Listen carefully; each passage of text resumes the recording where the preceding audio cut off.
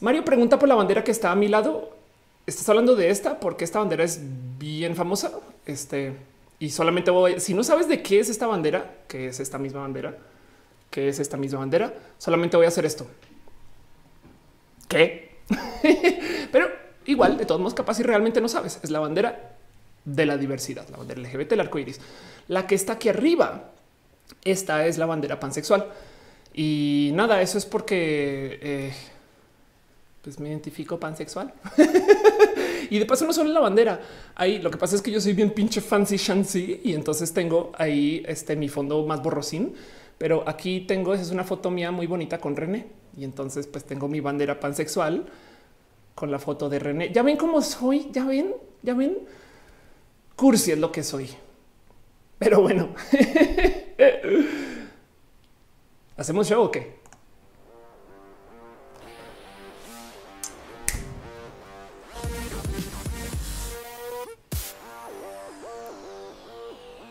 Hello, gente bonita del Internet, gente chida y cool. Ay, gente de los lunes, porque luego hay gente de los martes que no son las mismas personas. Es todo lo que les tengo que decir. Sean ustedes bienvenidos a Roja, el show que se hace desde mi casa, que yo trato de organizar para que funcione y arranque a tiempo, pero son las 8 y 20. Entonces, lo chido es que nadie se va a dar cuenta que arrancamos tarde porque este video luego va a quedar literal editado para que nadie se dé cuenta lo tarde que arrancamos. Pero bueno, este show se hace justo desde mi casa, bajo mi mano, mi producción y con mucha ayuda y mucho apoyo.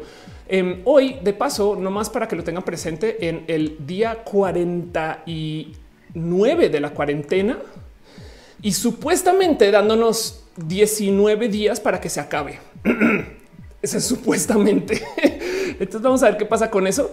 Pero pues eh, nada, démonos gusto porque pues técnicamente esta cuarentena se va a acabar. Hoy vamos a hablar larguito de eso de todos modos, pero por ahí fui a un stream el sábado pasado y en lo que estaba en la llamada platicando, de repente me dice alguien, oye, tú estás como chida. Eh, fue, era en Instagram de paso. Tú estás como chida. ¿Por qué no haces streams? Y yo así de, güey, no es mala idea para nada. Nada. O sea, oiga, sí, sí, yo debería hacer streams. y así las cosas. Este, pero pues ya. Entonces, eh, justo este show se hace por mil y un motivos, pero sepan que la idea de hacer este show es que más que show es un diálogo. Estamos en el Internet, hay chat, que es esta bestia que yo pongo acá.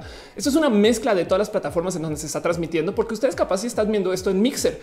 Pero también, si quieren, pueden ver esto en facebook.com diagonal of course, en youtube.com diagonal of course y en twitch.tv diagonal of course, donde en todos lados nos damos cariño, amor y aprecio. La mayoría de la gente de todos modos está en YouTube, pero podemos saltar de plataforma si quieren. De paso, si de puro chance ustedes no ven bien o si les boferea o si hay lago, cosas así, pues también intenten cambiar de plataforma a ver si les funciona. Em, también justo como yo estoy produciendo todo esto desde casa, entiéndase literal, soy yo esta laptop, este, este café y este labial. Entonces eh, sale y, ustedes ahí si alcanzan a ver eso es el chat donde les estoy leyendo. Entonces, pues también depende mucho de ustedes para que me digan el cómo se ve, cómo escuchan, cómo se sienten y todas estas cosas.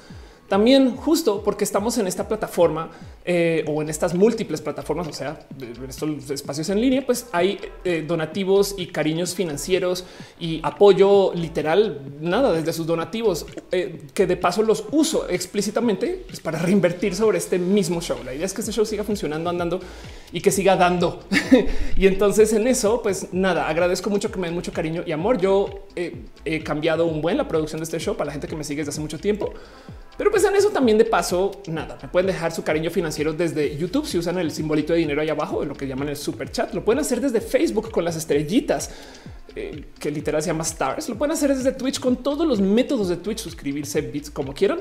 Y en Mixer, eh, desafortunadamente tengo entendido, solamente me pueden dejar los rayitos de Mixer, pero esos rayitos son muy bienvenidos de todos modos. Em, y tengo una promesa con ustedes que lo que sea que me dejen en eh, el mensaje del donativo, eh, como aparece aquí en el chat, yo lo leo como sea. Que yo lo lea. Entonces, eh, pues nada, solamente leyendo el mensaje que dejó Reyes Castillo, María José, o sea, María José. Saludos de Queretrans y de mi hello, WhatsApp. Y también un eh, saludo que dejó Pastel de Cocoa que dice feliz cumple atrasado o adelantado. Y pues justo mi cumple fue eh, ayer. Y entonces es mi, es mi tran, anniversary. Qué mal, qué nombre tan feo. No me gusta tanto, pero bueno, justo es mi cumpleaños que yo celebro. no es el cumpleaños que se me asignó legalmente y entonces es muy divertido porque si ustedes entran en pánico porque ah, es que persona trans X cambió su nombre y, no lo debería de poder cambiar, yo le tengo que decir lo que digan sus documentos. Solamente les voy a decir que yo no soy la única persona que ha cambiado su cumpleaños y ha pasado otro tipo de cosas raras por cambiar el cumpleaños. Eh, tengo eh, eh, por ahí como varios recuerdos de cómo el primer año que cambié mi cumpleaños me lo celebraron dos veces mis amigos y amigas y no recordaban que el anterior fue meses antes. O sea, como que no, no ataron con el oh, esto. Este eh, eh, Ofelia, será que habrá cambiado? No me explico. Em, fue raro, pero bueno, en general, eh, GTC deja unos 100 bits. Muchas, muchas, muchas, muchas gracias. Gracias por tu apoyo. Piñas para ti. Molde Perfect también deja un abrazo financiero y dice Rojita de mi corazón. Puedes un día platicarnos sobre la salud de, de los que nos la pasamos trabajando en la compu.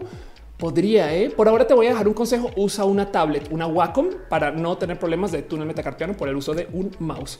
Em, y bueno, eso eh, siendo lo que es. También del otro lado, justo mucha gente me apoya y me da cariño y amor desde Patreon, que es una plataforma para que justo puedan apoyar a sus artistas este, eh, independientes, donde no es de nuevo obligatorio para los consum para poder consumir este show, pero sepan que yo lo hago justo pues porque todo eso se reinvierte acá. Entonces quiero darle un abrazo súper, súper, súper especial a Arturo Alea, Ana Navarro, analógicamente Aflicta, Ignis 13, Francisco Godínez y Trini de Patacoins, mis Patreons chidos, bonitos, gente espectacular. Muchas, muchas, muchas gracias.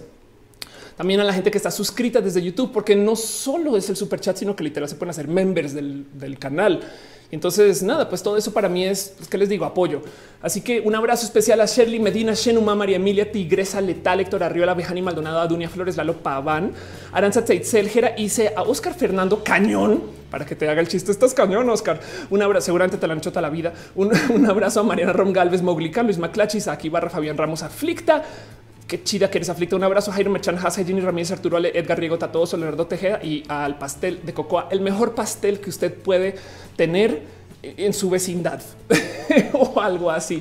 También un abrazo especial a la gente que está suscrita en el chat. Perdón, Yubis deja. Hola, Yubis, ¿qué hace usted por acá? Un abrazo. Eh, gracias por dejar tu cariño de Mixer. Em, la gente bonita que está suscrita en Twitch también mucho cariño. Imrayo, Ominos Cowboy, Malif 9, Rob 1999, Arturo Ale, Musicarina, Boniunia, Rafa Cázares V, Dividi Hernández H, de Chan, Daniel FRG, Aristides Villanueva, Penarrura, Chango León y por supuesto, Dale Caro, que yo creo que eres la sub más de antaño en, este canal. La neta, la neta, este eres quien más tiempo lleva aquí. Entonces, muchas, muchas, muchas gracias. Em, pero bueno, eh, justo de paso, como hay un chat, también hay moderación. Y esa moderación sucede porque, pues, ¿qué les digo? Si, si hay un tema donde la gente a veces, saben, se pasa de o quiere hablar de cosas y, no lo tomen a mal si ustedes quedan silenciados o muteados por un ratito solamente porque, pues, la idea es que la conversación fluya y ya. Si hay algo que yo no estoy leyendo, eh, por seguro que lo, lo veré, sobre todo si estamos como entre temas. Y de paso, al final del show, yo dejo un espacio para responder preguntas y respuestas. Ahora, hay gente que a veces me escribe durante el show con preguntas muy específicas como, oye, es que la dosis de mis hormonas y es de, wow, wow, espera, eso no es para roja. Hablemos de eso en redes sociales, quizás por DM, eh, ya que se acaba el show. Entonces, ténganme paciencia con las cositas. No, no lo tomen tan a mal si de puro chance eh, este, hay un tantito de moderación, solamente porque la idea es que pues, no, se mantenga la conversación andando. Pero en eso, perdón, veo que también dejan un abrazo financiero. Liliana Nogueira dice felicidades, a tu show. Muchas gracias, gracias por estar acá. Gracias por apoyar la neta. Eh, pero bueno, quiero darle también justo un abrazo especial al timo de moderación, Caro, Uba, Uriel, Fabián, Monse, Jesse, Tutix, Hígado de Pato. Y de paso René, la niña de mi corazón, que también está en el show también aquí por su foto. un pequeñito anuncio de que el 17 de mayo hay un stream por parte de René con nadie más y nadie menos que eh, Juan Torreblanca, Torre Guairi, eh, quien puede que le conozcan o no. Seguramente tienen el ringtone de Juan, eh, pero si no, búsquenle. Se llama Roma y o bueno, busquen todo el trabajo de Juan. Tiene una cantidad de cosas muy, muy, muy bonitas y René ni hablar. O sea, es básicamente la dueña de mi corazón. Pero si no conocen a René, empápense el trabajo de René, les va a gustar, sobre todo si son activistas. Y pues ya, eso, nomás sepan que esto hace el 17 de mayo y les dejo un poquito de promoción desvergonzada. Volvamos a la velocidad normal del show. Alison Salazar dice piñas cumpleañeras. Muchas gracias. Gracias de verdad. Adri Paniagua dice ya, ya, ya. Ok, House of Science dice me rindo con mi internet. Estoy en datos a ver cuánto dura. Si te sirve House, em, yo estoy transmitiendo en Twitch, twitch.tv diagonal of course, pero hay un lugar que se llama Audio Twitch donde tú puedes sintonizar solo en audio. Entonces vas a mi canal o, no sé si lo buscas con la liga y ya con eso em, te puedes conectar y escuchar el streaming. Entonces consumes muchos, muchos, muchos menos datos. Y si no, pues evidentemente, y por si no tiene presente, esto queda grabado aquí en todas las plataformas. Y también de paso, esto luego eh, se sube a Spotify como podcast y se sube a Apple Podcasts. En fin, gracias por estar acá. Estamos en vivo en muchas plataformas.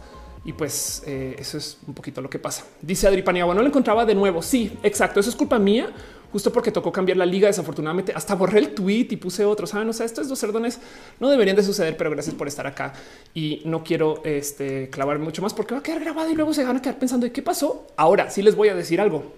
Si ustedes vieron todo lo que sucedió antes y ahora ven esto, tienen ustedes un trocito de colección de un episodio de Roja que nunca va a ver la luz otra vez. Entonces, en el aquí y el ahora, Dani Vázquez deja un abrazo financiero. Muchas gracias, Dani. Muchas, muchas, muchas gracias, Dani. De verdad. Entonces, hoy tengo un tema súper candente que literal rompió mi internet. Eh, rudo, rudo, pero rudo, rudo. Eh, y, y, fue algo que hice la semana pasada por mero, porque quería investigar algo. Así que vámonos con ese tema. Yo creo que ustedes saben de qué voy a hablar y si no saben, hablemos un poquito acerca del el amor y el odio a la cuarta transformación.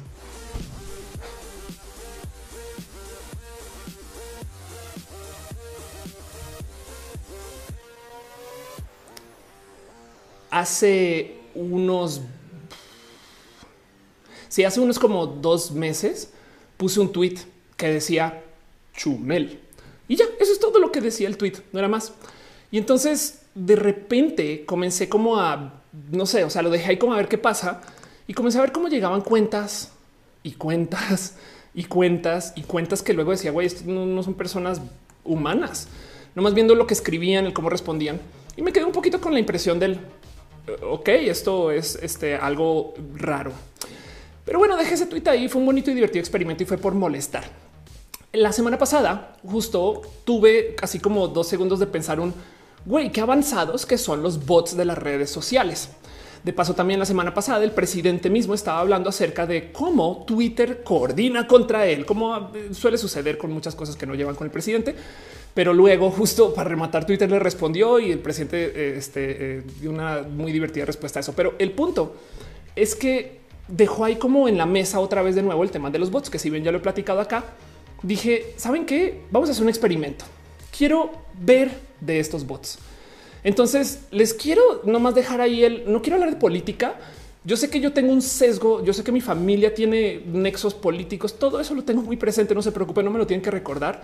Yo sé que yo tengo una formación que además, o sea, yo estudié física y economía y estudié economía en Australia, entonces pues por supuesto que tengo una visión del mundo que eh, se alinea al cómo viven estos países, me explico.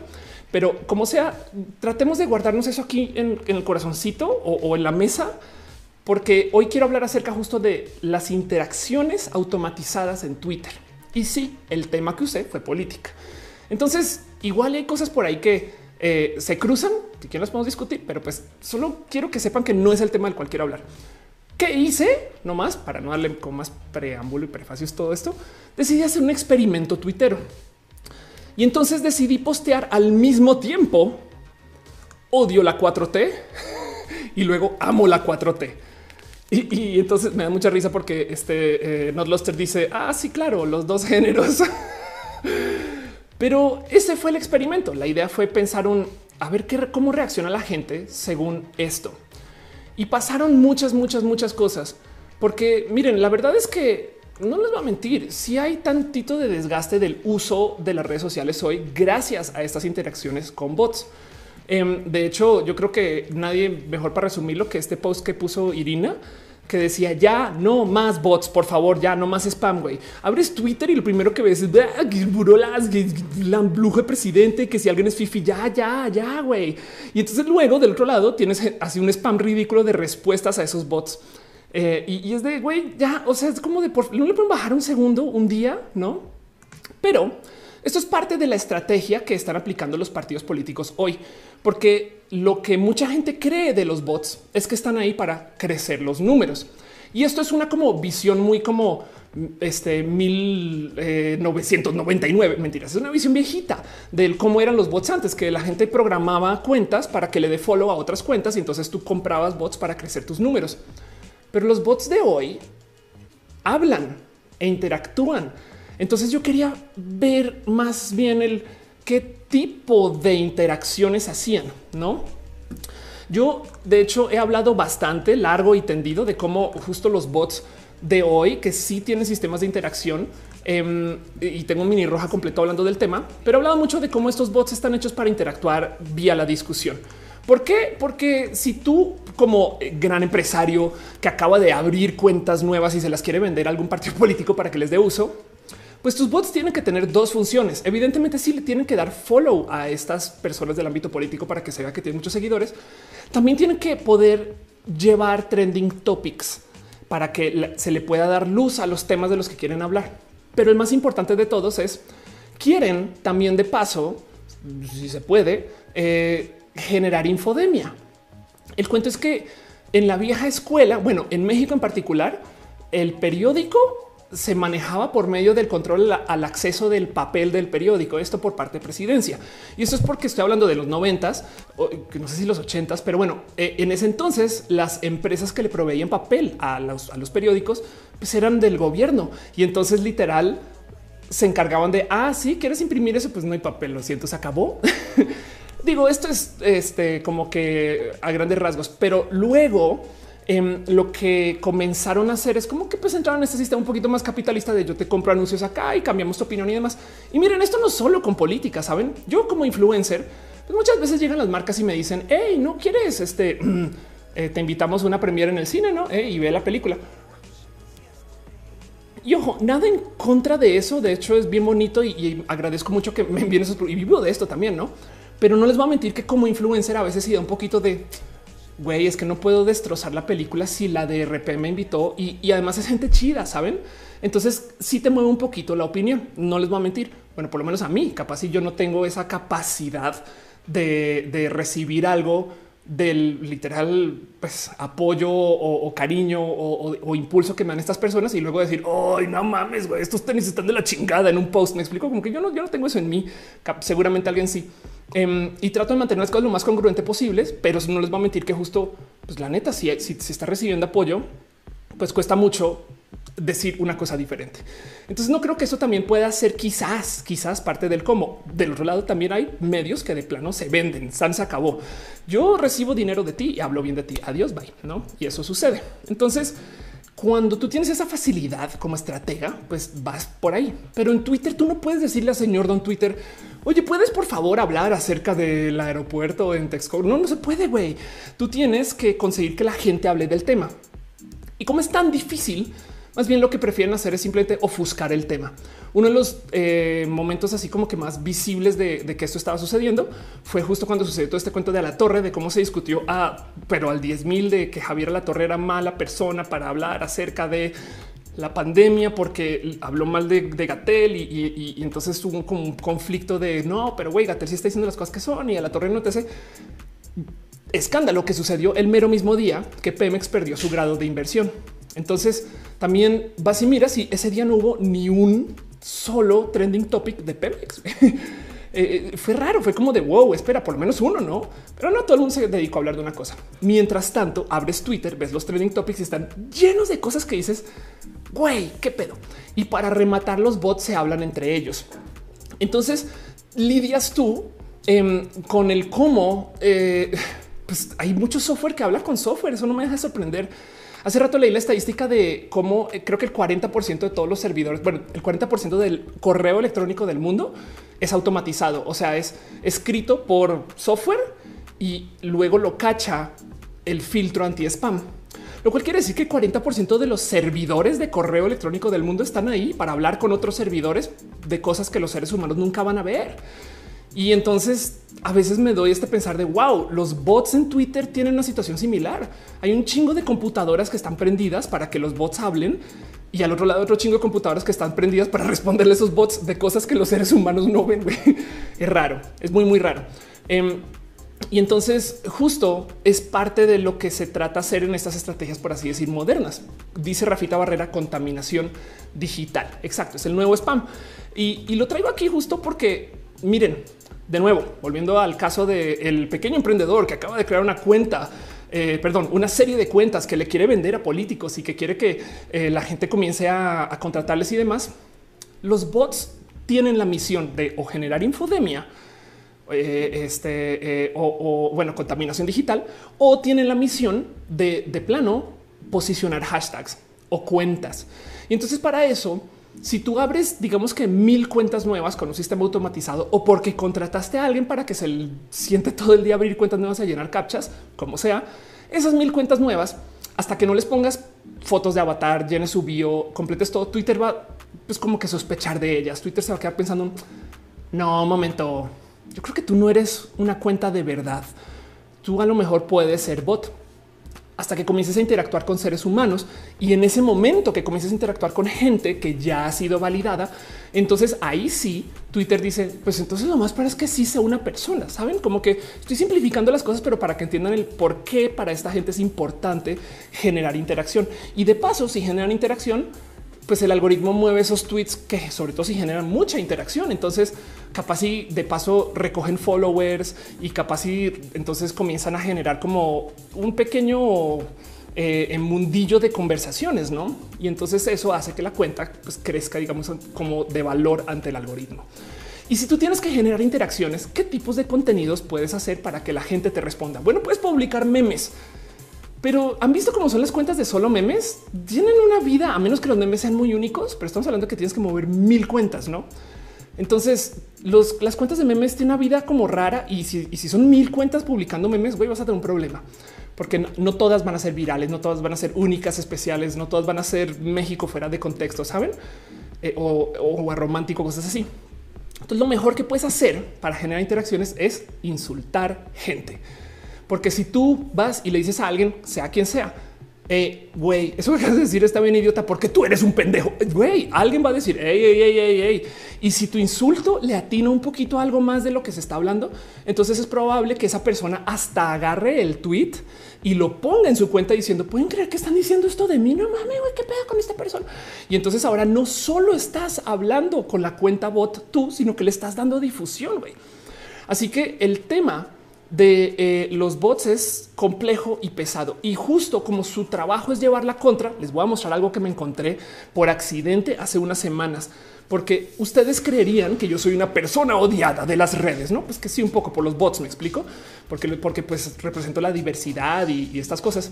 Pero un día, un día eh, me topé con alguien que habló mal de mí, una persona real, un influencer que hace música, habló mal de mí, dijo una bobada y voy, a ver sus respuestas como por mera curiosidad. Ay, a ver qué dice. No, a ver qué dice la gente de mí o a ver a quién tengo que bloquear.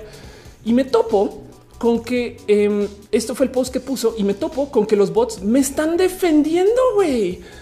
Los bots de repente, miren, esto es un bot. El único, la único mente chica y retrasada es el que no puede escribir bien un nombre, no típico de los machitos hetero.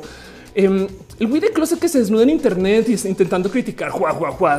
Saben como que em, estas cuentas luego así mira si es de yo, no creo que sean personas, no? Y, me, y quedé como así de wow, claro, es que en un tweet que está hablando mal de mí, si los bots hablan bien de mí, entonces pues les van a responder, güey, ¿qué te pasa? Ofelio si es un idiota, no cosas así.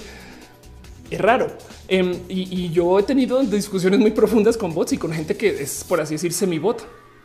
Pero entonces justo por eso me interesa tanto esto, porque una de las cosas que he aprendido a lo largo de estos, de estos como meses de dialogar con estos bots es que quien sea que les administra, porque digo bot, en Colombia se les dice zombie, pero cuando programan los mensajes que van a decir o cuando de plano responden, a veces igual son seres humanos que agarran las cuentas y literal hablan desde ahí, ¿saben?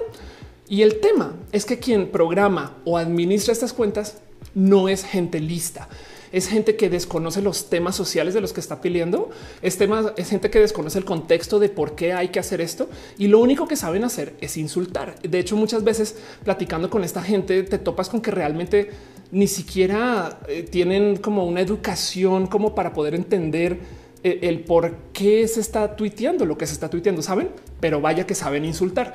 Entonces dice mucho acerca de la naturaleza de quién programa o administra estas cosas, no? Pero quería como poner eso un poquito a la prueba.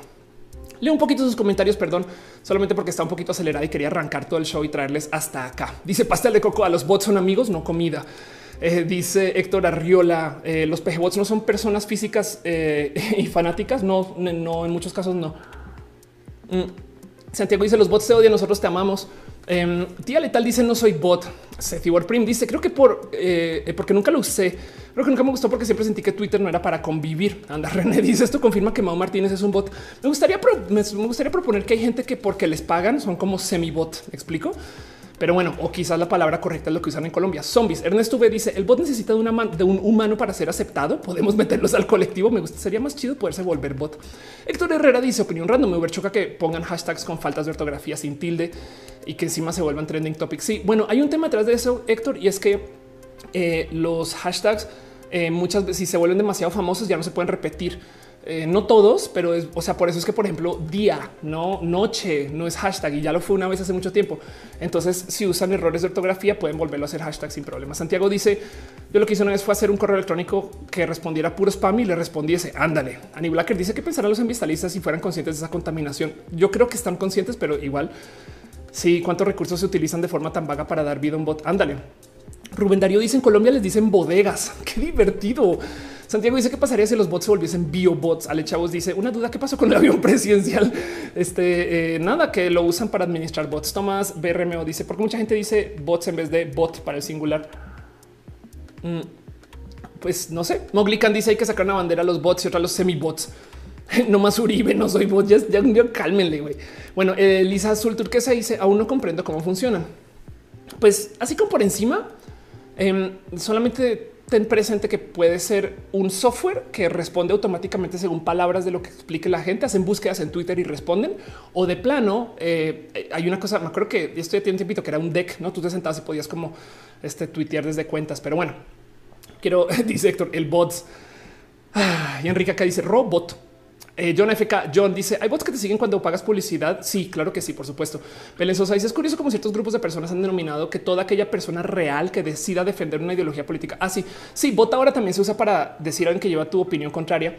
Pero es que cuando la gente es muy radical con sus opiniones, actúan como bots. Por eso digo que hay gente semi-bot. Pero bueno, entonces, ¿qué fue lo que hice yo? Pues me fui a mi confiado y chido y bonito Twitter y decidí sentarme un ratito y justo como lo dije ahí, hacer un experimento tuitero. Y entonces puse justo un tweet que era odio la 4T y a López Obrador, a López Obrador, neta. Y el, pero literal, o sea, con un segundo o dos de diferencia puse amo a la 4T y a López Obrador, neta. Pensemos en esto. Es puse al mismo tiempo amo y odio a la 4T y a López Obrador. Y las respuestas fueron ridículas de diferente. Este es el tweet de amo que tuvo 445 likes, 22 retweets. Y ese es el tweet de odio que tuvo 4500 likes y 460 retweets. Sin mencionar que luego también eh, la cantidad de respuestas pues, fue violenta. O sea, la cantidad de gente que se puso a escribir en este porque este se volvió viral. Es más, fue bien divertido porque este fue el que vio la gente. Depende del algoritmo. No todo el mundo vio los dos tweets. Eso a mí me impresionó mucho. Hay gente que veía solo el de amo, hay gente que veía el de amo y el de odio, hay gente que veía los dos. Em, y para rematar había un tercero. El tercer tweet que puse fue un tweet que literal decía hagamos un experimento tuitero. Y en este tweet comencé a documentar en vivo mis resultados. Y lo más impresionante de todo esto es que, pues de cierto modo yo estaba en vivo diciéndole a la gente, hey, es un experimento, ¿saben? Pero si les dijera la cantidad de cosas que me escribieron en el de odio, que fue raro. Dice Carmina, todos se volvieron locos. Dice Santiago, es un complot. dice Nenochis, a mí salió del experimento. Dice que no recuerdo cuál vi. Dice Rubén Darío, la burbuja de información. Exacto, pero yo no sabía que la burbuja estaba también atrapada a un solo tweet. Dice este Martín Arce, ya que estás hablando de los bots, ¿sabías de la campaña fallida de Macri para las elecciones? Los bots se dispararon todos con el mismo hashtag, pero con frases irrisorias. Qué triste. Em, dice eh, están hablando de variantes eh, de cómo hablar cosas en Colombia. Puede ser Sergio eh, dice cómo identificar bots, pero no con los consejos que diste una vez pasada, sino de manera técnica. No hay, tiene que ser por literal análisis. Bueno, hay unos, hay unos, hay unos modos muy fáciles, pero, pero si tienes, si son como varias reglas que tienen que cumplir, como que con que cumplan una solita no los topas. Güey. Y, yo creo que también por eso me interesaba tanto esto. Miren, evidentemente, cuando yo pongo estos tweets, pues la verdad es que sí, yo creo que esto no es, no es sorpresa para nadie pero pues que el del odio se iba a mover más. Esto ya lo sabíamos todos. O sea, yo no me sorprendí con esto. Saben por qué es amo a y odio a. Hay muchos motivos detrás de esto. Primero que todo, odio es una palabra que tiene cierto peso. Segundo que todo, capaz y el tema del odio está más presente porque la gente tuitera tiene una cierta opinión del presidente y la gente que no está en tuitera tiene otra opinión. Saben, si hubiera hecho esto, a ver si, si Facebook responde igual, pero Facebook tiene una visión diferente del algoritmo, entonces igual no hubiera funcionado. Me, explico. Quizás también el, tema es que eh, hay sesgo general porque la red social y la situación, o sea, estamos en plena pandemia. El presidente ahorita no está presentándose muy bien ante los medios. No sé si alguna vez lo hizo. Em, entonces, como que también, aparte del mero concepto del odio y el amo, pues también había, pues también entiendo que hay un sesgo ahí aparte. O sea, esto no es para nada científico, no hay grupo de control, no, no, no, no se claven tanto con los datos. Más bien acompáñenme a mi viaje espectacular por el amodio de la 4T. Em, y el tema es que eh, en lo que yo iba eh, hablando o, comentando, también de paso mucha gente se dio cuenta. Y entonces decían, uh, alguien está viendo a ver qué pasa con el algoritmo para el siguiente en vivo. Y pues sí, la neta sí también. Y esto me impresiona más porque esto fue una respuesta muy temprana. O sea, cuando yo vi este tweet dije, chale, ya todo el mundo va a ver lo que es y va a cambiar los comentarios de ahí en adelante. ¿Creen que pasó? No. Obviamente la gente siguió posteando como si fuera lo único que se hubiera dicho, pero claro, como funciona el algoritmo, te muestra el tweet y tú le das responder a eso y no te muestra para que te tomes el tiempo de ir a ver qué está diciendo la gente. Saben? Dice Luis Romero, y mi opinión del pleito que tiene General Lozano y John Ackerman. No sé de qué hablas. Eh, Adri Paniagua dice: Yo los vi, experimento chumelesco. Eh, Angelic Fruit dice: eh, Facebook tuviera bloqueado el de odio. Alejandra Ayón dice solo me salió el de odio. Eh, Moon dice hate love by off. Claudia Patricia Moral dice el mejor guaro es el doble anís porque estamos hablando del guaro, Claudia. pero, pero sí, el guaro es el buen, buen, guaro, es el guaro del doble anís. Exactamente. Sí, perdón. este, perdón. Veo que Josué Yaca dejó un abrazo financiero. Muchas, muchas, muchas gracias. Eh, Alonso Marín no había visto eh, también este Macha Fears dejó unos bits antes de la gran caída de varias veces. Gracias de verdad. Zoraida Isu que se suscribió con Prime también. Lightbear se suscribió con Prime. Gracias por ser parte de esto. Sushi Kiss también. Ay, perdón, me estoy asomando un poquito nomás por aquí por mi plataforma para ver que todo esté en orden y que todo esté funcionando. Pero bueno, gracias. Em, entonces, justo eh, el tema de mi experimento es que eh, levantó cosas raras. Yo sé que el tweet del odio se iba a mover más, pero quiero que repasemos un poquito los tweets que se movieron, si lo quieren ver así, como que las cosas que me dijeron, porque, porque sí me sorprendí mucho. Hablando de Chumel, por ejemplo, pues de plano sí me dijeron, Chumel, ya dale su cuenta Ofelia, todos sabemos que eres tú. Y yo así de, ¿qué Chumel? ¿Saben? Como que eh, fue raro. Muchas personas sí me compararon con Chumel. Bueno, igual y Chumel tiene esta opinión. Mucha gente, por ejemplo, también me opinó acerca del tema del odio. Esto no sé decir si es bueno o no. Y, y el tema aquí es que, bueno, quiero nomás levantar la calidad de la conversación que hubo sobre un tweet así. Recuerda que odiar no es bueno, quien odia será odiado. Y este me divierte más. Juan Enríquez dice, bueno, a ver, a ver, a ver, a ver, Ofelia, odiar es algo fuerte, ¿no crees? Pero vean el tweet al que está respondiendo, amo la 4T, Ofelia, a ver, a ver, a ver, a ver, a ver, a ver, a ver, ¿qué es lo que es eso que estás diciendo? Eh, y, de paso, leyendo estos tweets, también quiero que recuerden que al mismo tiempo puse odio y amo. Saben como que em, a veces me sorprende que juzgaron del total con un tweet, con un mensaje, con una cosa y, al, otro lado estaba diciendo, pero amo, no, no sé. Taco Lecho dice la gran caída, la mejor descripción del 2020. Tía Letal dice la cantidad del PG zombies es directamente proporcional a la gente que no cree en el coronavirus en México. Puede ser. Em, aparecieron, este, como les decía, mensajes raros. y mm, por ejemplo, eh, esto también eh, sucedió. A ver, a ver, a ver, aquí tengo el tweet. Mm, eh, que me causa mucha risa. Dice Roxana García, deberías de odiar cómo murió este grande. Y la verdad es que sí. Entonces, pues nada. Por lo menos, miren, agradezco mucho que mucha gente sí se lo tomó con humor, como yo. Fabián Ramos dice Chumel ya ha hecho eh, lo de intercambiar su cuenta con un poeta tuitero y lo que salió de eso fue una reacción digna de estudio. Ay, qué divertido. Em, este dice eh, Luz 9. Necesitamos una red social que se alimente usuarios auténticos y sea curador de verdades. Fíjate que yo varias veces he comentado del tema y a veces le digo a la gente cómo funcionaría el verificar que una persona es humana antes de tuitear. Sabes como que igual si pones un captcha, no sé si funcione, saben? Eh, eso también me asombra mucho. Perdón, veo que también hay abrazos financieros en YouTube y es que tenía la liga que no era un abrazo a Cenet Mercado y Dani Vázquez, quienes dejaron su cariño y amor. Luis Gutiérrez se suscribió como miembro. Gracias, gracias, gracias de verdad. Pero sigamos con el experimento. Para que entiendan lo que voy a decir ahora, voy a re eh, tocar, voy a levantar de nuevo un cuento que he presentado acá varias veces, pero que para muchas personas sigue siendo nuevo. Entonces, téngame paciencia con este ejemplo. Si ya se saben el ejemplo, porque ya han estado en las clases de Ofelia, este qué chido, pero, pero téngame paciencia con esto. Y es porque para los otros mensajes que aparecieron, porque acuérdense que lo que yo quería hacer era analizar el qué era lo que decía la gente alrededor del tema del amo a la 4T u odio a la 4T. Repasemos la pirámide de la argumentación. La pirámide de la argumentación básicamente es una pequeñita teoría de eh, qué tan valioso es eh, un argumento en respuesta a eh, algo que se diga o algo que se posicione o algo que se proponga. Saben, si yo les doy el enunciado, las quesadillas deberían de llevar queso.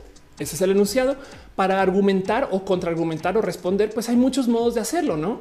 Pero cada quien pues agarrará de temas diferentes para no más argumentar y discutir eso y tendrá sus opiniones relacionadas y lo podemos debatir muy, muy, muy a fondo. Pero de nuevo, si yo les digo las quesadillas deberían de llevar queso, pues el contraargumento, la respuesta con más valor es la respuesta que me refute el punto central que me refute de forma explícita el asunto central. Y en este caso el asunto central es debería, debería de llevar queso una quesadilla, debería. Em, y, entonces eso se puede discutir de mil y un modos, pero hay gente que obviamente no se va a agarrar del debería sino que, por ejemplo, agarraría de el queso. Entonces, por ejemplo, podría refutar o que haya el error y explica el mismo mediante el uso de citas. Entonces em, encuentra en debería de usar quesadilla. Pues a ver, a ver, a ver, a ver, perdón, pero es que quesadilla tiene la palabra queso y entonces ahí está el error. Y entonces acá tengo esta definición de diccionario que quesadilla significa o acá tengo esta definición del náhuatl o las cosas que dicen. ¿Me explico? Técnicamente ya no, ya, no estamos refutando el punto central directamente porque estamos hablando de una abstracción, pero sigue siendo válido. Está refutando em, y esto nada es un modo de argumentar. Pero luego también, y cada vez que bajamos en la pirámide le estamos robando valor de argumentación, puedes contraargumentar, contradecir y luego respaldar con razonamientos y con evidencia de apoyo. Entonces, ¿cómo contradices mi punto? Pues entonces, a ver, o sea, perdón, pero si no deberían de llevar queso, entonces igual y tampoco deberían de llevar tortillas, ¿no? Y es de, hey, hey, un momento, un momento. Em, pero puede haber evidencia para hablar de estas cosas. Y, todavía entonces ya no estamos hablando acerca si debería o no, sino estamos comparando contra el opuesto. Entonces técnicamente no estamos refutando el punto central, sino estamos nada más hablando de un análogo. Estamos tomando el punto y hablamos de una cosa que está pasando por acá y no del punto en sí, pero todavía se puede. Yo considero estos primeros tres puntos buena y válida discusión y argumentación y esto todavía son puntos válidos para el debate. Luego viene la contradicción, presenta el lado contrario con poca o ninguna, o ninguna evidencia que entonces ya ven cómo es bastante más básico que el anterior. Presentar el punto contrario es básicamente decir, ah, pues entonces que no lleven queso si no quieren. O sea, ya no. Y es de güey, yo solo estoy diciendo que deberían em, y, estoy dejando eso para debatir, no? Y entonces ese último ya es un punto gris porque técnicamente ya ni siquiera te está dando un en el libro de en la definición de acá. nada, no se está discutiendo nada. Simplemente te está dando el punto contrario. Y adiós, yo me voy, yo me lavo las manos con esta discusión y listo. El próximo escalón en esta pirámide es cuando se rompe toda la discusión porque ya no estás hablando del punto central. Y esto es muy normal. Es cuando respondes al tono. Críticas al tono del mensaje sin considerar la sustancia del argumento. Em, esto es cuando, por ejemplo, tú pones un tweet diciendo justo eso, no las quesadillas deberían de llevar queso y te responden, perdón, pero eh, eh, estás escribiendo sin acentos y te falta un punto, ¿no? Y es de, ah, ajá, claro, ajá, ¿esto qué, qué tiene que ver con mi argumento de que las quesadillas deberían de llevar queso? la pirámide de la argumentación es espectacular porque ayuda a categorizar, por ejemplo, cuándo vale la pena responder en una discusión en redes. La neta, porque hay un punto más abajo que el de responder al tono. Y aquí es donde yo digo, de aquí en adelante ya no se está discutiendo y ya esto no va a llevar a ningún lugar, porque es cuando la gente discute ad hominem. Ad hominem básicamente quiere decir a ti, bueno, al hombre o eh, ad hominem. Em, y el punto aquí es ataca las características o la autoridad del contrario sin considerar ni siquiera en ningún lugar la sustancia del argumento. Ad hominem es que yo pongo las quesadillas no deberían de llevar queso y me responden claro tú porque colombiana, no? Y es de güey, espera, pero estamos hablando de las quesadillas, no de mí. El momento que las discusiones se vuelven de la persona versus, saben, como que se vuelve personal, ya no estás discutiendo el punto y entonces ya no estás argumentando. Y aquí justo es que se rompe toda la comunicación y la argumentación. Entonces, la pirámide de la argumentación de Paul Graham es espectacular porque te ayuda a categorizar un ok, esto vale la pena, y esto no vale la pena discutir, la neta. Y si hablan de ti, pues entonces ahí se acabó todo. Hay un escalafón más abajo que es el insulto. Eres un idiota, no? Ya ni siquiera te dicen es que tú eres una persona que no tiene validez o que, no está calificada para hablar de ese tema. Siempre estás bien pendeja y adiós, no? Em, esto suele suceder eh, eh, también en redes con mucha facilidad. Simón dice ya me dio hambre. André Moniz dice alguien más eh, no le dejó ver de primeras el bien. Intenté varias veces entrar al directo. Ya estamos aquí, no te preocupes. Dice Ultra, a mí me da igual si alguien quiere una quesadilla sin queso, sin guisado, sin salsa. claro. Pero bueno, dice Liv, ya pues son tacos y no llevan queso. Pues la pregunta justo no es si llevan o no llevan queso, es si deberían. Ven, ven, ven por qué me gusta este ejemplo, porque eh, es tan fácil como que distraerse del argumento si, si, si no lo ponemos ahí bien como bien analizado, no? Eh, y entonces hay mil y un modos de platicar de las cosas, pero justo el hablar acerca de las personas destroza todas las conversaciones. Y este justo es el espacio de quien te quiere insultar. Aquí es donde operan los bots. Aquí es donde opera la gente básica. Aquí es donde opera la gente que genuinamente no sabe de qué está hablando y entonces se va con hablar de la persona. Si ustedes quieren saber lo que es un mal meme del presidente, son los que dicen el presidente es un idiota. Me explico.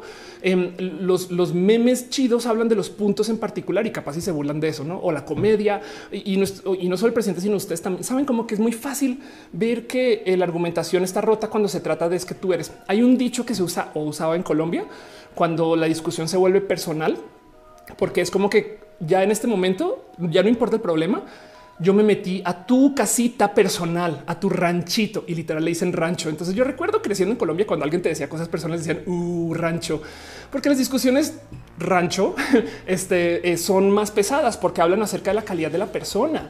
Eh, ya no importa lo que dijo no. Claro, solo tú con tu formación. Saben, claro, es que solo tú con este que eres un trabeco. No sé, me explico como que es de eso que yo estoy hablando de las que se no hablemos de mí, por favor, no hablemos de mí. Pero bueno, les traigo todo esto porque las próximas respuestas que tengo aquí en mi coleccioncita de respuestas son respuestas ad hominem y son pues bien, no sé, bien divertidas porque justo estas son las cosas que me ponen ahí a dudar del por qué están respondiendo acerca de mí. Por ejemplo, en, el tweet de odio a la 4T, Ivonne Campos me dice en serio, pero si casi no se te nota. Eh, y es de ok, este, eh, eh, pero podemos, ok, va. dice David Abril, si no aceptas ni tu biología, menos al capitalismo. A, lo cual yo todo lo que te preguntas, oye David, ¿todo bien en casa? ¿Qué chingados significa tu tweet, güey?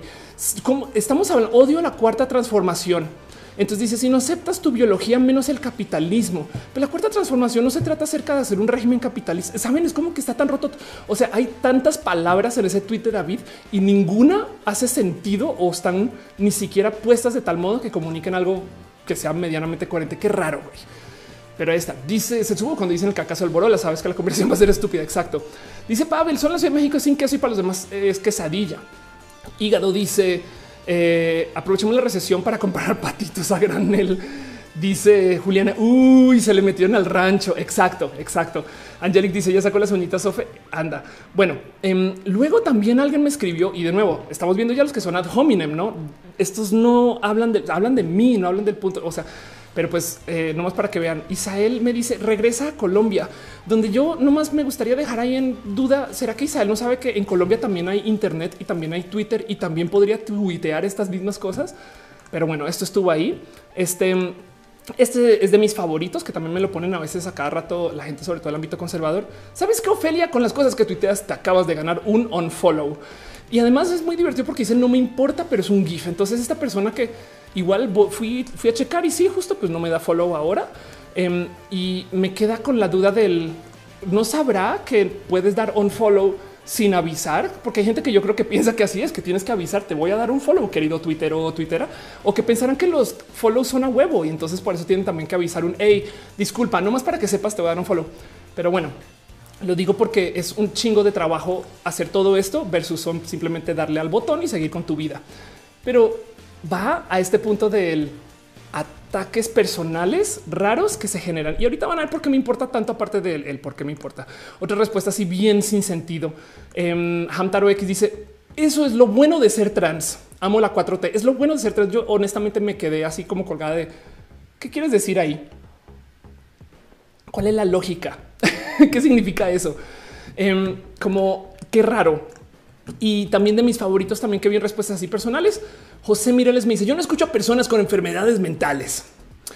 Que, de nuevo, no sé si José sabe, pero en Twitter tú no escuchas gente, tú lees gente, pero igual así las cosas. Em, dice, eh, les leo un poquito.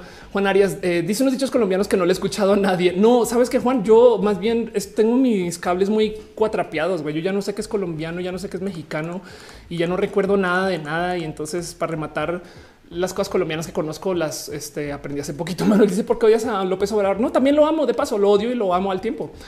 Em, este Claudia Admund dice: Me recuerdan cuando te contestan que no leíste bien el tweet, que no sabes leer. Sí, exacto. Y en el ámbito feminista les encanta decir: Se nota que no has leído X libro de tal persona. Lee y cuando leas, vuelve. No, y es como de hey, em, lo digo porque de nuevo estamos discutiendo la profundidad de la capacidad de argumentación de las cuentas bot. El problema aquí es que quién es un bot es complejo, es bien, bien, bien complejo. Sobre decir que también, por ejemplo, en estos tweets, pues mucha gente comenzó a hablar justo acerca de y qué onda con Calderón. Ese también es una falacia del debate cuando dicen, oye, y, qué entonces, ¿qué más vas a decir acerca de López Obrador? Y, que no es que eh, hace seis años, hace diez años también hicieron tal cosa. Cada vez que te dicen, hey, pero ¿y qué tal con Fox? Lo que están haciendo es que están llevando tu discusión del punto central a otra cosa. No, entonces ahora estás hablando acerca de Fox, ya no estás hablando del punto central y ahora Fox, sabes como que, como que es un güey. Eso es otro tema, tiene su vida, lo podemos platicar, pero estamos hablando de esto y eso también lo vi muy, muy, muy, muy, muy presente.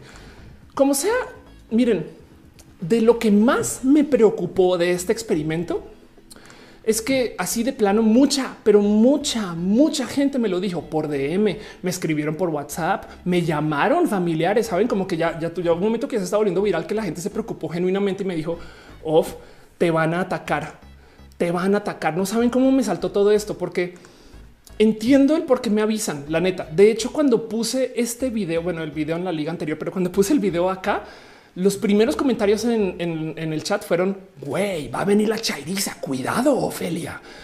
Y entonces no saben cómo me preocupa eso, porque quiere decir que si de cierto modo la gente no está diciendo cosas por miedo a los bullies, entonces ganaron los terroristas. Güey, ven lo importante que es esto. Es me, dio mucho como ay, no es que no, no puede ser que, ya estemos eh, viviendo una situación como donde ya normalizamos que hay tanto odio digital que esto sea algo en lo que pensemos, saben?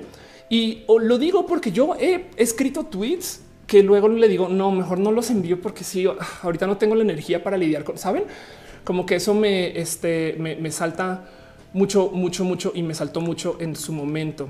Este, eh, pero bueno, Em, no sé si lo, había, si lo leído, pero Macha Fierce me dejó unos bits. Muchas, muchas, muchas, muchas gracias. Eh, y también muchas gracias a la gente que está dejando su cariño financiero en las otras plataformas, las estrellitas en Facebook, este, los rayitos en Mixer, que ya fuimos y ya volvimos, y también este, todo lo demás. En fin, dice Luis Rivas, no negociamos con terroristas. Este dice eh, René Lamo, yo a ti, Ale Chávez dices pérdida la libertad de expresión. Exacto. Dice Felipe Grisales, los bots provocarán la extinción de Twitter. No, de hecho, los bots hacen que Twitter tengan más, eh, tenga más inversión. De hecho. Y más actividad. Carumen 2000 dice autocensura por medio de las represalias, pero vio la libertad de expresión. Frisiones dice esto igual es visto como una violencia simbólica porque te obliga indirectamente a callarte. Exacto. Ger Miranda dice conoces eh, lo que plantea eh, Chantal Mouffe sobre lo político.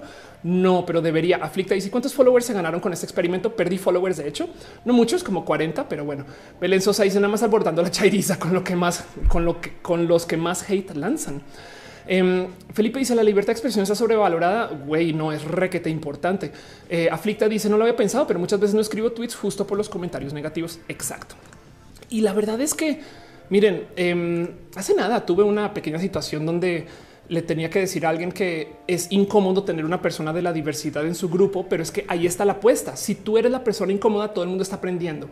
Eh, esto fue una situación a que ver con, con lo acá discutido, pero como que lo mismo sucede acá, como si, si el tweet va a conseguir reacciones y esas reacciones son de hate, entonces a lo mejor, pues ahí es donde está lo que importa. Había una viejísima frase célebre y creo que es de Zuckerberg, creo, pero digo viejísima, es como 2008, pero que decía, si lo que tú estás haciendo en la vida no hace que alguien se ponga furioso, entonces no estás haciendo nada importante.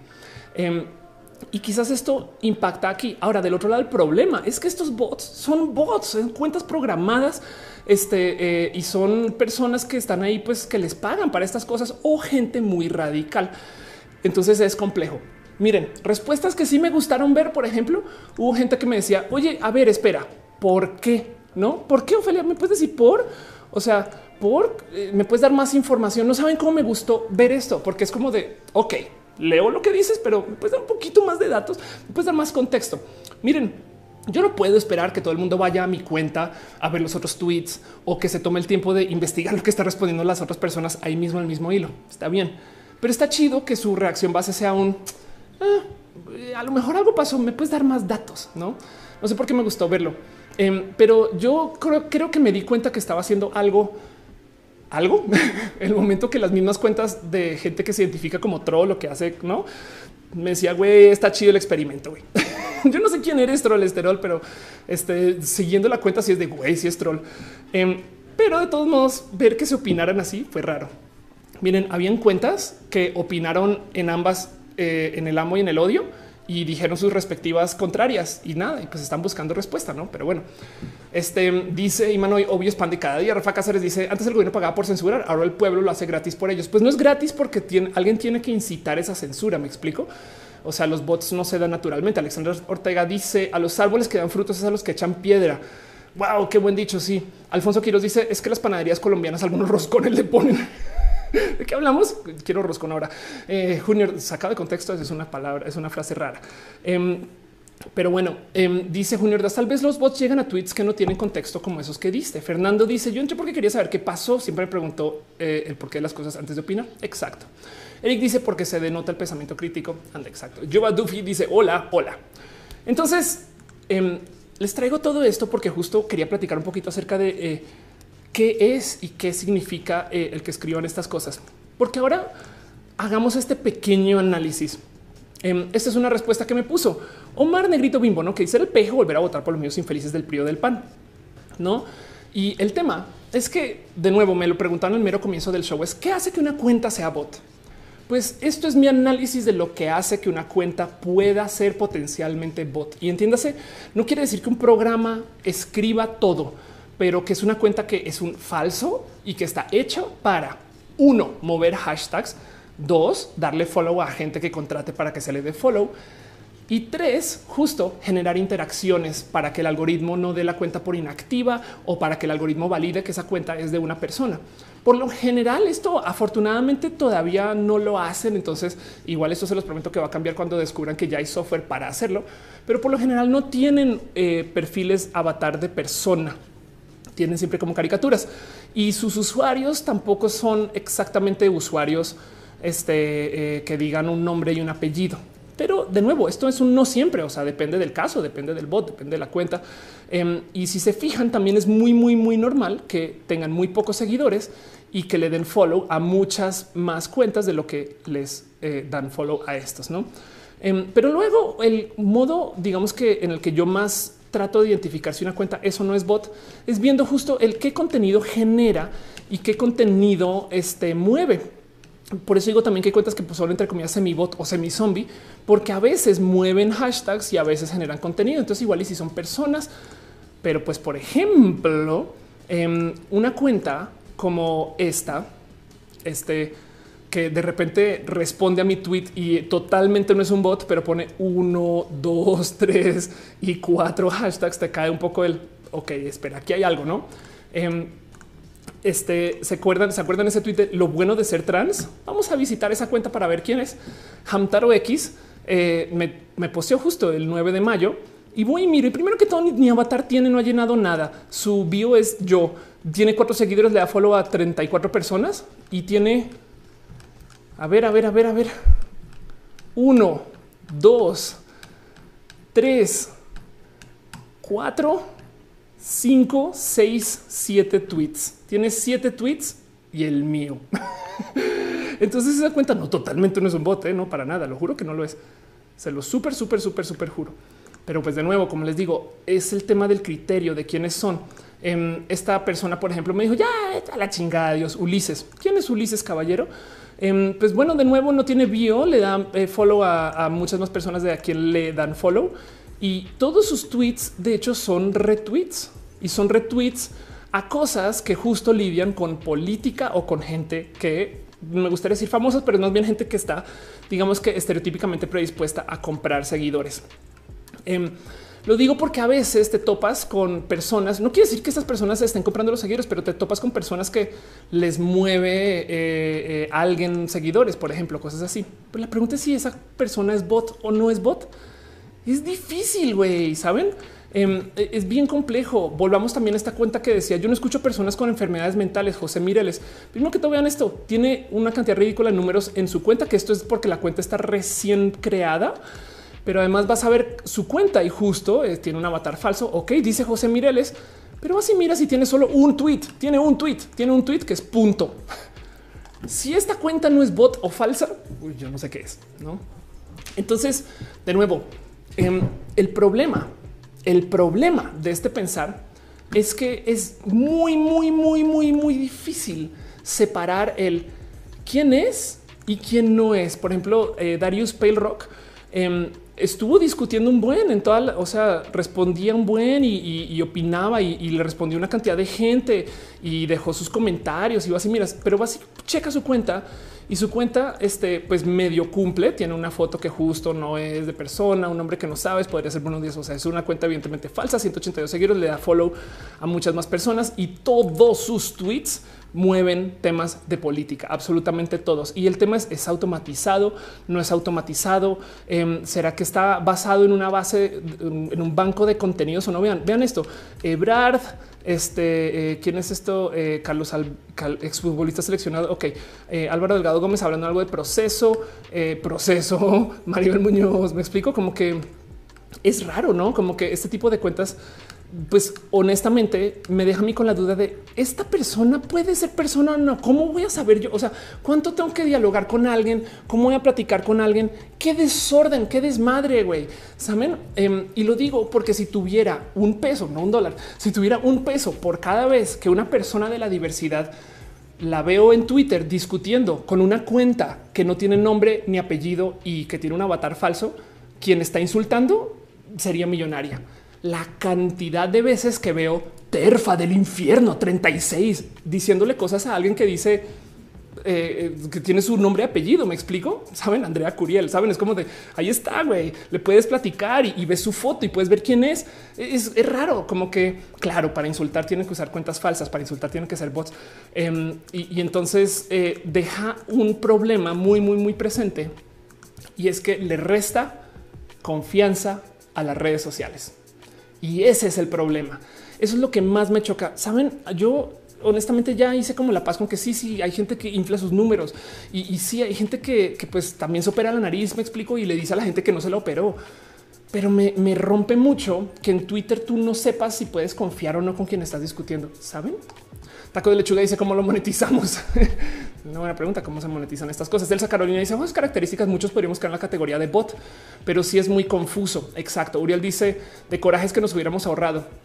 De hecho, justo eh, muchas veces yo me tomo el chance de buscar eh, conversaciones o temas clave que me hayan llevado a discutir a mí, saben?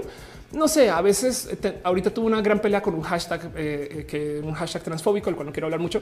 Un día luego les cuento la historia bien, pero sabrán si me siguen. Em, y entonces de vez en cuando entro a checar y luego me doy cuenta que la gran mayoría de conversaciones que yo sí tuve, a quien sí le respondí, cuando vuelvo a entrar, las cuentas con las que estoy hablando están ya borradas.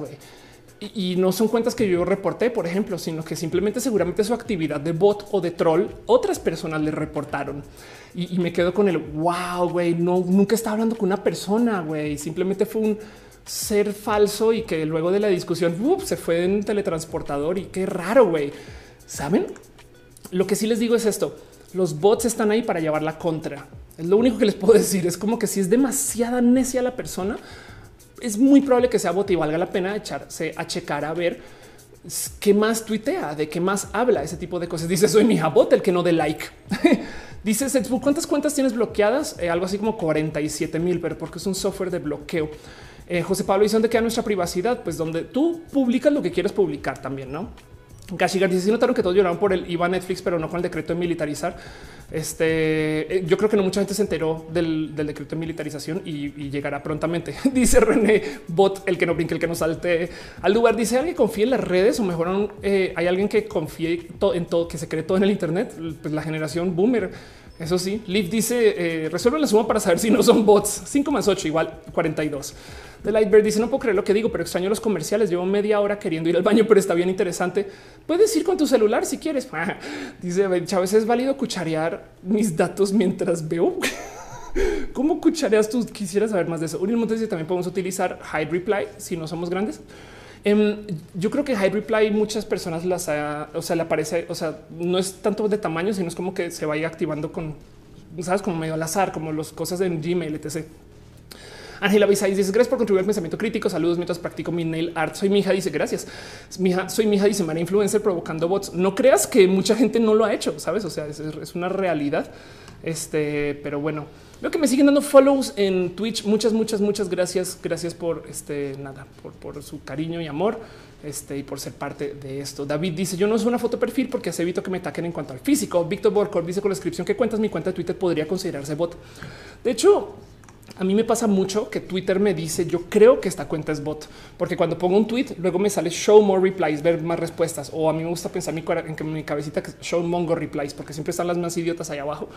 Em, y, justo, pues nada, ahí es como donde eh, como que Twitter lo que me está diciendo es un es probable que no es, o sea, no, no, no necesariamente creo que esto sea eh, una cuenta bot, pero pues igual y te lo dejo ahí por si acaso. Em, que no, no sé si todo el mundo lo tiene o si solamente me aparece a mí, porque mi cuenta tiene una cosa que literal dice filtro de calidad.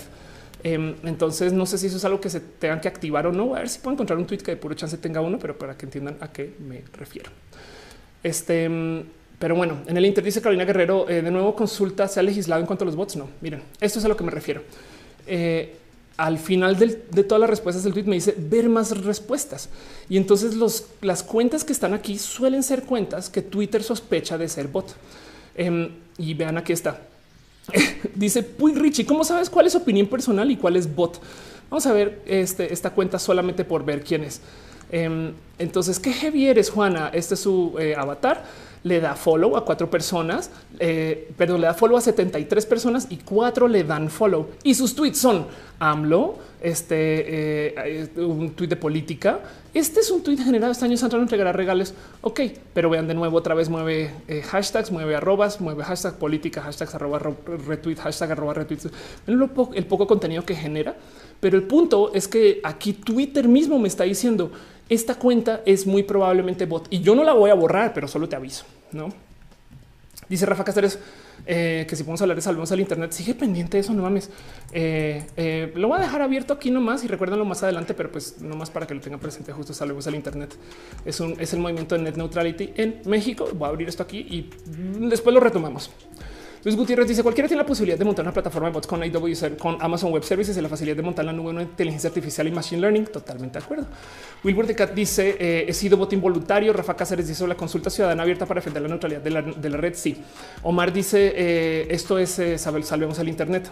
Dice Omar lo que hacen hashtag al pop chino son bots. Puede ser, puede ser. De hecho, a veces es muy fácil de ver. O sea, justo de nuevo, asúmense por el qué tipo de cuentas son. Eh, yo tuiteaba hoy que eh, Twitter sería mucho menos tóxico si no tuviera trending topics, porque entonces estas cuentas bot ya no tendrían motivo de existir, excepto darle follow a la gente. Em, porque la cantidad de cosas que pasan por los trending topics, la neta, neta, la gran mayoría de los temas que aparecen ahí son movidas por bots y se nota porque de repente tienes López Obrador, el mejor presidente. ¿Quién chingados se despierta en la mañana y dice amo a López. bueno, yo, pero qué chingados lo hacen eh, este, eh, orgánicamente y tanto que se vuelve un trending topic. Y, lo cabrón es que están los tres trending topics a favor y luego tres en contra y están peleando los trending topics porque son granjas o bodegas de bodegas de bots diferentes, no? Pero bueno, bodegas de zombies para hablar en colombiano un ratito. Entonces, miren mis conclusiones de este experimento.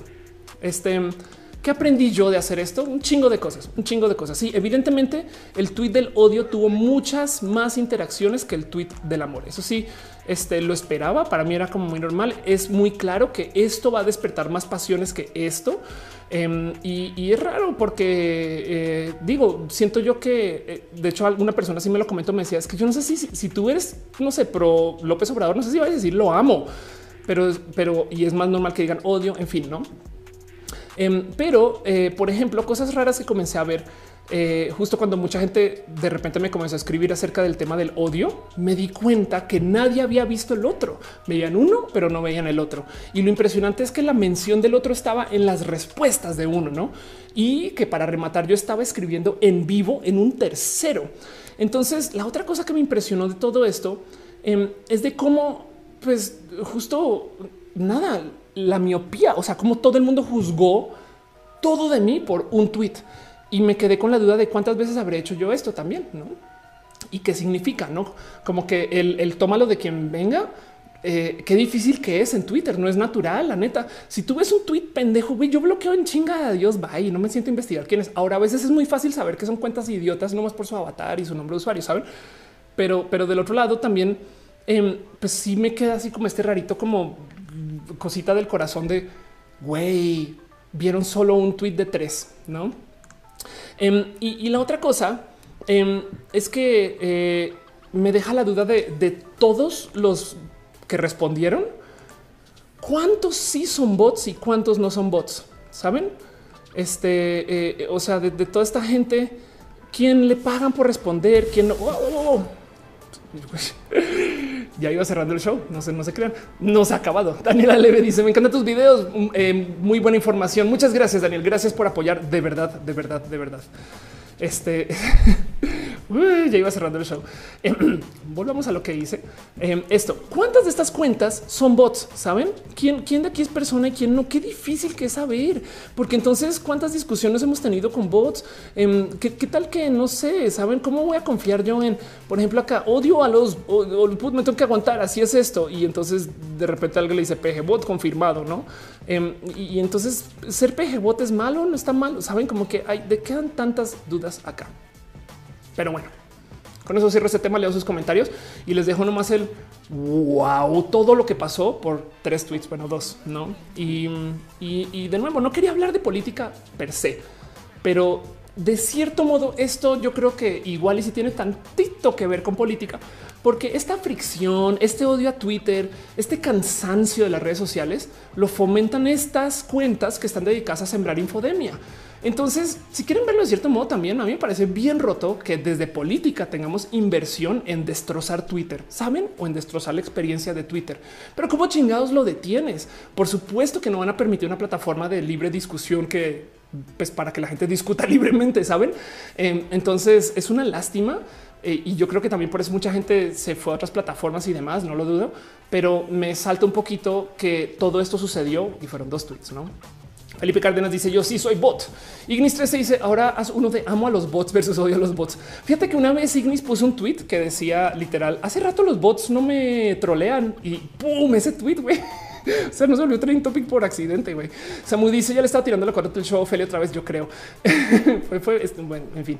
Dice Monserrat, Twitter es súper difícil para mí entenderlo y con los bots más exacto. Rafita Barrera dice, el escándalo de los bots en Corea estuvo fuerte. Delphi Rivas dice, es muy difícil detectar a los bots, me confunden. Y nada, quien de paso tiene un nombre así regenérico, dice, yo sí soy bot o, o eres nada también. Dice eh, Angelic Fruit que K-pop dijeron. De hecho, hay un caso de un grupo de chavas en el Reino Unido que quieren hacerse famosas el K-pop y pagar publicidad en YouTube y topics de controversia a falta de talento. Bueno, eso te digo algo, pues nada, bienvenida a Televisa, sabes? O sea, eh, pagar publicidad a falta de talento es el nombre del juego. Si tú quieres lanzar cualquier proyecto, sobre todo relacionado con el tema de artes, no? Entonces no me sorprende nada. Otra cosa es contratar bots, gente que hable eh, para que te hagan ver más grande, cosas así, ¿no? Moglican dice mi nombre parece de bot pastel de cocoa, dice moderato me gustaba de broma y luego de verdad ya no. André Gerondel dice si se crea un bot que vaya en contra de los bots odiantes que tantas interacciones levanta un chingo y de hecho los hay. Ahora sería divertido el bot del amor. Hola, veo que escribiste la palabra odio, querido bot. Por eso voy a decirte, yo te quiero a ti. Y es como la foto de la chica que le pone la flor en el rifle al militar. Em, pero bueno, Celerático dice a mí me bloquearon por pensar que era bot y estaba hablando con una amiga por Twitter. Soy mi hija. Dice acá Twitter en contra de López Obrador. Tengo cinco, followers. Están informándose de resultados. Ángela Visa y dice que no hubiera pensado que tendríamos este tipo em, de eh, perdón, este tipo de conflictos con el uso de la tecnología y la forma. Te digo algo, Ángela. Esto es Blade Runner en versión software. Blade Runner era una película que se trataba acerca de tratar de descifrar si una persona es bot o no. Pero a diferencia, el problema con Blade Runner es que los bots son tan buenos que ya no importa, ¿no? Y el problema es que para aquí va la cosa. Llegará un momento que los bots puedan conversar tan chido y sean tan indistinguibles de seres humanos que ya no, no va a haber modo alguno de saber. Quizás podría decir Twitter sí podría identificar si quien está posteando lo está haciendo desde la app y con sus deditos. No, eso puede ser. Twitter sí tiene la capacidad de decir, ah, esta persona hizo login y está posteando. Y todavía aún así hay bots que son gente avatar, gente que les contratan para decir esas cosas, ¿sabes? Entonces, ni modo, ahí sí ya no hay cómo, pero Twitter por lo menos puede verificar que sea una bolsa de carne y hueso y agua y, este fluidos y electricidad, este escribiendo el tweet, no? Eso sí puede hacer Twitter, pero igual no lo hacen de todos modos. Em, dice Cat y básicamente eso es lo que pasa en Blade Runner 2. Dice Laura Parada, huele a ovejas eléctricas un poquito. Dice hígado, si intentas hacerla. Ah, ok, va. Eh, dice Felipe Cárdenas, si le respondo un bot con una imagen, ya me deja de responder. Es una buena pregunta. Em, Víctor Volkov dice soy tan flojo que no me he puesto a buscar del tema. GamerX dice roja. Eh, eh, le gusta la información que se pone en roja. Gracias. Julián nos dice Ophelia odia Televisa. Pues dos, dos, porque también he trabajado con ellos. De hecho, de hecho, tengo entrada en la base de datos de talentos Televisa. Entonces soy, soy, soy talento Televisa. Carolina Guerrero dice debería existir los bots em, cuando pueden mover más así convencer. Eh, de, bueno, a ver, de paso, me gusta. A mí me gusta mucho hacer el chiste que los bots ya existían desde antes de que tuviéramos Twitter. Y tiene un nombre que capaz si le suena acarreados. Es exactamente lo mismo. Son gente acarreada. Y de hecho, por eso yo creo que los políticos son tan buenos para sus estrategias digitales con el tema de los bots. Porque México, a mucha honra, podría decir, logró digitalizar o automatizar la práctica del acarreo, si lo piensan. Pero bueno, dice Enrique, eh, pon la imagen un captcha y sería gran meme. Exacto. Eh, Antonio Romero dice bots en ventas diciendo maravillas del producto. Em, dice Simón Ulises, la mayoría de las veces cuando les digo eres bot me dejan de hablar. Sí, eh, lo que pasa es que eres bot también es un modo muy fácil de decir no eres persona, o sea, invalida su, su, existencia, ¿no? Y para muchos bots lo único que quieren es una respuesta que genere respuestas. Entonces como que, en fin, Ale Chávez dice, supieron de la controversia en Corea de una votación de una modelo de talla grande que fue apoyada por Latinoamérica. Anda. Dice Selena Tico, ¿será que lo practican tanto? Marino dime, amo los bots, odio los bots. Vayan y pongan eso en Twitter, me dicen qué sucedió. Iga dice, mejor eh, agrégame a Twitter, está hablando con, ok, Zoe Philly dice, nueva modalidad del test de Turing. Exacto. Exacto. Pero bueno, veo que se siguen suscribiendo todavía este, al Twitch. Muchas gracias. Y veo que Leo ZD dejó unas estrellas en Facebook. Gracias, Leo por ser parte de esto. Pero bueno, Dice Delfis Ríos, esa carrera de la carrera amenaza mi trabajo literal. Bueno, pues checa esto. A ver, vamos a buscar hire a crowd, nomás para que veas que además de paso, el tema de em, este aquí está para que veas que el tema de los acarreados no solo es en México. Esto es rentacrowd.co.uk, o sea, en el Reino Unido, donde literal es contrata un grupo de gente para cualquier cosa. Em, y esto es en Estados Unidos, crowds on demand. Entonces necesitas gente para protestas, este, para algún tema de relaciones públicas, para eventos políticos. Acá contáctanos o te podemos cotizar. Saben? Es como que no, no, crean que esto solo es en, México, pero bueno, mi suba dice: Yo vi los dos mensajes y dice Off es malvada, quiero el mundo arder. Anda, un poquito. Evelyn Delgadillo dice que dice que los bots son más populares en las redes sociales que yo. Pues este puedes, puedes hacer como los bots y entrar a insultar gente y aguantar vara. De hecho, esa estrategia, la estrategia del marketing del odio siempre funciona. Tama dice los captchas no siempre funciona. Hubo un caso, un spammer en foros que sobrepasaba verificaciones, está relacionado a negocios chinos de diplomas universitarios falsos.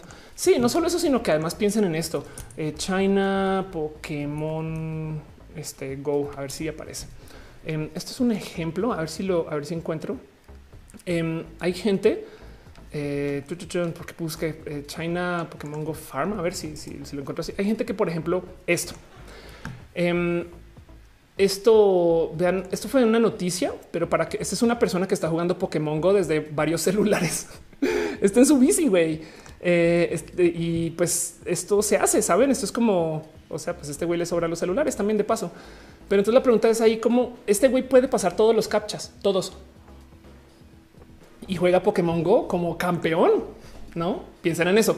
Selenático dice eso sí no esperaba que sean para las elecciones generales. Los políticos lo hacen. Martín Arce dice si hay una persona escribiendo y no sería un troll en vez de un bot. Pues sí, exacto, pero sigue siendo un post falso, no? Entonces, este, pues eso, a eso voy.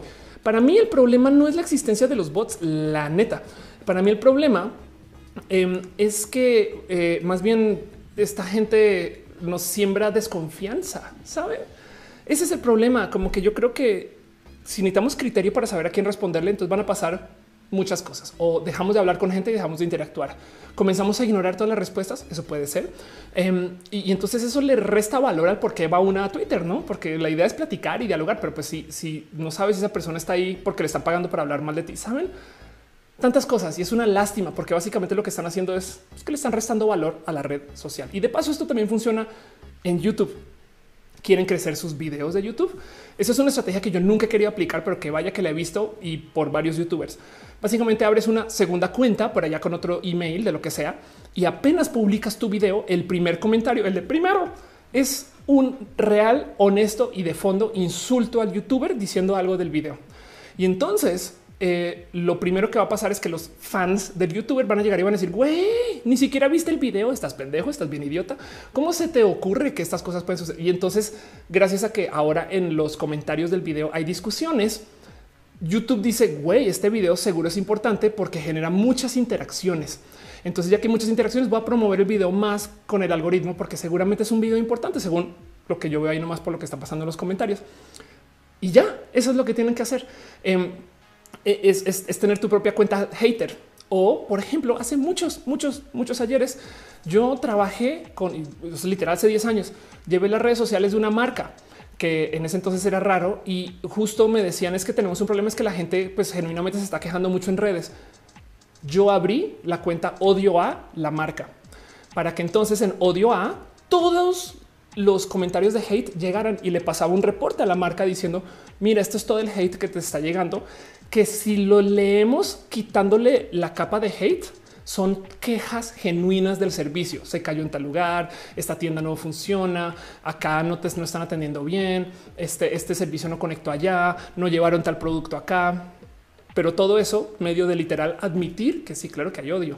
Entonces el tema es que estas estrategias existen y están ahí, pero hay gente que lo hace y las usa por motivos tóxicos. pues bueno, dice Luis G. contráteme como hater dice Junior el único problema es que son verdaderos los bots. Luca Lucky, Luca Lucky dice, claro, la violencia siempre crea polémica y morbo. Uriel Montes dice un video polémico, pero también está el análisis cuadro a cuadro. André Erondel me dice, me encanta como una simple búsqueda de comprar bots en Twitter se ve fácil, que consiguen posiciones en un tema, los precios ya aparecen con IVA, sí, de acuerdo. Em, por ejemplo, los bots en Instagram eh, están semi prohibidos Bots para dejar comentarios, no, pero sí puedes contratar bots y eso está totalmente dentro de los términos de uso de Instagram para que tu cuenta le dé follow a cuentas con temas relacionados a cosas que te interesan.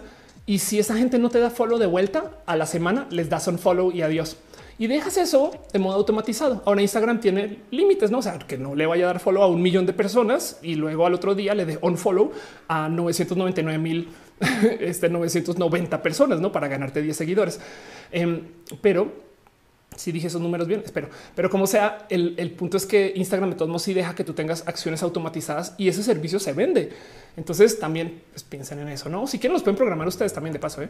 Em, dice y eh, Javier Naranjo, me recuerda el caso sonado en México, el comentarista deportivo al que le pagan por hablar mal de la América. Anda. Eri Frank Núñez dice em, hay bots para desarrolladores que usan el hashtag JavaScript y cosas así. Sí, de hecho, también está el bot de colores, que es gran amigo del show de paso, al revés. Um, dice no me gusta ese maquillaje. Quieres conseguir interacciones. Yo creo que por eso lo dices. Dice este Estefanía Álvarez. Para el problema es que tweets o testimonios reales en contra de López Obrador se etiquetan como bots, no por serlo, sino por oponerse a la 4T. Dice Monserrat, igual no leen eso las marcas. Dice este Daniel Serrano. Yo no más vengo a esperar la transmisión de los Warren. Rebeca Jara dice: Yo extraño mucho la época de los foros. Yo también. La gente entraba a nichos muy pequeños y los trolls eran verdaderamente inteligentes. Solo dedicaban a fastidiar por diversión. ¿Sabes qué es lo que pasa, Rebeca?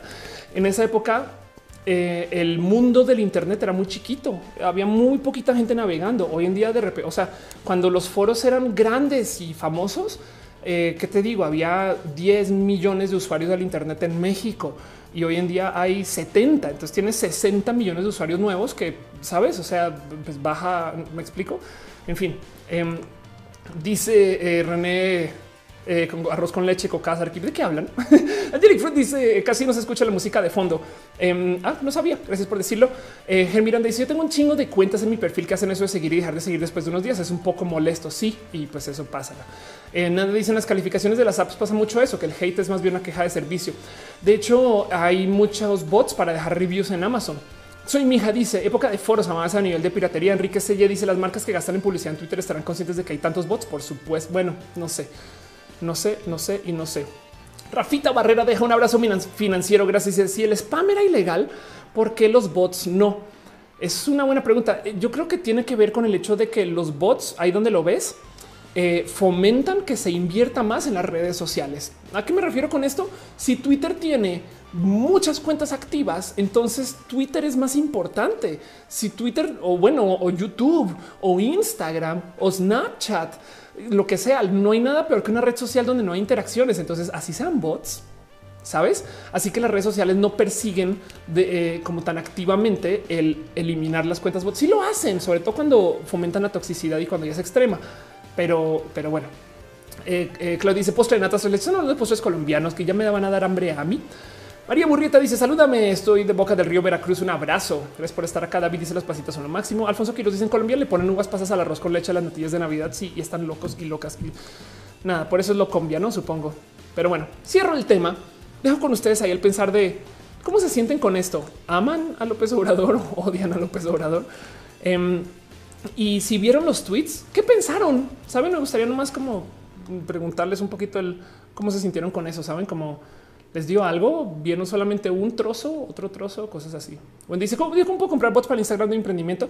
Si googleas, vas a encontrar con pasar con varias empresas que lo hacen.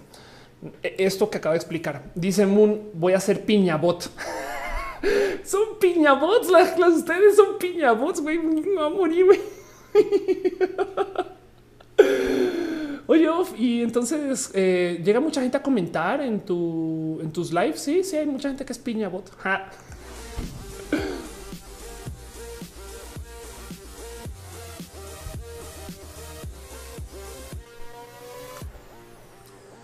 Ay, ay, ay, ay, Muchas gracias. Gracias por acompañarme hasta acá. Vamos a seguir con el resto de los temas. Vamos a platicar de todo lo demás que hay.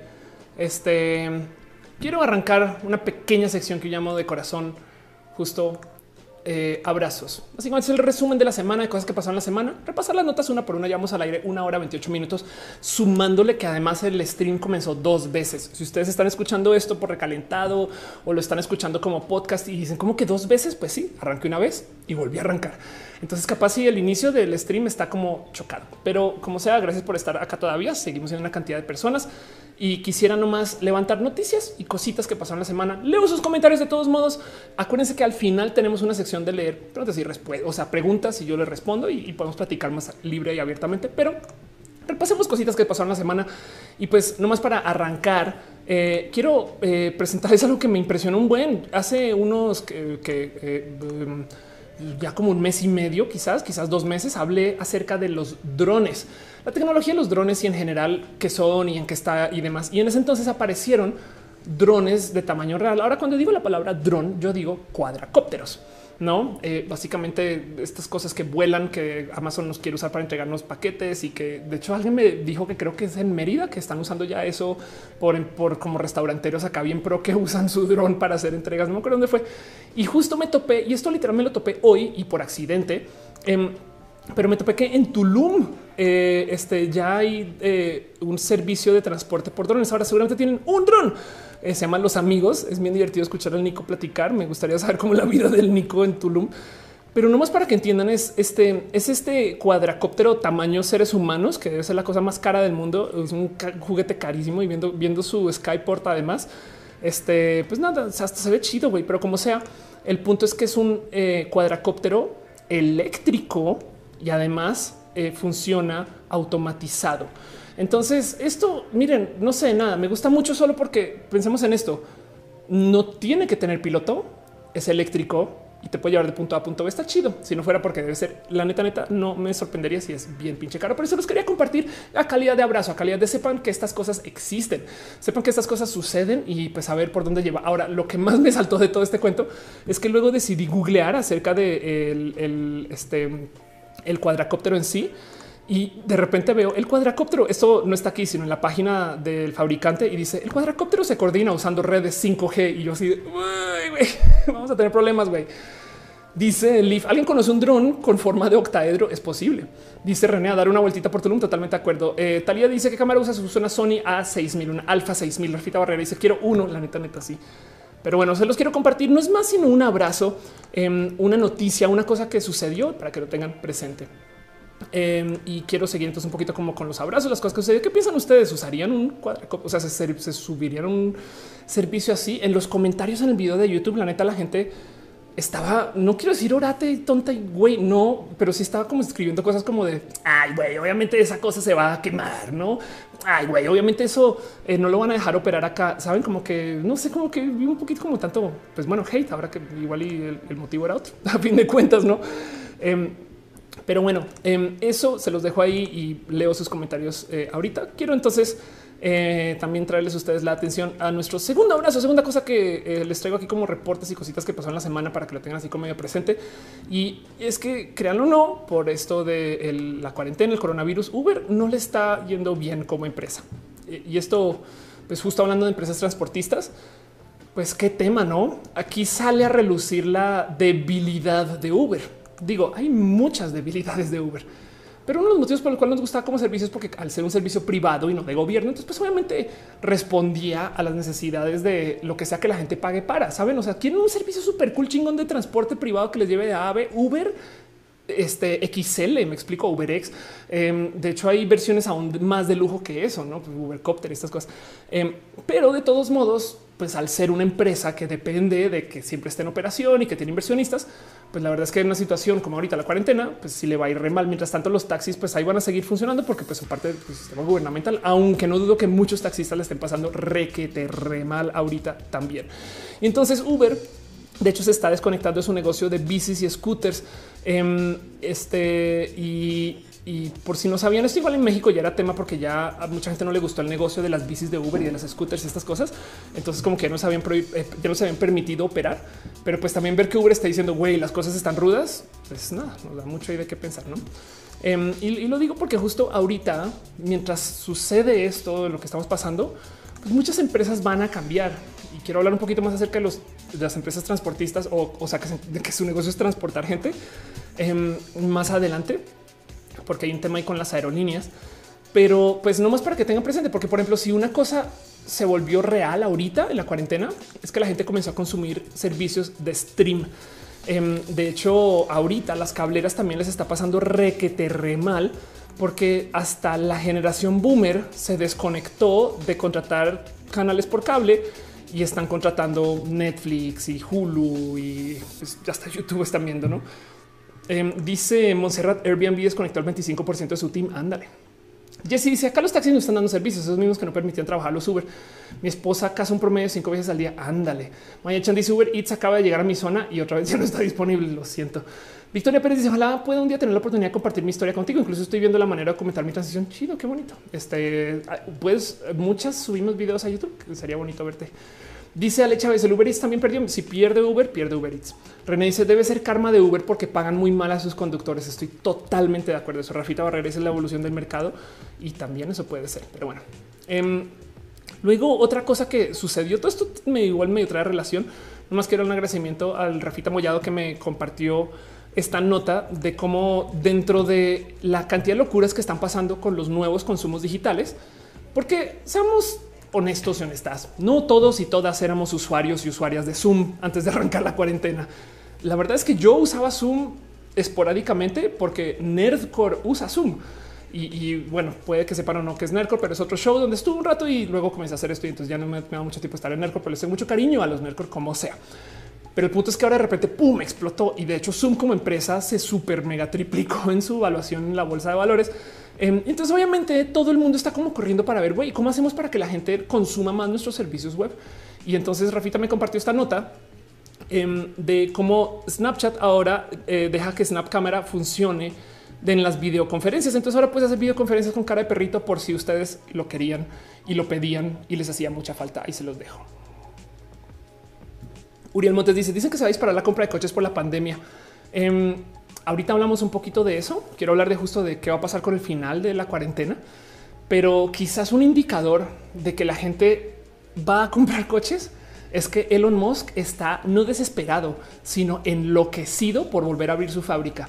Y yo creo, no creo que sea que porque ahorita durante la cuarentena la gente esté comprando muchos coches, sino es porque se quiere preparar para el golpazo de demanda que va a suceder a penitas salgan de la cuarentena. Pero bueno, dice Diego, ¿qué opinas eh, de Messenger Room? Lo usa muy, muy poquito, pero según yo, honestamente, todos estos servicios para mí son intercambiables, la neta.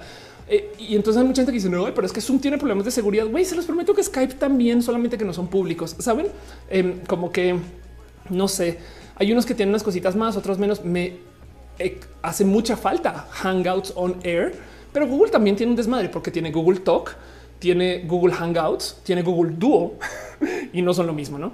Dice Ricardo eh, Albino, ya me sentía anciano. Antes usamos Messenger o Messenger para hacer llamadas, videollamadas, Skype era la opción para llamadas grupales. Ahora con esta herramienta Zoom ya es otro nivel. Totalmente de acuerdo. Pero bueno, cosas que suceden durante la cuarentena. Un abrazo nomás para que sepan.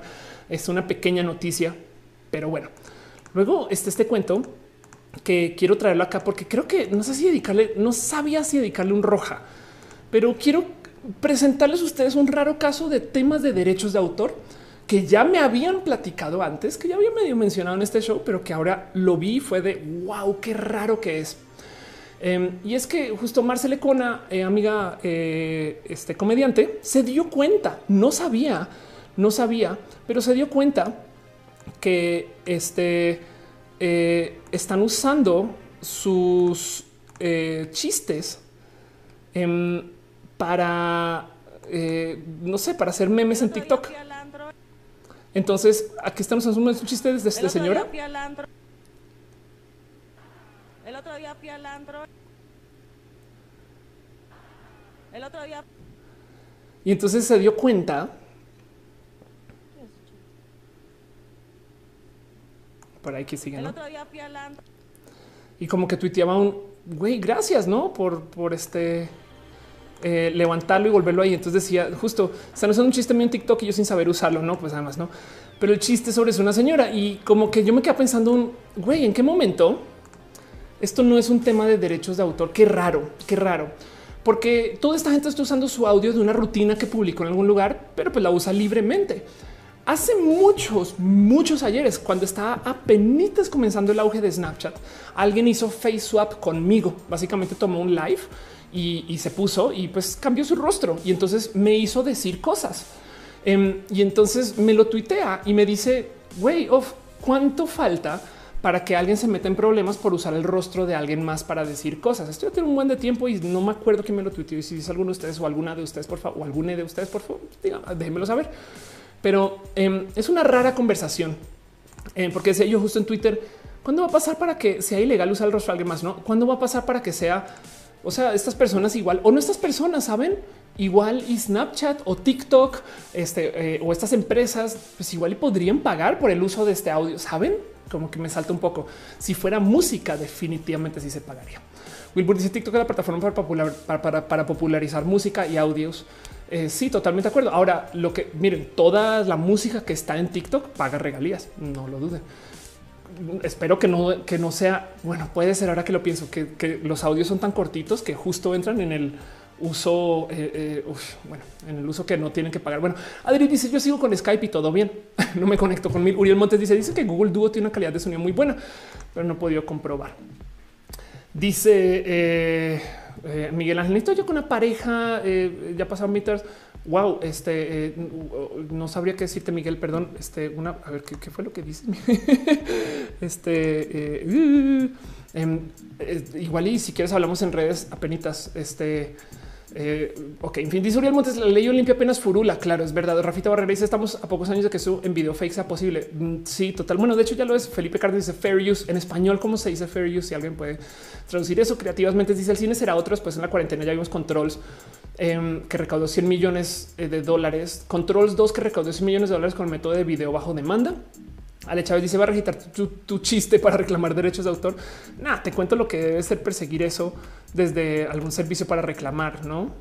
Pero bueno, nada más les comparto eso para que lo sepan. Y luego em, nada más quería compartir con ustedes este hilo que fue un hilo muy bonito. Solo lo quiero compartir con ustedes porque un día también random dije por mera curiosidad han aprendido a hacer algo durante la cuarentena. Esto también se los dejo a calidad de abrazo, no más para que lo sepan. Me dejaron 575 respuestas, entonces honestamente no quiero repasarlas todas, pero también quiero preguntarles a ustedes, ¿han aprendido ustedes algo durante la cuarentena? Porque no saben lo bonito que me es leer todo lo que me dejaron acá. O sea, la cantidad de respuestas de cómo la gente se sentó a dormir, organizar una base de datos. Este ando aprendiendo piano. Em, dice justo Jess, eh, le estoy haciendo la OBS. Claro que sí, OBS es toda una gran lección. Em, dice Cindy, aprendí a hacer arroz con leche, em, hornear, cocinar este papas fritas. La cantidad de gente que me habla de comida es impresionante, pero bueno, igual son cosas, no editar videos con pantalla verde, queso de papa, estudiar ruso, invertir en la bolsa, TikTok, arroz, a cocinar, casi arroz, a contestar. Wow, em, empecé a estudiar noruego. Saben como que no sé por qué me parece como que tan bonito ver eso. Y les quería preguntar a ustedes si ustedes de puro chance han aprendido algo. Me parece un hilo súper, súper chido, porque luego del otro lado em, hay tantas cosas que últimamente está pensando el qué va a pasar cuando se acabe la cuarentena. ¿Qué va a ser cuando se acabe la cuarentena? Em, Saben, la verdad es que el COVID y el coronavirus va a estar con nosotros y nosotras por mucho tiempo. De hecho, hasta que no tengamos una cura y aún así cuando tengamos una vacuna, entonces va a tomar mucho tiempo para poder tener suficientes personas vacunadas como para poder vivir en una normalidad, saben? Porque imagínense vacunar al globo, no es como es todo un tema de eso cuando suceda. Pero además, la cuarentena, yo creo que ya hoy sí le dejó a muchas personas ese sentir de yo no quiero ver gente. La neta, hay gente que ya está más feliz en casa. La cantidad de personas que me escribieron, yo salí de mi depresión en esta cuarentena. Wow. Y sí, está bien, no está tan chido estar encerradas en casa, pero del otro lado, el, cuando podamos como salir un poquito y volver, se los juro que la rutina va a ser diferente. Me eh, eh, caso con este eh, tweet que dice ya así va a ser cuando tratemos de volver a la vida productiva mientras nos volvemos a conectar. Dice, ¿o me crees que tu experimento de Twitter podría ser replicable por parte de una persona que tiene una presencia de relevancia? Eh, ni idea. Igual y sí. Juliana dice, aprendí a hacerme mascarillas. Eh, Shanuma dice, la pregunta es, ¿se acabará la cuarentena? Sí, exacto. Yo creo más bien que lo que va a pasar con la cuarentena em, es que yo, en lo, a menos que lo vuelvan de cierto modo ilegal, porque no sé si sabían, pero la jornada de su sana distancia es sugerencia. Bueno, ahorita que estamos en fase 3 ya hay cosas que hay que cumplir, no mascarilla, estas cosas, pero de resto, la verdad es que no, o sea, tú puedes salir a la calle. Em, hay países donde si sales a la calle te multan. Entonces, el que pensaba que yo creo que lo que va a pasar con la cuarentena, digo, igual y si se acaba en junio, que es posible porque no han corrido la fecha y faltan 19 días, entonces es corto, pero igual y si se acaba en junio o antes de, o, lo corren o como sea, es muy posible que también la cuarentena colapse. Ahorita hay algunas personas que dijeron, ay, ya, ya. Pero cuando ya sea masivo, cuando la mayoría de la gente diga, ya, güey, ya, yo me expongo, que venga lo que venga, y listo. Ya hay gente que está haciendo fiestas, gente mayor, gente menor, y hay gente que está saliendo y dice, pues me toca. Hay gente que dice, güey, es que ya no puedo y tengo. Y eso comenzó desde el mero, o sea, desde el comienzo de la cuarentena. Hay gente que está trabajando, saben? Entonces yo creo que el final de la cuarentena es que la gente ya va a dejar de creer en la cuarentena. Em, y eso puede tener todo tipo de raros, eh, de raras implicaciones, porque primero que todo, a lo mejor igual y se disparan este de nuevo los contagios eh, que ya están disparadísimos. Es posible que las noticias de eh, tal hospital está llevada a la chingada y tanta gente está muriendo hagan que la gente sí se quede en casa. No, eso hay que ver. Pero del otro lado, la verdad es que mucha gente igual va a decir, ah, bueno, yo veo a mis ahorita cuántas personas fueron a ver a sus padres en el día de la madre. Y lo digo porque si lo piensan, o sea, a mí, a mí, mis padres me dijeron, ven, no, yo así de güey, yo no, o sea, si les llega a pasar algo a ustedes por mi culpa, no me perdono, saben? Em, y del otro lado, eh, también hay mucho como deseo de salir y hacer y la gente que puede. Em, últimamente ha estado como hablando de es que güey, ya quiero ir de viaje y no sé qué. Yo pensé que esto no iba a pasar, pero por ejemplo, ahorita ya se está hablando acerca del tema de la compra de venganza. Gente que está literal planeando o que ya sucede en las ciudades donde se les permite que saliendo se van derechito a comprar. Y hablemos un poquito del tema del por qué están comprando. Pues porque es un modo de tener control. Es exactamente lo mismo que pasó con el papel higiénico. La gente fue a comprar papel al súper o, lo que sea porque se sienten en control. Es, yo tengo las herramientas y, y, compré mi kit para sobre, ¿saben? Y ese kit tenía un chingo de papel. Pues bueno, sí, pero hay estadísticas de cómo hay literal amas de casa que se sienten mejor cuando tienen papel que cuando no. la neta, eso me acuerdo de leerlo en su momento. Entonces se los prometo que mucha gente que sí está como esperando para salir de la cuarentena y que pues tienen dinero para estas cosas, que planea ir derecho a comprar. No, em, de hecho, este cuento de la eh, compra de venganza. Eh, em, Hermes en China registró 2.7 millones, eh, esperemos que sea de dólares en venta el día que reabrió recientemente. Eh, y justo el cuento es que esta venganza es pues por darse la indulgencia como terapia. Saben, es como de güey, me quiero dar un regalo porque güey, me acabo de chutar 40, 50 días ahí encerrado. Dice mi esa gente no conoce Amazon y Shane. Totalmente de acuerdo. Rafita va a revisar un tiempo difícil para muchos. Mi caso, mi abuela está muy mala de salud y no podemos ir a verla. Dice Julia Alonso ya se viene el hot sale. Dice Meta Francia ya desbocó sus centros comerciales. Monserrat Muerto dice mi cabeza escuchó que el marido me prohíbe tener control porque no me deja comprar papel de baño en cuarentena.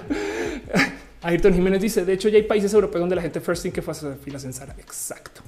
Dice Anaído Holguín, a mí lo que me da es agorafobia salir. Yo creo que yo también, yo creo que yo estoy más como en ese campo de, de güey, yo no sé si está tan chido estar saliendo tanto, saben? Pero bueno, como sea, eso va a pasar. Porque justo la discusión entonces se volver en un ¿Cómo va a ser nuestra salida de esto? Digo, hasta que tengamos una vacuna masiva, saben? O sea, esto puede tomar mucho tiempo. Yo hablé al comienzo de la cuarentena, cómo esto puede tomar 14 meses, saben? Y, justo si, si, ahorita ya hoy sale una vacuna, pues eso puede ser el tiempo que le toma la vacuna en distribuir, en que consigamos en que todo el mundo vaya a algún centro de salud, a una jornada de vacunación, cosas así, no?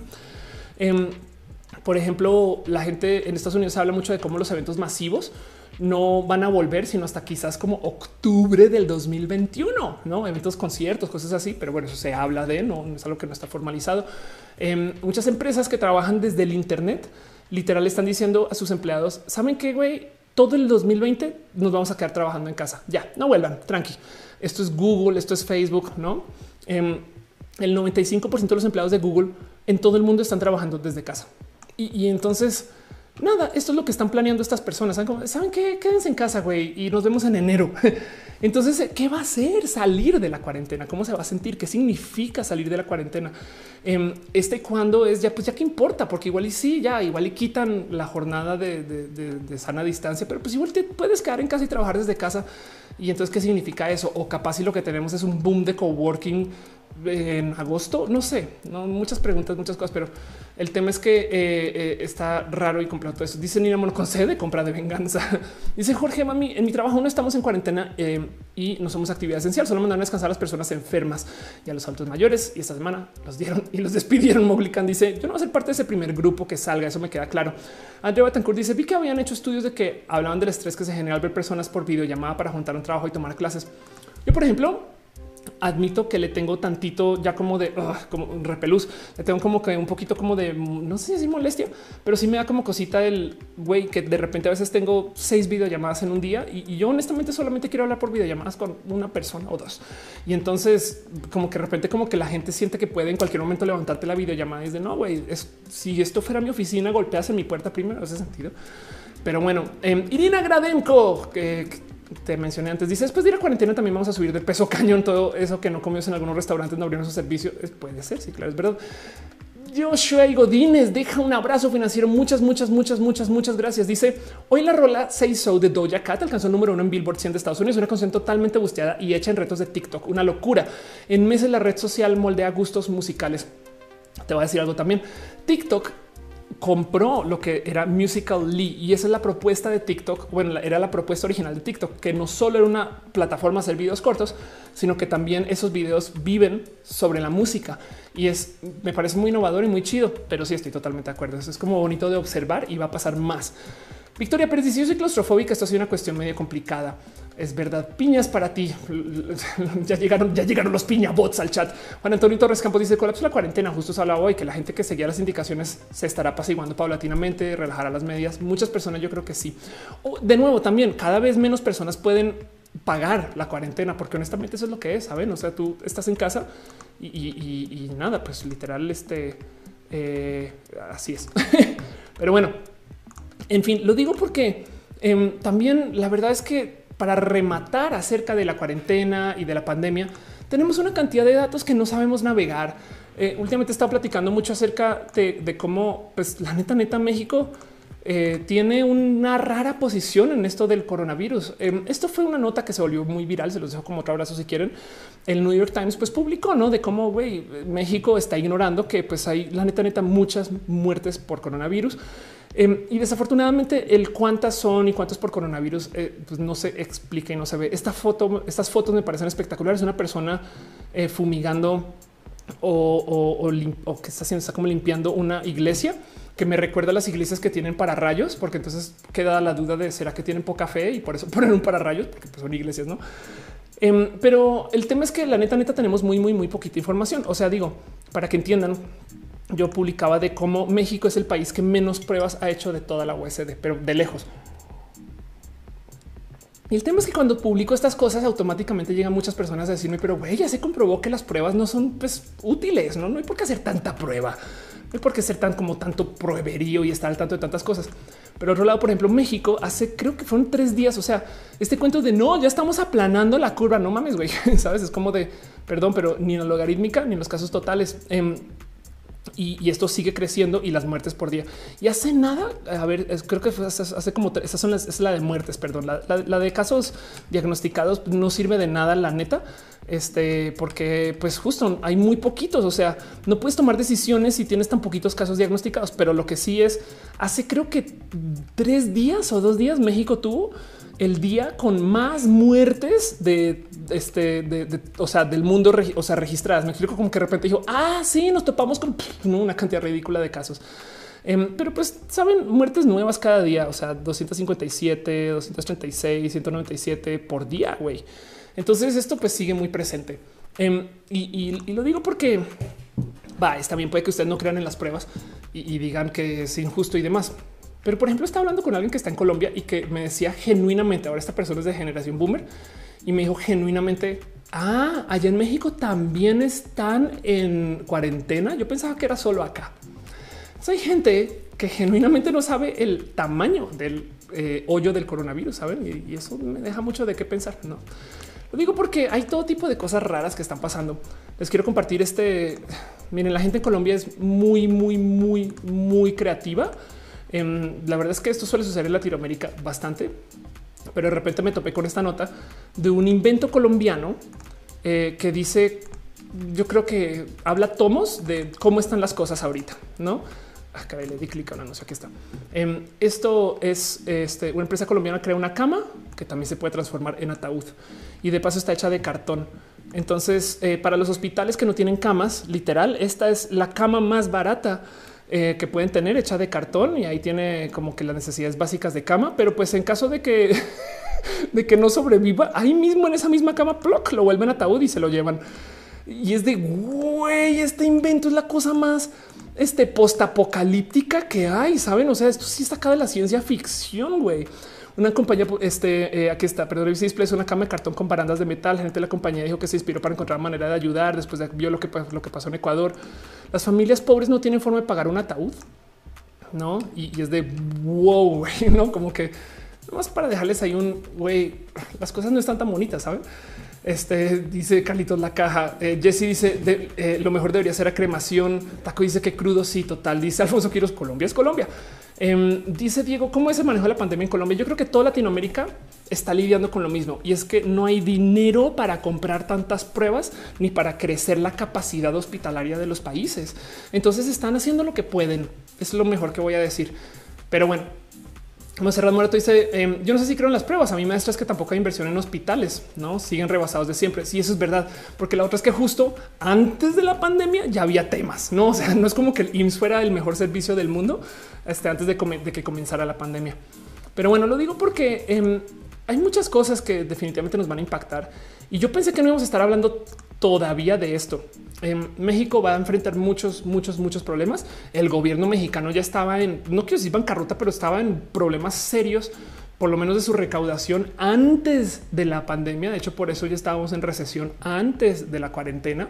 Y evidentemente ahorita, pues como está todo como en modo de alarma, la verdad es que eh, como que les funciona mucho para decir un güey, denos chance que se acabe este desmadre y luego vemos dónde caen las piezas. Pero piensen ustedes que a este gobierno se le fue el dinero de turismo porque la gente no está viajando y todo lo que esté relacionado con turismo ahorita está parado. O sea, Las Vegas ahorita como ciudad básicamente no existe.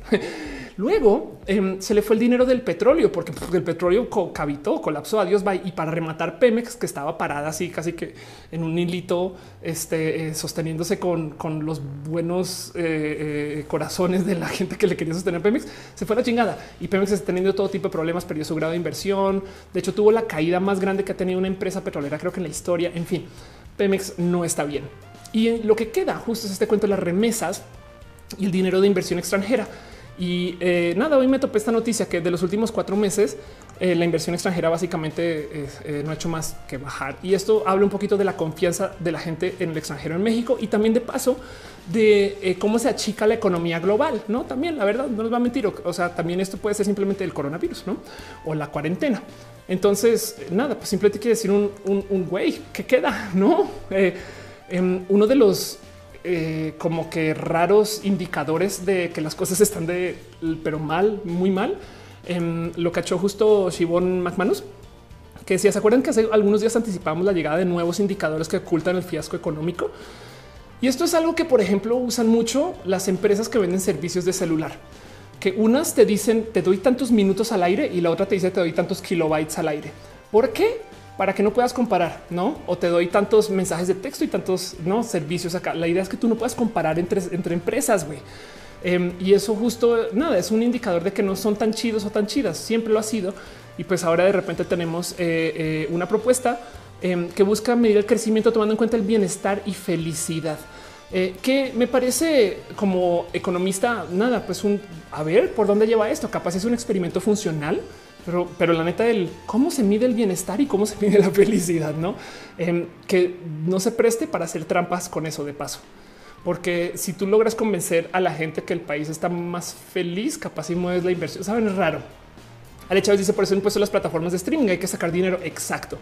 Y de paso también eso con eh, que fue eh, los fideicomisos, no? Que también es de güey, donde hay dinero, tú rascale a ver de dónde sacamos. Metal Blue dice con para colmo gastamos el dinero en tonterías.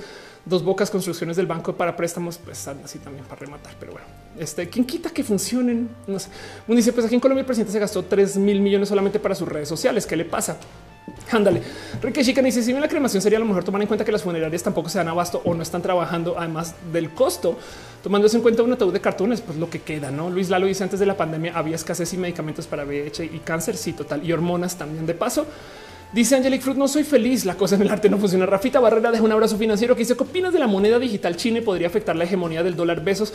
Por supuesto que va a afectar la hegemonía del dólar y me parece muy chido que tengamos más opciones, pero pues a ver más bien si Estados Unidos nos asusta mucho con eso. La digitalización de las monedas es algo que ya sucedió. en la gran mayoría del mundo eh, industrializado em, pues usa más dinero digital que dinero físico, pero estoy hablando como que el 95% de la moneda es digital. Eh, versus el dinero impreso. Entonces, pues la neta, ya decir ya dejemos de imprimir, este, pues hasta me parece chido. Chido. Hay muy, muy poquitos países que tienen más dinero impreso que dinero digital, pero muy, muy poquitos y están en problemas económicos rudos. GMH33 dice el turismo es probablemente el sector que más tarde en reactivarse, en lo que el consumidor tiene confianza de nuevo de viajar sin contagiarse. Sí, sí, porque a mí me imagino el viajar, contagiarte, no poder volver.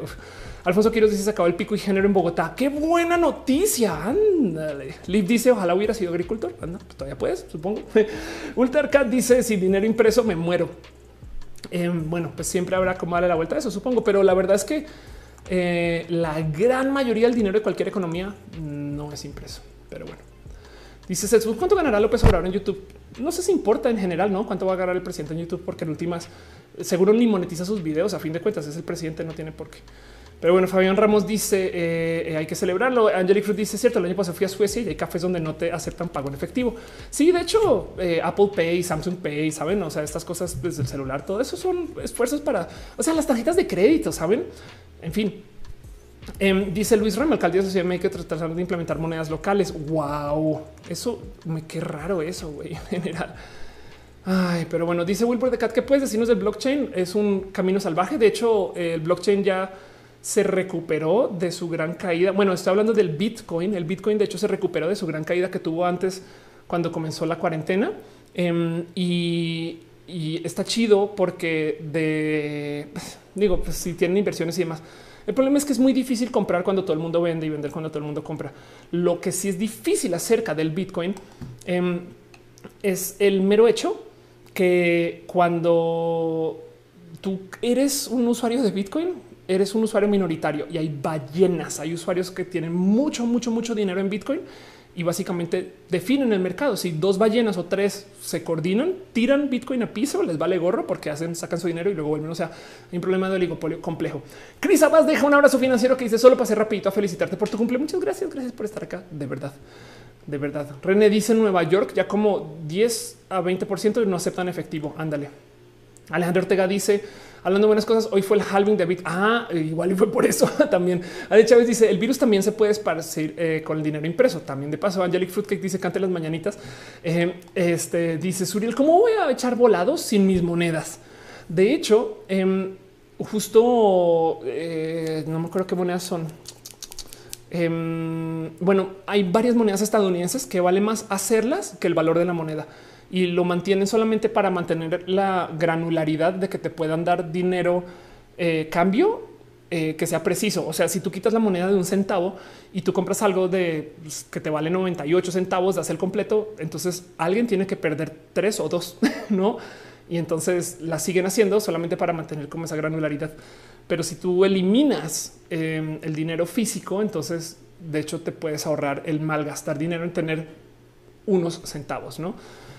Pero bueno, dice eh, nada, ¿cómo le dan las personas en situación de calle si el dinero impreso dejará de existir?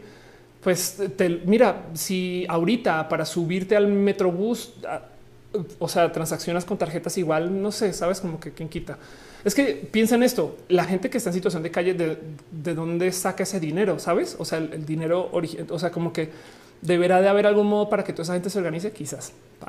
Es raro, ¿no? Setsbo dice, AMLO no monetiza sus videos. Em, Rafita Barrera, yo creo que y no debería de monetizarlo. No mames, que o sea, ¿qué, clase de marcas comprarían anuncios sobre eso? En fin, qué raro que suena toda esa discusión. Pero bueno, en fin, eh, cierro ahí mi sección de abrazos de cosas que pasaron en la semana. Ya vamos al aire dos horas, dos minutos de la segunda transmisión. La primera va a quedar guardada en nuestros corazones y nuestros cerebros y espero no haber volado por la primera porque ya saben cómo pasa.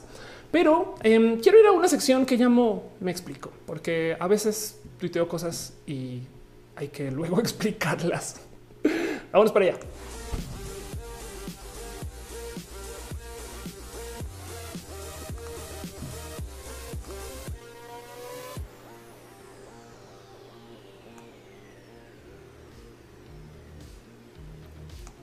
De todos modos, leo sus comentarios y nada, acabamos aquí por un rato. Me explico de cosas que pasaron la semana. Em, puse yo hoy justo un tweet hablando acerca de este cuento de los bots de cómo sería de menos tóxico Twitter si no tuviéramos los trending topics. Y es solamente porque el problema es que los trending topics se volvieron como el leaderboard de Twitter. Saben como que yo tengo, hice un tweet tan chingón que ahora llegué al, puntaje alto, al high score. Perdón, René Bebé me deja un abrazo financiero. Te amo, gracias.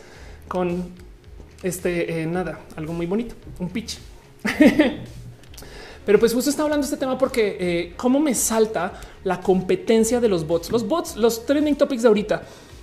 En casa me siento mejor. Bárbara de Regil, quien sabe qué dijo el cabo cacas, que esto no es que güey, yo no veo a alguien escribiendo esto por mero gusto. Me explico. Eh, quizás Bonilla, pues una noticia. Em, ¿Qué pasó acá? 05 Ok, designer Jenny Day, Ferrari. Vamos a volver. Eres muy bonita, Paloma Cordero. A ver qué más hay por acá. Vamos a ver los trending topics de hoy. Em, y, la pregunta es pensar cuánto de esto se hizo. Este eh, eh, saben como que impuesto por bots hipócrita. Claro, y porque están hablando de la, militarización, no? Como que luego y, a veces pienso un ah, qué rudo que es todo esto. Bueno, Bonilla seguramente también tiene una cantidad de bots que mueven esta cuenta y vemos el hashtag y, eh, gente que está tuiteando dentro de Bonilla. Obama versus Trump, hashtag Bonilla. Em, ¿Se acuerdan con este episodio de la doña Olguita está hablando con Bonilla? Ok, ah, pues bueno, esto es Gloria. Este eh, eh, Phoenix dice Bonilla was a bear. ¿Qué es esto, güey? ¿Qué está, ¿Qué está, pasando con este hashtag? Saben, de hecho, hay una cuenta por ahí que es por qué es trending topic, no?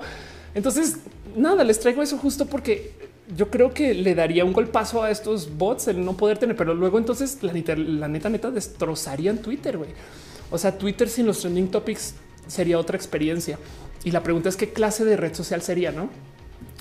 Em, dice Alfonso Quiroz en Colombia cuando cumplimos años dicen que nos van a partir el bizcocho. Te partieron el bizcocho.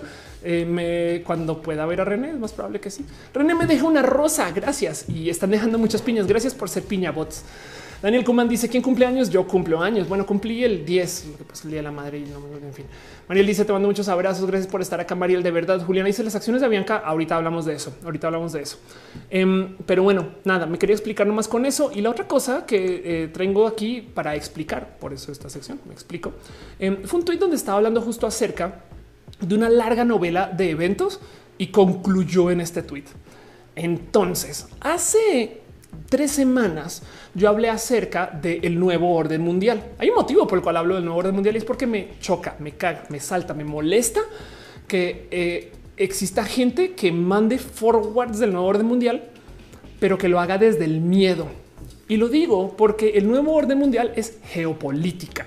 Siempre que te dicen es que de repente en China invirtieron en estas cosas y Estados Unidos respondió con estas otras wow, ¿no? Y es de, pues sí, güey, por supuesto, la gente, o sea, China es una, eh, eh, es, un país que tiene intenciones de inversión. Perdón, René deja otra vez un abrazo financiero y dice, queremos pastel, queremos pastel. Muchas gracias, muchas, muchas, muchas, muchas gracias, de verdad. Este, y eh, nada, veo que también se siguen suscribiendo en el Twitch. Eh, gracias por ser parte de esto. Gracias por este, dejar sus estrellas y gracias por dejar sus bits, suscribirse, en fin, darle, darme follow y así. Angelic Fruitcake también deja sus cariños de un Shiva. Gracias. Pero bueno, el punto em, es que eh, justo cuando hablan de las teorías de la conspiración, André te deja también un cariño. Feliz cumpleaños. Gracias, André. De verdad, gracias. Ya me dan cosito. Alfonso quiero decir, dice René es bizcocho, no pastel. Yo soy, yo soy su bombón. Más bien, Rebeca Jara dice: Fíjate que los bots en redes sociales estén alimentando data de una o varias eh, inteligencias artificiales para hacer que las computadoras puedan comunicar de manera más orgánica que les sucede. Puede ser también. ¿eh? Bueno, entonces las teorías de la conspiración me molestan porque hablan desde el miedo. Saben? Es como de China quiere dominar el mundo. Pues sí, saben también quién quiere dominar el mundo? El Reino Unido, Francia, Alemania, Colombia, Brasil, México, Estados Unidos. Saben como que es parte de y es una negociación de la civilización, no? Y el cómo compartimos el planeta.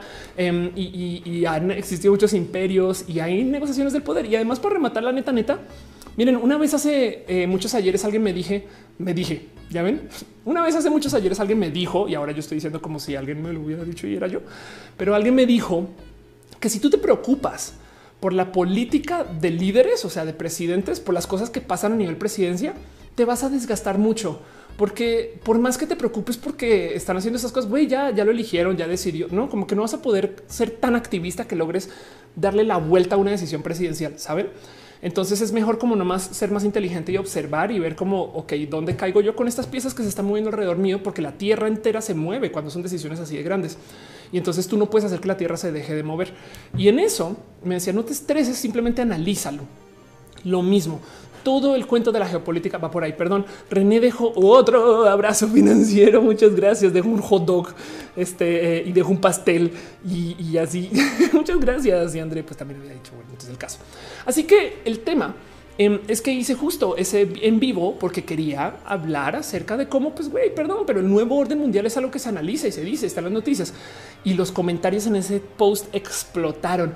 Ay, Ofelia. O sea, cómo se nota que no entiendes del tema, no dominas que sí, Bill Gates nos quiere poner el chip para dominar y es de wow, wow, wow. Y le di vueltas al tema y me percaté qué es lo que sucede. Como que me senté a pensar un poquito el claro, güey. Es que la gente que comparte teorías de la conspiración no lo hace por la teoría.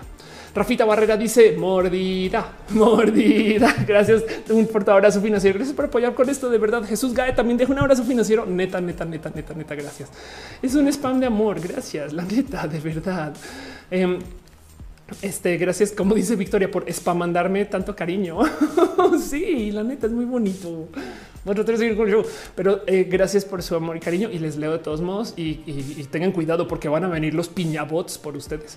Em, pero entonces decía yo en Twitter que tengo una teoría acerca de las teorías de la conspiración y es que eh, la realidad del por qué la gente comparte la teoría, las teorías de la conspiración es porque quieren posicionarse ante ti en una situación dominante. Entiéndase, si yo sé de algo y tú no, entonces yo te lo digo para asustarte. ¿Sabían que México quiere secretamente destrozar la economía para acabar con las plantas nucleares y entonces así poder sacar todos los líquidos que se usan para el tráfico nuclear y no estar sujetos al tráfico del líquido de rodilla? Y es de wow, no mames.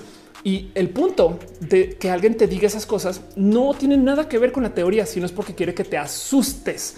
Y al tú asustarte, entonces eh, entras a una situación automáticamente sumisa de no, güey, no puede ser. ¿Qué hago? Dime, guíame, llévame, no? Como que me percaté de yo no lo tenía visto. O sea, me di cuenta en los comentarios de lo que me estaban dejando en mi video que lo que querían realmente no era hacerme creer en la teoría de la conspiración era que me querían asustar. Y, y tu momento de ah, por eso comparten. Claro, ya entendí. Perdón, pero que sigan dejando abrazos financieros. Mowgli Khan dejó también un abrazote financiero. Gracias. Taco de lechuga también. Gracias. Y mucho amor, la neta, neta. Le Chávez dice que de rodilla, qué vergüenza. ¿Dónde sacar eso? La neta, así total. Este eh, Wilbur de eh, dice mi piernilla, mi pierna, diría, Luis Miguel. Eric Jasper dice feliz cumpleaños. Gracias.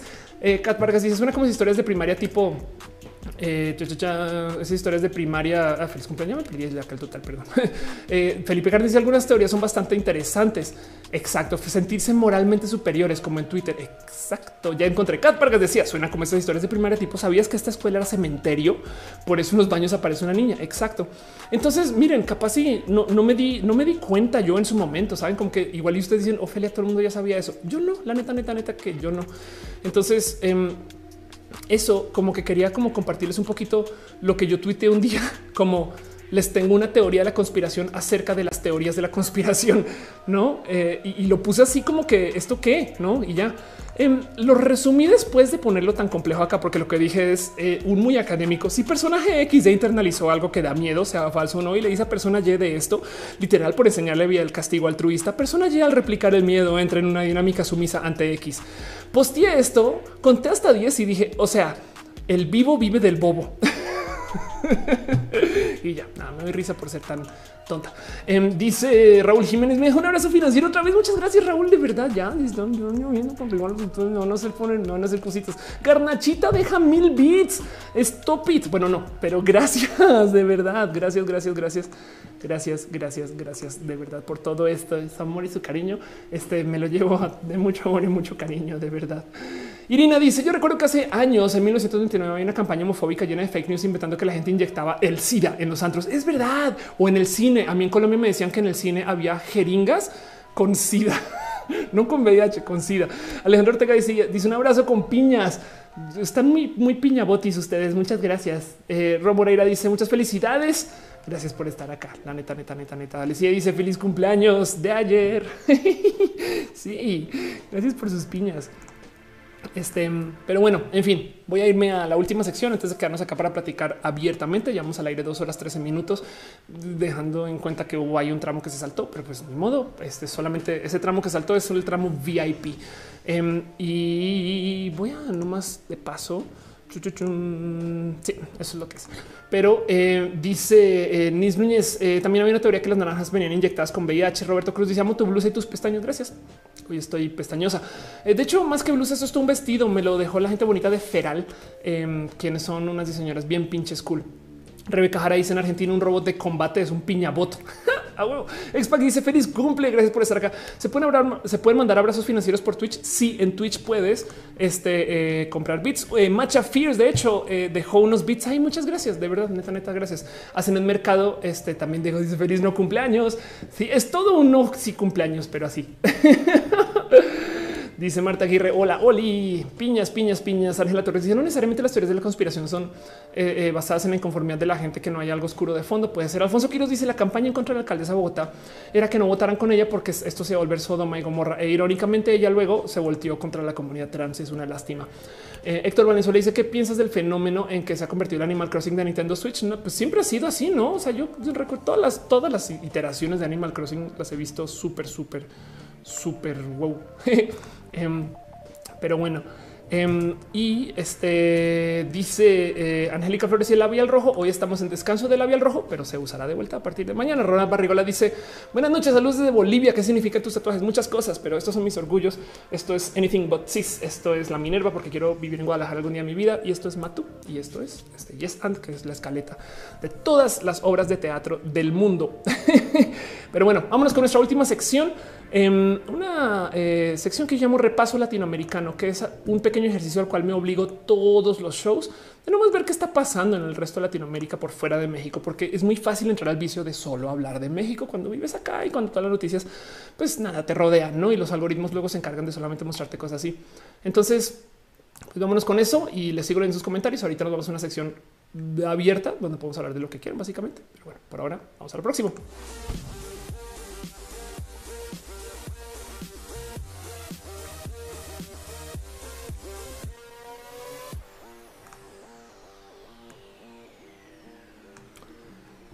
Dice Tabu Arc, Roja es el único programa en donde no hay nada rojo.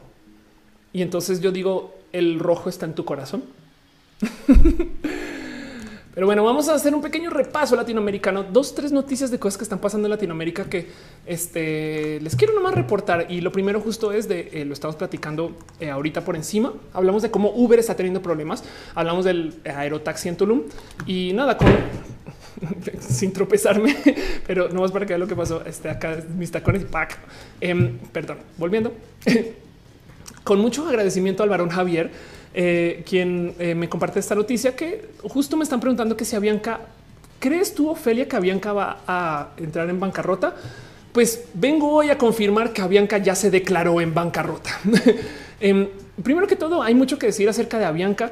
Este, esta es una aerolínea no vieja, viejísima. Creo que es la segunda aerolínea más vieja del globo terráqueo. O sea, es la segunda aerolínea más vieja del mundo que estaba en operación y ya no. Entonces esto es re triste y tiene además mil ramificaciones esto porque no hay más aerolíneas. O sea, no miren, si, quiebra Volaris en México, todavía hay Interjet, Aeroméxico. Saben, en, Colombia hay aerolíneas muy locales y chiquitas y Avianca.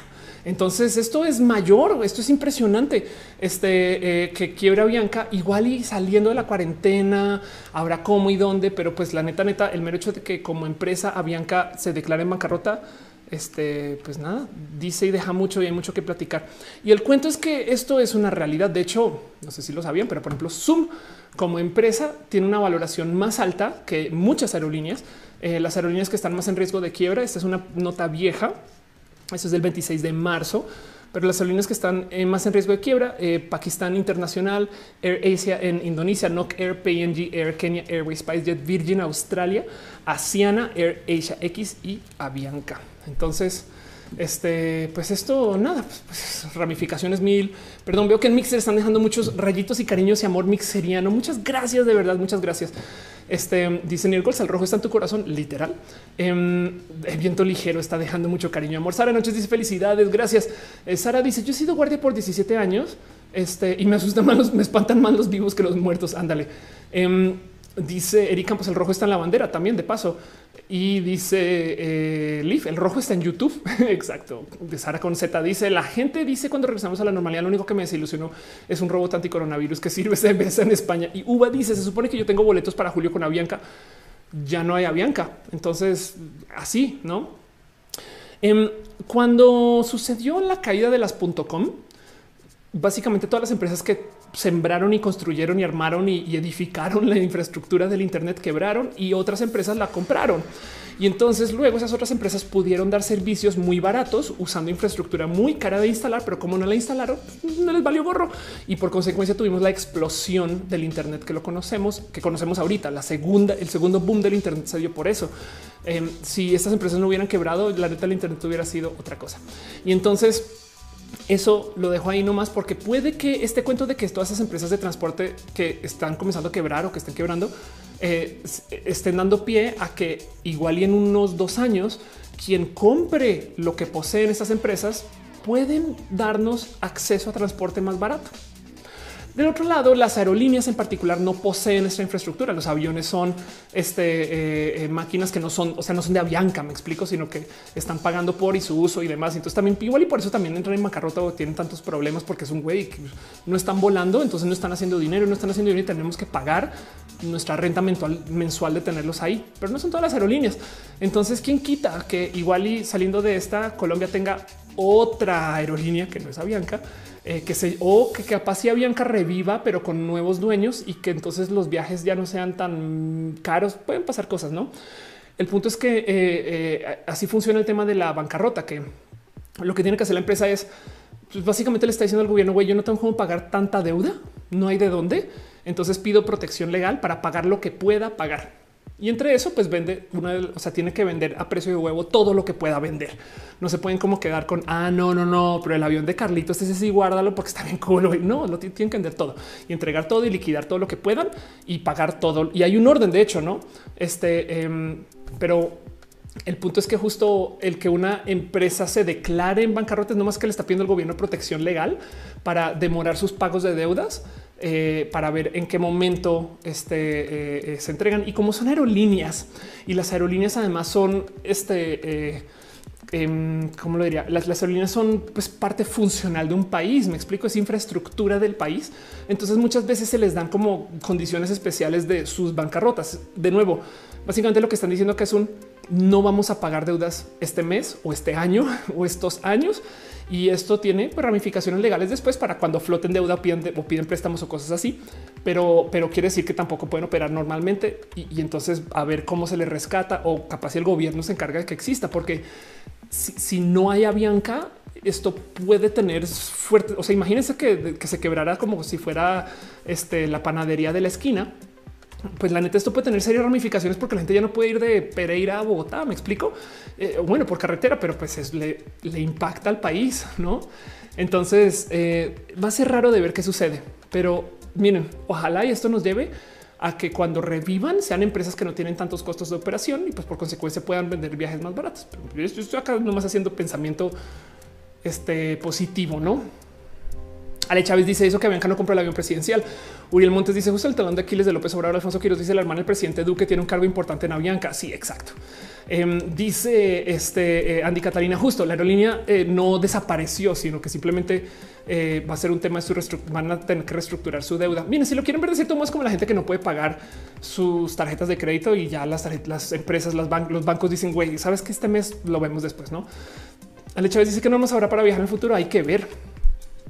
Se supone que para viajar ahorita hay aerolíneas que están pidiendo que uses eh, eh, máscara y que no iban a vender la fila de centro, pero ya vi por ahí alguien quejándose de güey, me subí al avión y estaba lleno, no? Entonces, a ver qué pasa, no? Pero pues así las cosas, no es que les digo, la cuarentena rompe al cerrar la cuarentena, salir después, va ser raro, güey.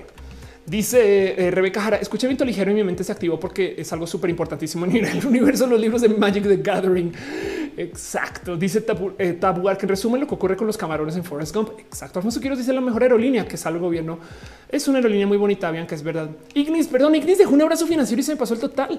Eh, gracias, Ignis. Las piñas crecen mejor regadas con líquido de rodilla. Feliz cumple. Gracias. Gracias, gracias. Rainbow dice nada rojo. Challenge accepted. Luego YouTube, luego CNN, avión, bandera de atrás, caja de Catán, botón de ver más, grulla de origami, cosa abajo de los juegos de mesa. Y yo, yo soy roja. Bueno, creo que dice buenas noches. Buenas noches. Ve descansa. Este dice Moglica, no sé por qué, pero veo un futuro donde Amazon compra aerolíneas en bancarrota para usar esos aviones para envío. Puede ser. Bueno, el obvio dice que la familia del presidente en Colombia. Eh, sí, claro. Rafita Barrera dice este año habrá muchos cambios. Dicen que Apple bajará eh, su negocio, bajará el precio de sus equipos. Apple, de paso, por ejemplo, está llevando su producción, la está sacando de China y se la está llevando a la India. Y entonces, quién sabe qué significa eso. Pero bueno, Metal dice que le gusta Magic. Es verdad. Magic the Gathering rifa, como dicen. Eso es totalmente verdad. Y bueno, la última cosa que tengo para ustedes hoy es el no quisiera decir la cortina de humo, pero de ser la cortina de humo es otro misterio venezolano. El problema con Venezuela es que los medios ya, o sea, así como todo el país ya colapsa, hay tan poquita gente y los medios son tan erráticos y quien genera contenido güey, ni siquiera está cerca la acción y, no hay infraestructura de medios y hay un gobierno que quiere evidentemente deformar la información. Em, y, entonces eh, les traigo a ustedes lo que es ahora la nueva nota venezolana de la cual se está hablando pues por lo menos en foros y en medios y, que explotó hace muy poquito, que es bien impresionante que este sea tema ahorita, porque esto es de algo que sucedió en como noviembre. o sea, esto ya tiene meses, esto es desde antes del coronavirus, pero como sea de repente, em, este todo el mundo comenzó a hablar en, con los foros venezolanos acerca de la operación Gedeón.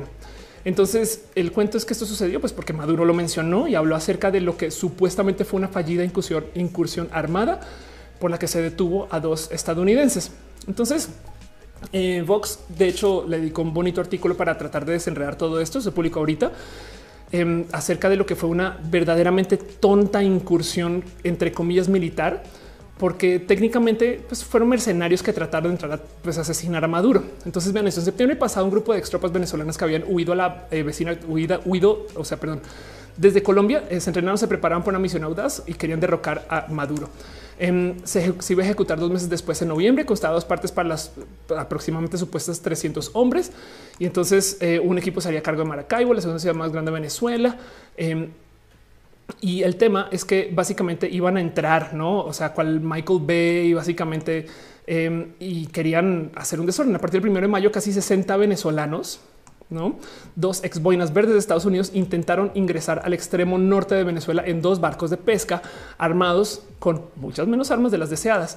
Y luego acaba. La trama fue inmediatamente frustrada. Las fuerzas de Maduro mataron a ocho miembros venezolanos del equipo de asalto y arrestaron a otros 13, incluidos dos veteranos estadounidenses.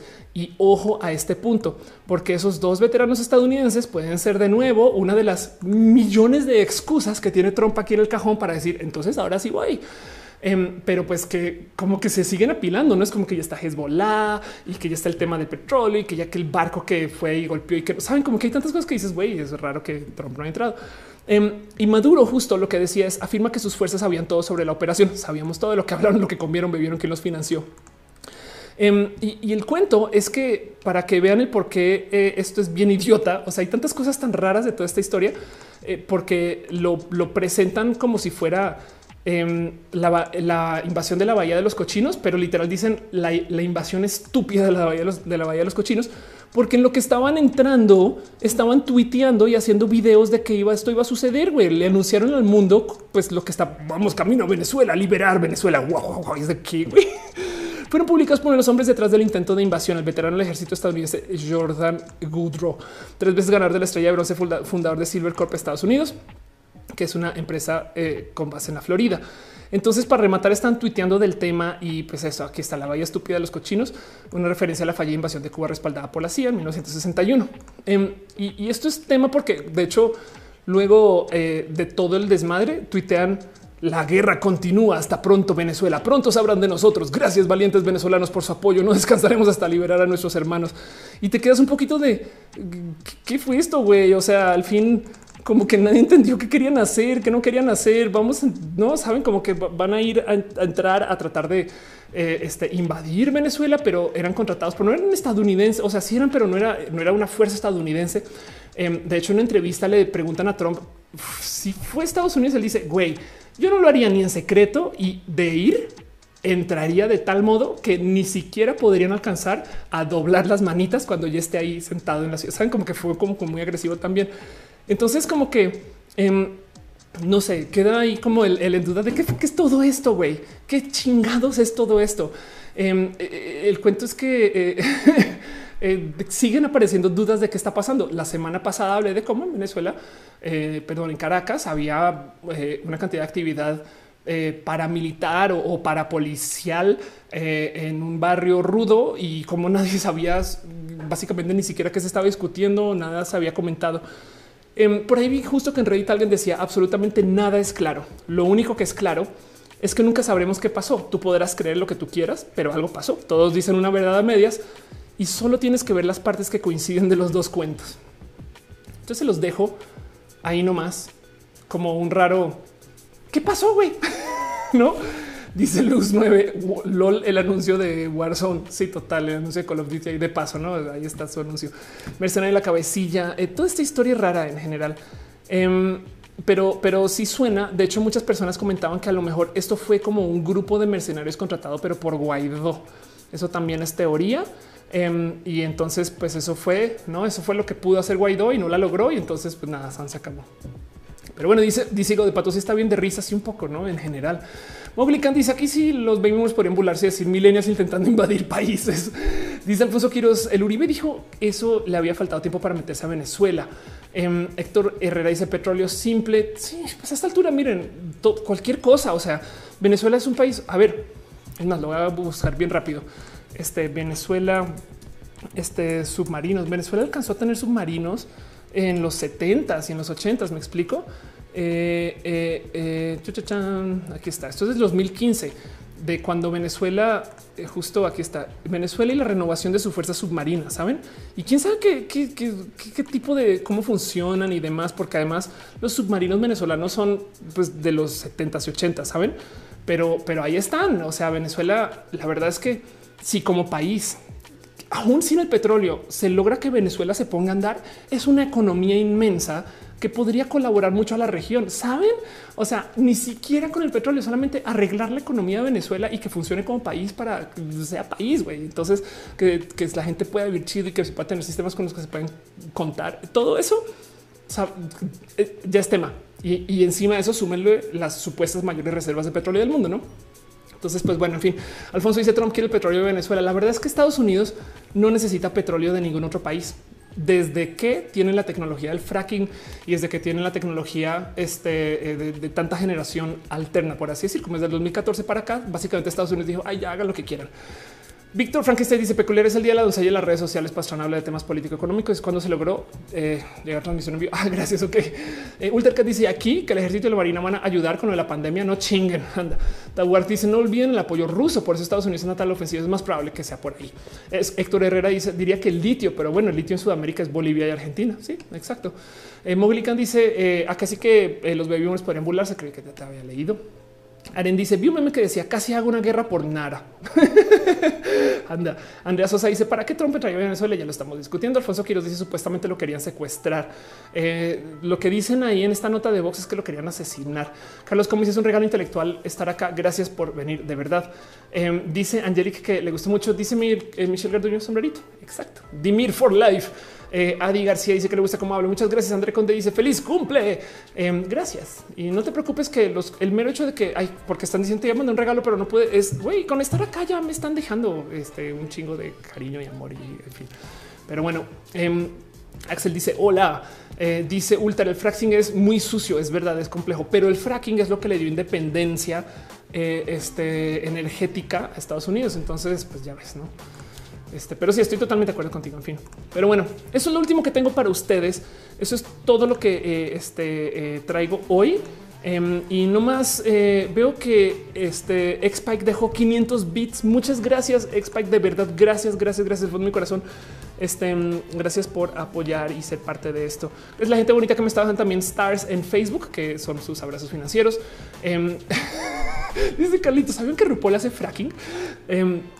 Gracias a toda la gente también que me está aviento ligero, que me está dejando tanto cariño y amor en Mixer y Assets Bow y, nada, les tengo mucho cariño. Y Yubis, que pasó por ahí un ratito también.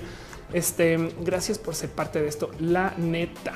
Em, y pues nada, eh, ¿qué, les digo? Como que siento que eh, este, este show voló, pero también porque yo arranqué dos veces, entonces se siente cortito. Llevamos a la llevamos dos horas 33 minutos, pero llevaba 40 minutos antes de arrancar la otra vez. Así que algo se quedó por ahí. Justo preguntan qué pasó con la promoción desvergonzada, que el 17 hay un show de reunión. Entonces voy a cerrar esta sección nomás.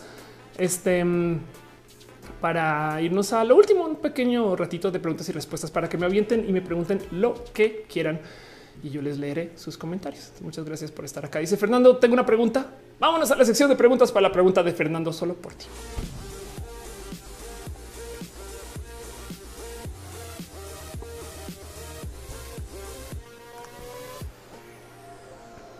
Dice Alexis, llegué tarde, pero es tu cumpleaños. Gracias por estar acá. Daría Monserrat dice: Estoy muy triste porque no pude verte bien por mi fue internet. Bueno, fue culpa mía. Yo me desconecté del internet y tuve que reiniciar todo y cambié la liga de YouTube como tres veces. Y pues gracias por estar acá. A fin de cuentas, la neta, la neta, la neta, la neta, la neta, la neta, la neta, la neta. Este dice, Caro, formalmente tengo el calendario de junio. ¿Aceptarías participar en alguna transmisión? Yo creo que junio todavía es muy forward planning para mí, pero podría, supongo, no tengo ningún problema. Este pero bueno, Fernando dice, quisiera saber qué piensas de que no haya la identidad de género en México y cómo se puede hacer para que exista y se respete nuestra identidad y tener los papeles hechos legalmente. Eh, what? bueno, primero que todo, eh, Fer, sí, sí hay la identidad en la Ciudad de México, puedes tramitarla, que sé de muchas personas trans que vienen acá, lo hacen y vuelven.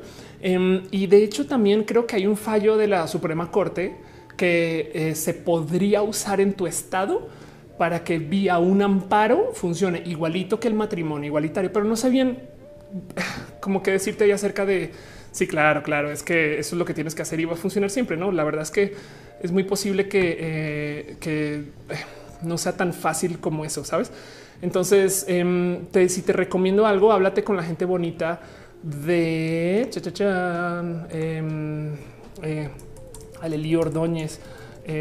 puede ser, por ejemplo, aquí está. Ok. Si alguien te puede ayudar, es esto, Aleli y le de ser. Eh, le de ser es, este me consta, está muy, muy, muy enredado como despacho eh, con este tema de los cambios de nombre en el país. De hecho, entonces, si te puedo recomendar a alguien para hablar y discutir acerca de temas de cambio de nombre, aunque no estés en la Ciudad de México, te recomiendo hablar con de ser. Esto de nuevo solo en México. No, pero bueno, sépanlo. Alfonso Quiroz dice eh, ese cuento que nos vamos a volver como Venezuela, pero parecido si estamos desde hace rato en toda Latinoamérica. Sí, yo a veces pienso que eh, pobres venezolanos los usan como el, mal ejemplo de todo. Saben como que pobrecitos es como no sé, como que de chiquita yo recuerdo que mi familia, saben este cuento de cómete eso o si no, este eh, un africano ahorita no puede comer, no ubican eso. Em, pero luego es como pensar que, güey, ahora eso también pasó con los venezolanos, güey. Saben como que pobres venezolanos son el mal ejemplo, son el peor estudiante, son, son, en fin, no sé, me da, me da como divertido. Este, pero bueno, en fin, dice Caro, eh, ya pasó y se publicó la ley de cambio de nombre de género, pero aún no se hace. Aflicta deja un abrazo financiero. Wow, ¿qué pasó con Tequila Valley? Órale, espérate un momento, cálmate con tus preguntas pesadas, aflicta. Mentiras. Ok, vamos a hablar del tequila Valley dos segundos. Para la gente que no sabe qué es el tequila Bali, este mm, el tequila Bali es eh, un más lo voy a buscar. Es una agrupación súper, súper chida que yo ayudé a fundar. Si es que no puedo decir fundé, eh, es que no, no me gusta decir que fundé porque la idea del cómo se presentó fue justo sin darle creadores. No Tequila Bali fue, les cuento la historia por encima. Cuando yo llegué a México me era muy difícil encontrar gente nerd y tecnólogos y que hable tecnología, estas cosas. Estoy hablando de que son 2008. Entonces comencé a hacer una serie de reuniones en cafés y se le puso como nombre el Tequila Valley. ¿Por qué Tequila Valley? Porque en ese entonces existía también el Palermo Valley en Argentina, que era una gran asociación de startups. Y el Tequila Valley era como la versión open source de eso. Saben, cualquier persona podía tomar el nombre, hacer sus propios grupos. Yo no sabía si iba a vivir en México por mucho tiempo. Entonces yo les dije, güey, ¿por qué no lo hacemos de tal modo que esto se le puede entregar a las próximas personas? Que no se trate de mí, sino que es de, quien venga. Y eso fue la bomba para Tequila Valley, porque qué acertado que fue hacer una organización descabezada. Entonces, literal, em, como todavía lo dice su website, ¿quién hospeda esto? Gracias por todavía hospedar esto este, eh, porque esto es viejo, pero es una comunidad abierta al desarrollo de contenidos, creación. Em, eh, es un punto de encuentro para los participantes de la web en México. Vean nomás el lenguaje que se usaba, no? Em, misión, visión, reglas. Es una comunidad mexicana, neta, güey. Yo escribí eso. Eh, no hay jefes, no hay presidente, dueño, creadores o accionistas. Em, y, esto es el Tequila Valley, es de todos, no? Para reunir un evento TC. Y como yo lo puse acá, es solo un estado mental. No hay reglas escritas en piedra, no las hay. Y entonces básicamente cualquier persona lo puede tomar. Las reuniones del Tequila Valley fueron em, nada, pues muy bonitos, muy importantes. Les tuve mucho cariño y la cantidad de cosas que hicieron con el Tequila Valley fue súper bonito y tomó su propio vuelo. Y luego de repente, como cinco años después, cuando yo ya no estaba en el Tequila Valley, me invitaban a ven a Mérida a un evento del Tequila Valley. Yo llego y de repente es que un profesor llevaba como el Tequila Valley tenía una comunidad inmensa y un chingo de estudiantes le hicieron que yo wow, qué pedo con esto. No, como que fue de esto. Yo me reuní en los cafés en un Starbucks en la Ciudad de México para que pudiéramos hablar una vez al mes. No muy, muy chido. ¿Qué pasó con el Tequila Valley? Quedó en manos de otras personas que lentamente se volvió también un poquito menos relevante. Las reuniones del Tequila Valley eh, eran este, pues justo estas reuniones hechas para que la gente pudiera platicar acerca de si quieren verlo roja o no sé, las reuniones de Tequila Valley eran estas reuniones donde nos veíamos, ah, vean esta foto, güey, em, donde nos veíamos para hablar de quiénes somos y qué hacemos. Es más, seguramente eh, yo estoy por aquí en versión Mau, es muy probable, no lo dudo. O sea, hay gente aquí que ya puede decir transicionó, tiene otras vidas. ¿Qué está pasando, güey? Esto es el pasado y no nada más.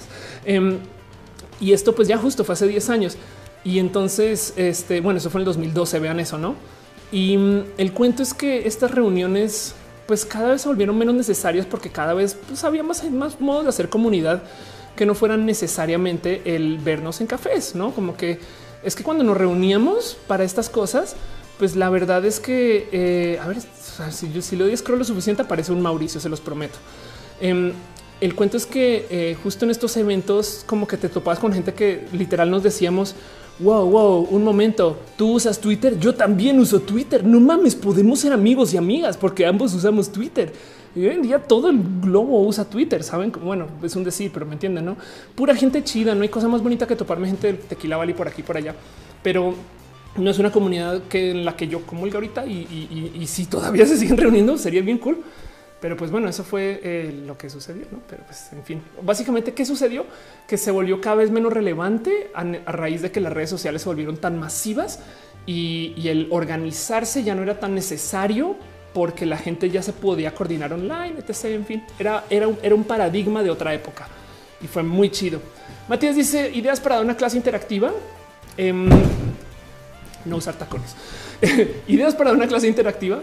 Yo creo que eh, quizás, a ver, espera, pienso. En alguna plataforma que se pueda tener chat y donde puedas platicar con la gente tipo Zoom sería bonito, puedan mostrarte ellos y ellas que están haciendo y tú volver, podría ser bonito, podría ser. Y sobre todo siempre tener toda la clase hecha antes de, sobre todo tú probarla, o sea, tú probar todos los ejemplos, tú probar todas las URLs, y así. De, paso, yo hago lo mismo en roja. Rafita Barrera dice: Has visto la serie de Midnight Gospel? No la he visto y gracias por tu abrazo financiero. Vienen los piñabots por ti a decirte que dejes financiero. Alfonso dice: No uso Twitter, no te preocupes, todo bien. Alejandro Ortega dice: Puedo una promoción desvergonzada. Tenemos un festival de ciencia en bares, pero ahorita hacemos una plática online eh, de aquí llamado miércoles a las 6 Pint of Science. Te voy a decir algo, Ale. Cuando suceda, arróbame o, sube el póster y etiquétame y yo le doy qué chida idea, güey, qué bonito. Alejandro Scategui, ¿dónde se sienten los desastres ambientales del fracking en Estados Unidos? Em, si mal no estoy, el shale estadounidense es hacia Canadá. Entonces puede que por ahí. Adriana Estrada dice: Me gustaría saber qué piensas sobre el impacto de las políticas de corte neoliberal en el rol de la mujer. What? Me gustaría saber por qué haces esta pregunta. Em, eh, eh, por lo general, todas las políticas que lleven a más desarrollo económico ayudan a todas las minorías, eh, solamente que ayudan con, o sea, ayudan de modos impares. Eso es lo desafortunado pero si hay desarrollo económico, entonces cuando sube la marea suben todos los barcos. El problema es que es a desnivel y entonces eso es lo que hay que enfrentar, el desnivel de las políticas no liberales, no la política no liberal en sí, pero eso es un pensar político personal.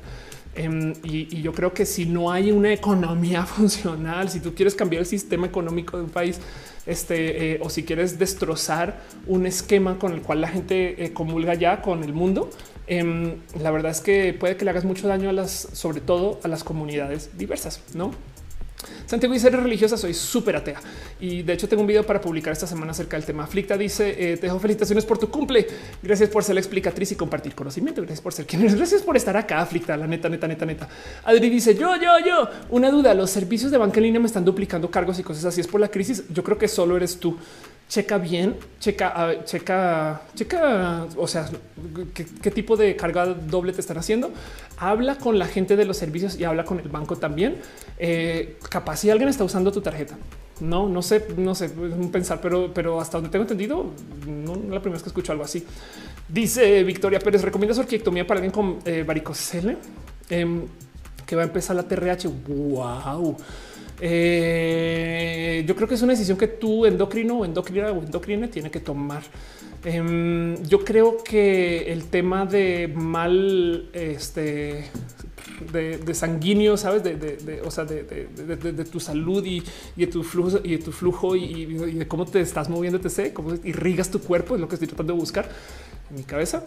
Quizás lo podría solucionar también buscando una vida tantito más activa o más deporte. Puede ser Puede ser, pero honestamente creo que es una conversación que va mejor con tu endocrino endocrina. Dante Cano dice, ¿podrías un roja sobre lo neoliberal? Lo escucho mucho, pero jamás nadie lo define ni juega dentro de, su definición de la Wikipedia. El problema es que eh, las políticas neoliberales, este, em, es más, vamos a ver, neoliberal, este Wikipedia. Las políticas neoliberales eh, es como decir la derecha y la izquierda, que son un espectro de políticas entonces em, hay mucho, mucho, mucho que se puede decir del tema, pero sí, como dices, Wikipedia literal dice el nuevo liberalismo o el liberalismo tecnocrático es la corriente económica y política capitalista, inspirada y responsable del resurgimiento de las ideas asociadas al liberalismo clásico o primer liberalismo en los 70s y los 80s. Entonces el tema es que hay mucha gente que ya se crió en esto y esto existe desde hace mucho, mucho, mucho, mucho tiempo. O sea, o sea, hay varias generaciones de personas que se criaron en esto.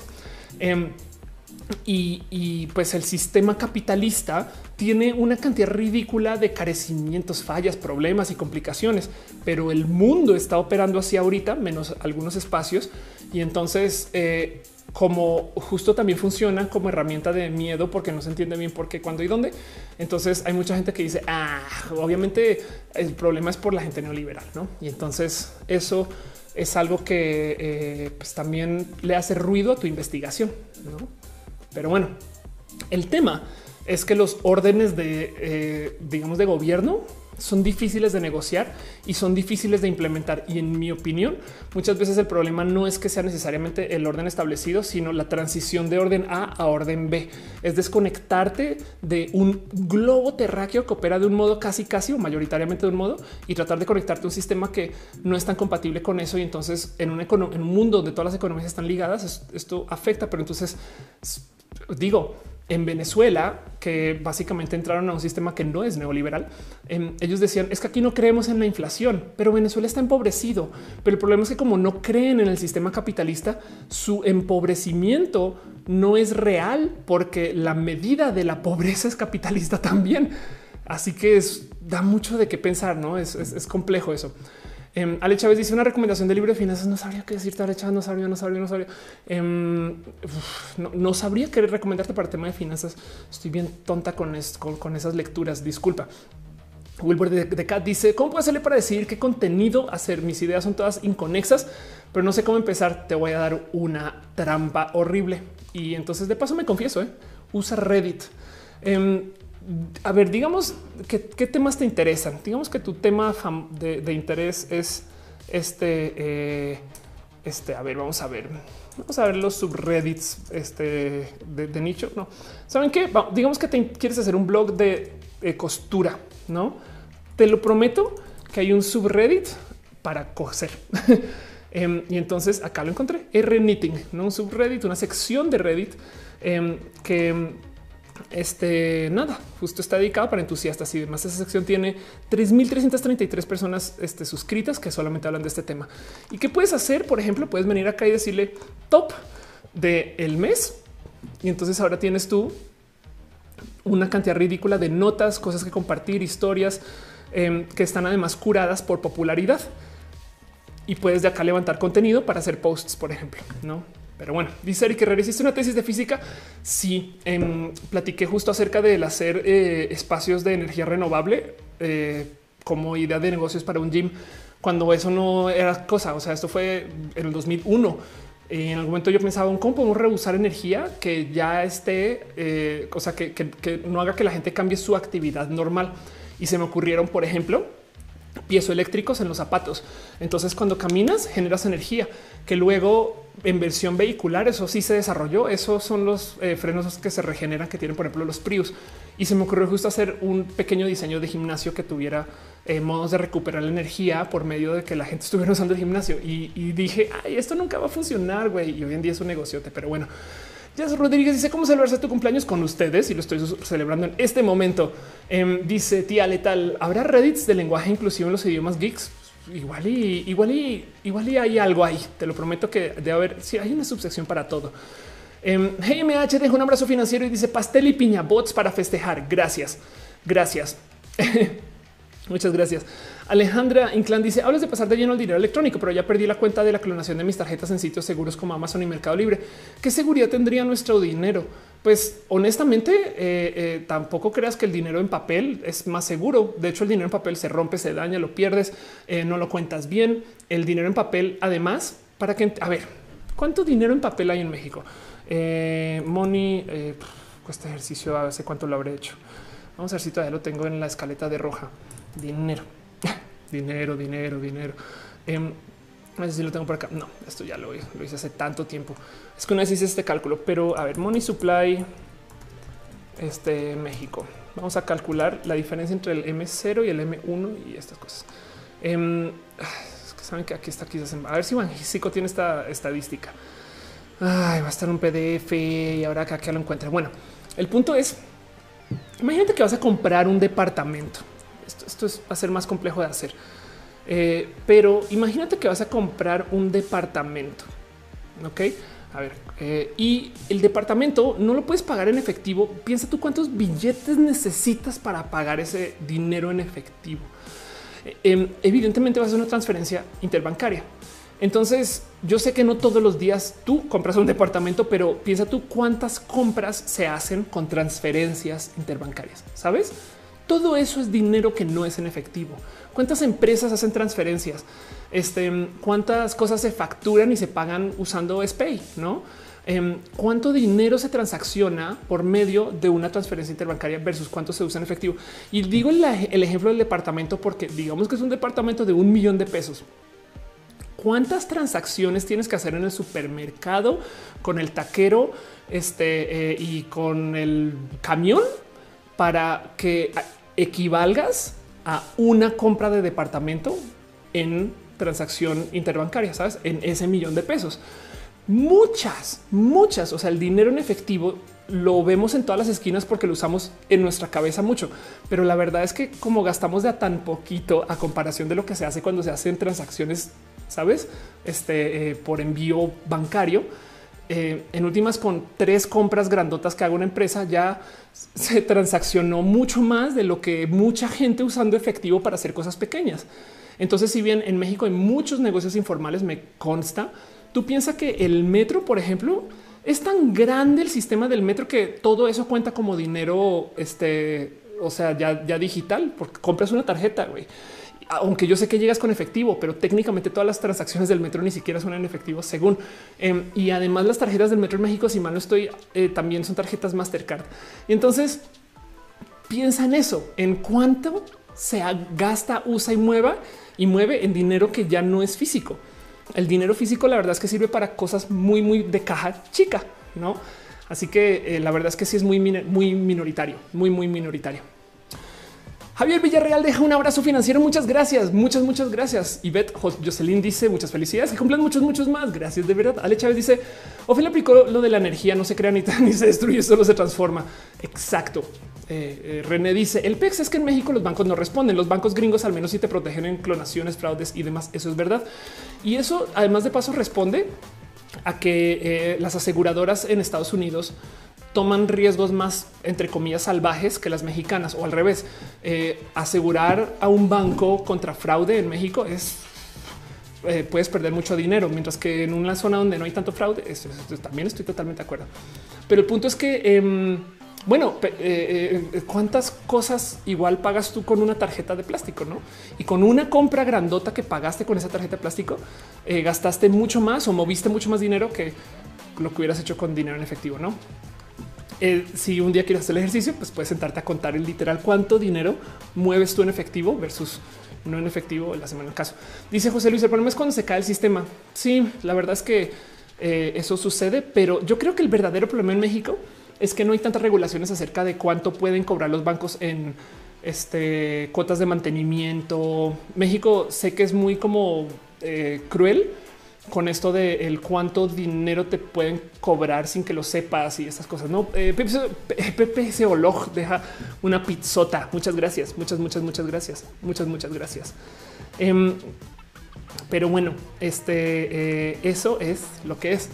Dice Andrea Sosa, aparece Lady Gaga. Muchas gracias. Este Felipe Cárdenas dice, siguen hablando de que parezco Lady Gaga. ahora solamente falta el talento musical y estamos. Mamá de sabe, dice, el problema es que sacar el dinero en papel eh, es que todo se fiscalizaría. Pero eso es un buen, bueno, no creas, ¿eh? si te dijera cuántas compras en Amazon he hecho. Sí, que se está documentando una base de datos seguro, pero sí, te digo. Em, Ale Chávez dice, eh, o explico, claro, sí. Juan Arias dice, aunque el mundo geeky gamer es bastante machirulo. De paso, eh, esta es la otra cosa. Em, si tú consigues que más gente use dinero digital, puede que le des un pequeñito golpe a una cantidad de negocios informales que no quieres que existan. Me pregunto cuánto dinero del narco se maneja en billetes todavía versus en dinero digital por la cantidad de narcomenudeo que hay. Por ejemplo, recuerdo que habían historias de cómo eh, en su momento, en los ochentas, Pablo Escobar tenía guardado todo su dinero en billetes y eran tantos billetes en sus bodegas que ya tenía como un cálculo de cómo, por ejemplo, las últimas como 5 o 10 eh, capas de billetes, como unos 5 centímetros, por así decir, de billetes, todos se iban a pudrir y se lo iban a comer ratones y no sé qué.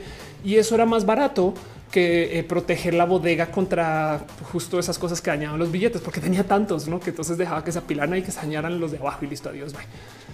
Este, pero bueno, eso son los ochentas, no sé ahorita, no? Pero bueno, dice Víctor Volkor, ¿qué crees que pase cuando abran las salas de cine?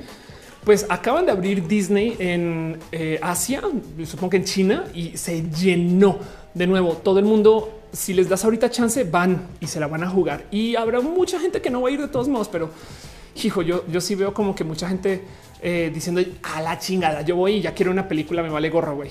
Pero bueno, Ale Chávez dice la piratería perdió un montón. Adrián Jiménez dice por qué tanta piña, porque en este chat hay muchos piñabots, pero también porque nos eh, damos eh, abrazos y cariños con piña. Exacto. Eso es exactamente lo que está sucediendo. Em, pero bueno, este eh, les sigo leyendo por acá. Perdón, eh, que se siguen además suscribiendo. Perdón, me están dando follow, nos están suscribiendo, dando follow en este eh, en el Twitch. Dice Caro, tu opinión del repunte de casos del COVID en Wuhan. Pues eso que cuando sale la gente se vuelve a exponer, básicamente, básicamente. Pero bueno, Anguishet dice que se te hizo más complicado la física. todo lo que no se puede ver, o sea, básicamente todo. Em, trabajar la física electromagnética, por ejemplo, es todo un tema porque, porque cada pequeño movimiento son cálculos, no? O sea, no es como que ah, esto va a hacer esto. No es como de esto va a dame un segundo y voy por mi calculador y me pongo a trabajar, voltear a la derecha. No es como, como que todo, todo es como por medio de una transformación. Me explico y es como de güey. No se puede disimular eso con la computadora. Y sí, la verdad es que sí. Pero bueno, Dante Cano dice están urgentes de entrenamiento, aún así no quieren pagar 10 pesitos por un track. Eh, Rebeca Jara dice a menos que estés en Argentina, en cuyo caso se dan ananas. Exacto, exacto. Y Beth dice ya hay rebrotes en China nuevamente. Sí, eh, el tema es que así va a ser por mucho tiempo. Miren, voy a volver a mostrar la gráfica eh, de Hammer este, and the Dance. La idea de la cuarentena no es eliminar el coronavirus. Yo sé que sí. Me explico. La idea de la cuarentena, la cuarentena no puede eliminar el coronavirus porque no hay cura, saben? O sea, alejarnos de tener contacto con la gente no es una medida de no tener coronavirus porque ya está por ahí, ya es pandémico, ya explotó. La idea de la cuarentena es lidiar con este problema de el cómo se contagia y cómo se enferma la gente. Si tú no haces nada, tantas personas se van a contagiar y el 5% de las personas aproximadamente se van a morir. Como en México estamos, están haciendo tan poquitas pruebas, pero las, las muertes sí se miden con un poquito más de fidelidad. Entonces es bastante más alta la tasa de mortalidad en México que el resto del mundo.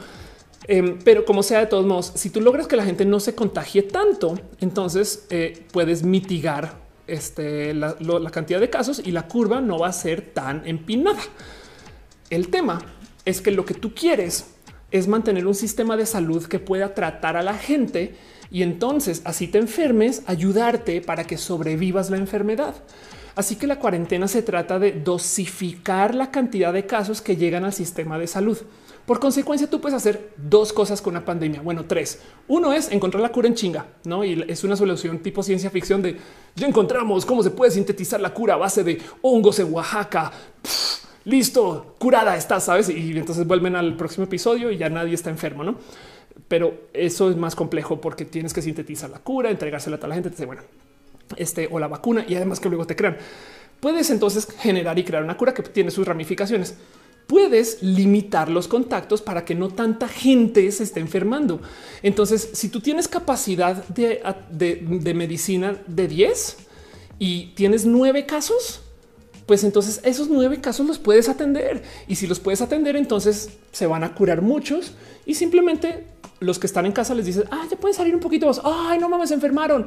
Bueno, pero entran y entonces se mantiene por debajo de 10. Y si se mantiene por debajo de 10, crecen, bajan, crecen, bajan a medida que se les atiende. Y a eso se le llama el baile. Ok. Y de hecho, este baile es lo que pasa con la influenza. Todos los años hay brotes de influenza y hay brotes de otras cosas a medida que la gente se enferma más y se enferma menos. Pero si puedes darles atención médica, no pasa nada. La tercera, bueno, sí pasa, no, pero no es tan grave. Me explico porque estás atendiendo a toda esta gente. La tercera cosa que puedes hacer es crecer tu capacidad de salud, construir más hospitales, tener más doctores, enfermeras y gente que esté en el ámbito de la salud. Em, eh, así que lo único que puedes hacer es dar más asistencia a quien esté enfermo este, y, y mantener que esos brotes estén todos dentro de la capacidad.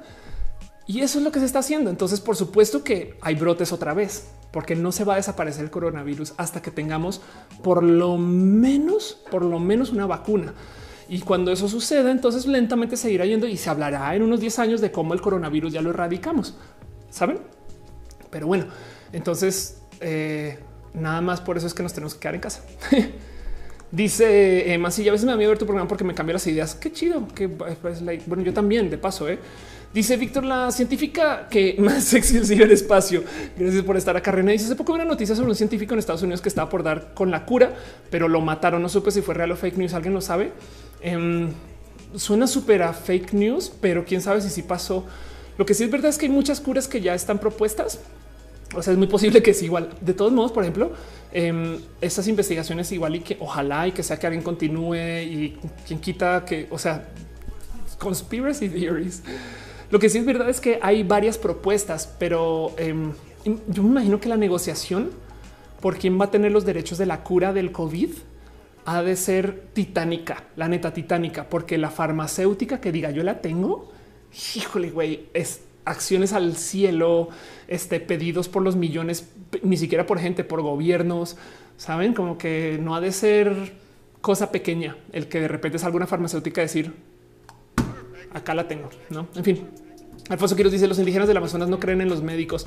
Hay un repunte de brote de COVID en la población indígena, que es una lástima. Este es una verdadera lástima. ¿eh?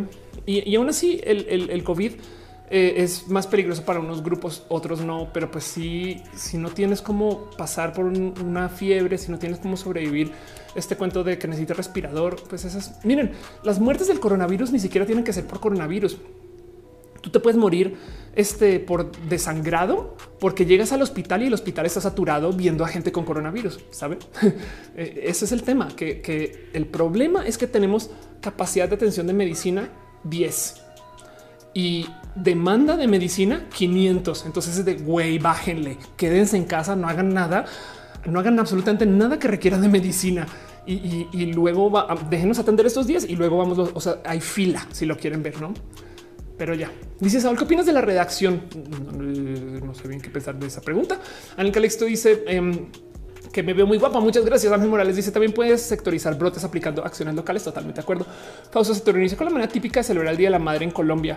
Eh, feliz cumple. Compartimos cumpleaños. Feliz cumpleaños, Fausto. Este eh, hacemos un acuerdo este eh, súper comprometedor. Fausto sería muy divertido. Dice Pepe SOH, ¿cómo crees que el sector salud evoluciona en todo el mundo? ¿Será parejo en ambas partes? Obviamente no.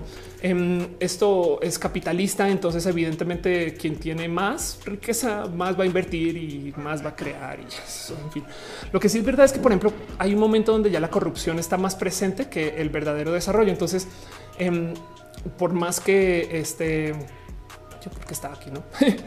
por más que eh, se le dé como cabida a que la gente eh, no sé, como que instalen nuevos hospitales, eh, van a estar más preocupados por el dinero que por debería poner metacones para este show. Van a estar más preocupados por el dinero que por hacer hospitales, no? Entonces, eh, en fin.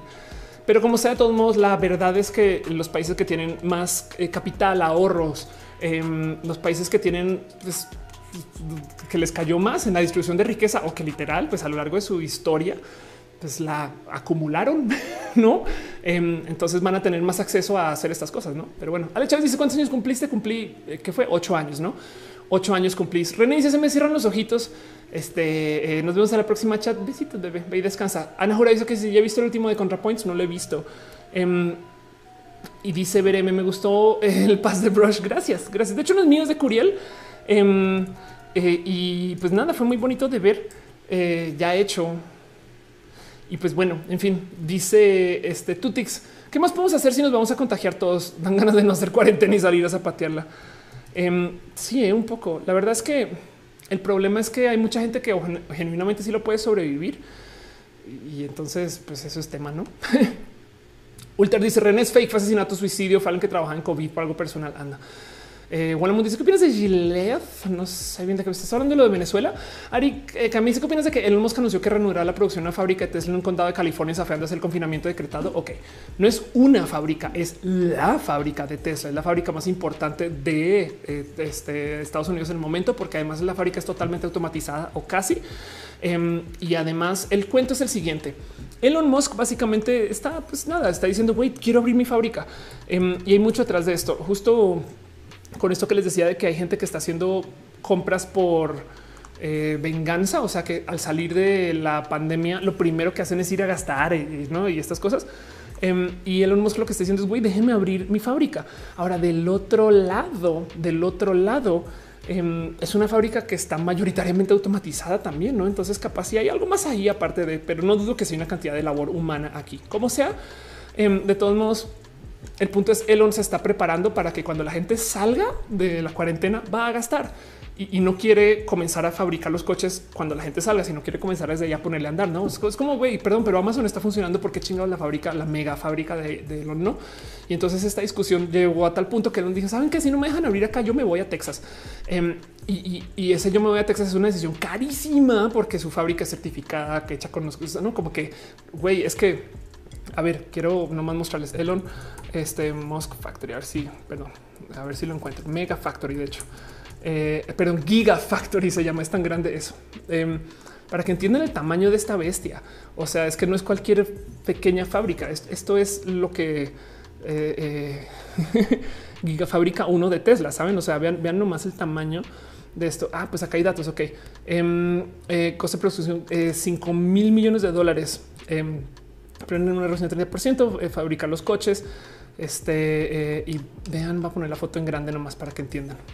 Ok, entonces cuando Elon dice déjenme abrir mi fábrica, es que güey, es un es un mundo de cosas lo que pasa en gigafábricas, no en esa gigafábrica. Lo digo como si fuera, ah, claro, un mundo más. Bienvenidos a gigafábrica. Dice este tía letal, ya me suscribí en Twitch y tienen los emojis y son los emojis más raros del mundo. Tengo que configurar eso más chido. Gracias, tía letal, por ser este parte bonita de eso. Paola BT dejó unas, unas stars. Gracias de verdad. Gracias, Paola, por apoyar con esto. Perdón.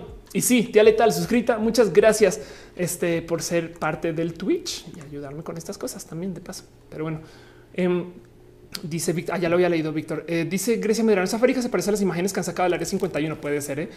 Eh, dice Lilith ¿cómo es la educación a distancia en México? Ruda. Pensemos en esto.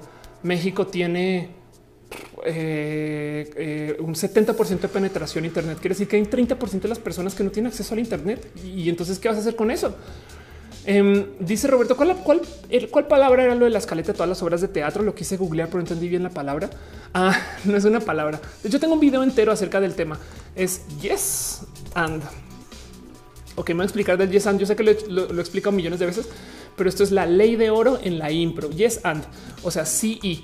Em, y el cuento es que cuando tú haces teatro impro, eh, eh, o sea, cuando estás improvisando en el teatro, tú básicamente le dices a todo el mundo sí, sí, a todos le dices que sí, sí, sí, sí a eso que me dices. Ah, qué chido que te llamas Carlos. Sí, qué chido que tienes frío. Sí, qué chido que eh, estás vestido con la ropa de tu niñez. Sí, a todo le dices que sí, pero si le dices que sí a todo, estás viviendo en el descontrol como quieres mantener un poco de control sobre lo que sucede en la escena, tú dices sí y entonces tú añades algo y no es un y contestatario, no es sí y qué, sino es sí. Y pues es, algo muy bonito que podamos compartir estas cosas. No em, mucha gente habla justo acerca del sí y en, un buen de modos de vida, etc. Y pues yo lo tengo tatuado porque a mí me gusta pensar que ahí está, ahí dice yes and. Me gustaría pensar que acá tengo la escaleta de todas las obras de teatro. Es como si no sabes, si estás en el escenario y no sabes qué decir, di sí y añade algo y funciona hasta en la vida. Pero bueno, tía Letal, yo quiero volver a la pirámide que mostraste al principio del stream cuando empezabas a hablar de lo de López Obrador. Em, se llama la pirámide de la discordia. Eh, a ver, la vuelvo a buscar. Em, pero o también la pirámide del debate puede ser. Eh, pero sí, eh, es, es nomás una pequeña teoría eh, acerca de el, el valor de los argumentos en un debate o en una discusión. Acá lo tengo, acá lo tengo. Estoy buscando, ahí voy rápido. Pirámide de la argumentación, perdón, pirámide de la discordia. Aquí está la pirámide de la argumentación de Paul Graham. Este y nada, y el ejemplo que yo uso con esto siempre es el ejemplo de las quesadillas y si deberían de llevar queso. Pero ahí está. Dice eh, Grecia Medrano. Yo tengo un meme de off cuando salió en la madraga diciendo sí y no mames, me lo pasas después por Twitter. Qué chido. Dana Castro dice Ofelia eh, que te gusta mi maquillaje. Muchas gracias. Gracias de verdad. Em, dice Casamina, ¿cómo unes los comentarios de Twitch y los de Facebook? Hago uso de una plataforma que se llama Restream. Este Machafíos también deja los emojis que es que tienen a Matú, es verdad. Dice Nicolás, las avispas asesinas también es un tema. Héctor dice Elon es un loquillo. Eso de la fábrica, el nombre de su hija, eso es verdad. ¿eh? Em, también este Grimes es, loquille. Grecia Medrano dice esa fábrica se parece a las imágenes de Área 51. Sí, es verdad. Ignis se dice con lo de Elon está feo que no le está importando mucho la seguridad de sus empleados. Estoy totalmente de acuerdo con eso. Ese es el problema con Elon y, lo de Elon, justo que este nada, que pues da un poquito como de eh, ah, en fin, sí, un poquito de rabia de güey, no quieres exponer a la gente o no. Magaragón dice con la noticia que mi ciudadana recién nacida fue diagnosticada con COVID y tiene 20 días. Ándale. Perdón, de me dice no es porque comen por las condiciones de los mercados, pero tienen los animales vivos, si no hay higiene, debería no, no sé cocinar más. Hay una temperatura en la que se mueren los virus y demás. Em, eh, wow, me perdí algo que estabas diciendo. Perdón, no entendí bien. Eh, sí, ah, ok. Bueno, si hay una temperatura en la que básicamente desnaturalizas todo, ¿no? Cuando cocinas pasas por esa temperatura, no te preocupes. Em, o, evidentemente trata de no comer tan crudo en general, bueno, a menos que quieras, en fin, eh, comer crudo por otro motivo. Huela Mundo dice Yela de ese laboratorio que es la cura del coronavirus. Eh, pues, mira, si les, si les estuvieran haciendo ahorita, te lo juro que el mundo estaría explotado en noticias de eso. Eh, pues estamos hablando de Caitlin Jenner. Daniela Command, Command dice aquí en Chiapas hay gente que no cree en el SARS, perdón, en el coronavirus y está muy misteriosa las cifras acá para un estado donde hay gente que no cree. Sí, de hecho, este nada en todo el país está así. ¿eh? No te preocupes. Moglican dice el virus muere después de que pase por 90 grados C por al menos 30 minutos. Rafita Barrera dice no te preocupa la incertidumbre financiera próxima. O sea, sí, pero qué se le hace? Sabes, es como ahorita este vamos a pasar por una recesión horrible y las dinámicas de recesión son complejas. De hecho, quiero hacer un stream solo de eso, de cómo sobrevivir en recesión, qué trabajos funcionan, eh, qué hacer con tu dinero, porque del otro lado hay gente que tiene recesión, pero el tema es el siguiente. No vamos a saber nada hasta que salgamos de la cuarentena o la gente esté tantito más activa en las calles, porque ahorita todo está en pausa. ¿Me explico? Si no hay cines, entonces la industria del cine no se puede cuantificar.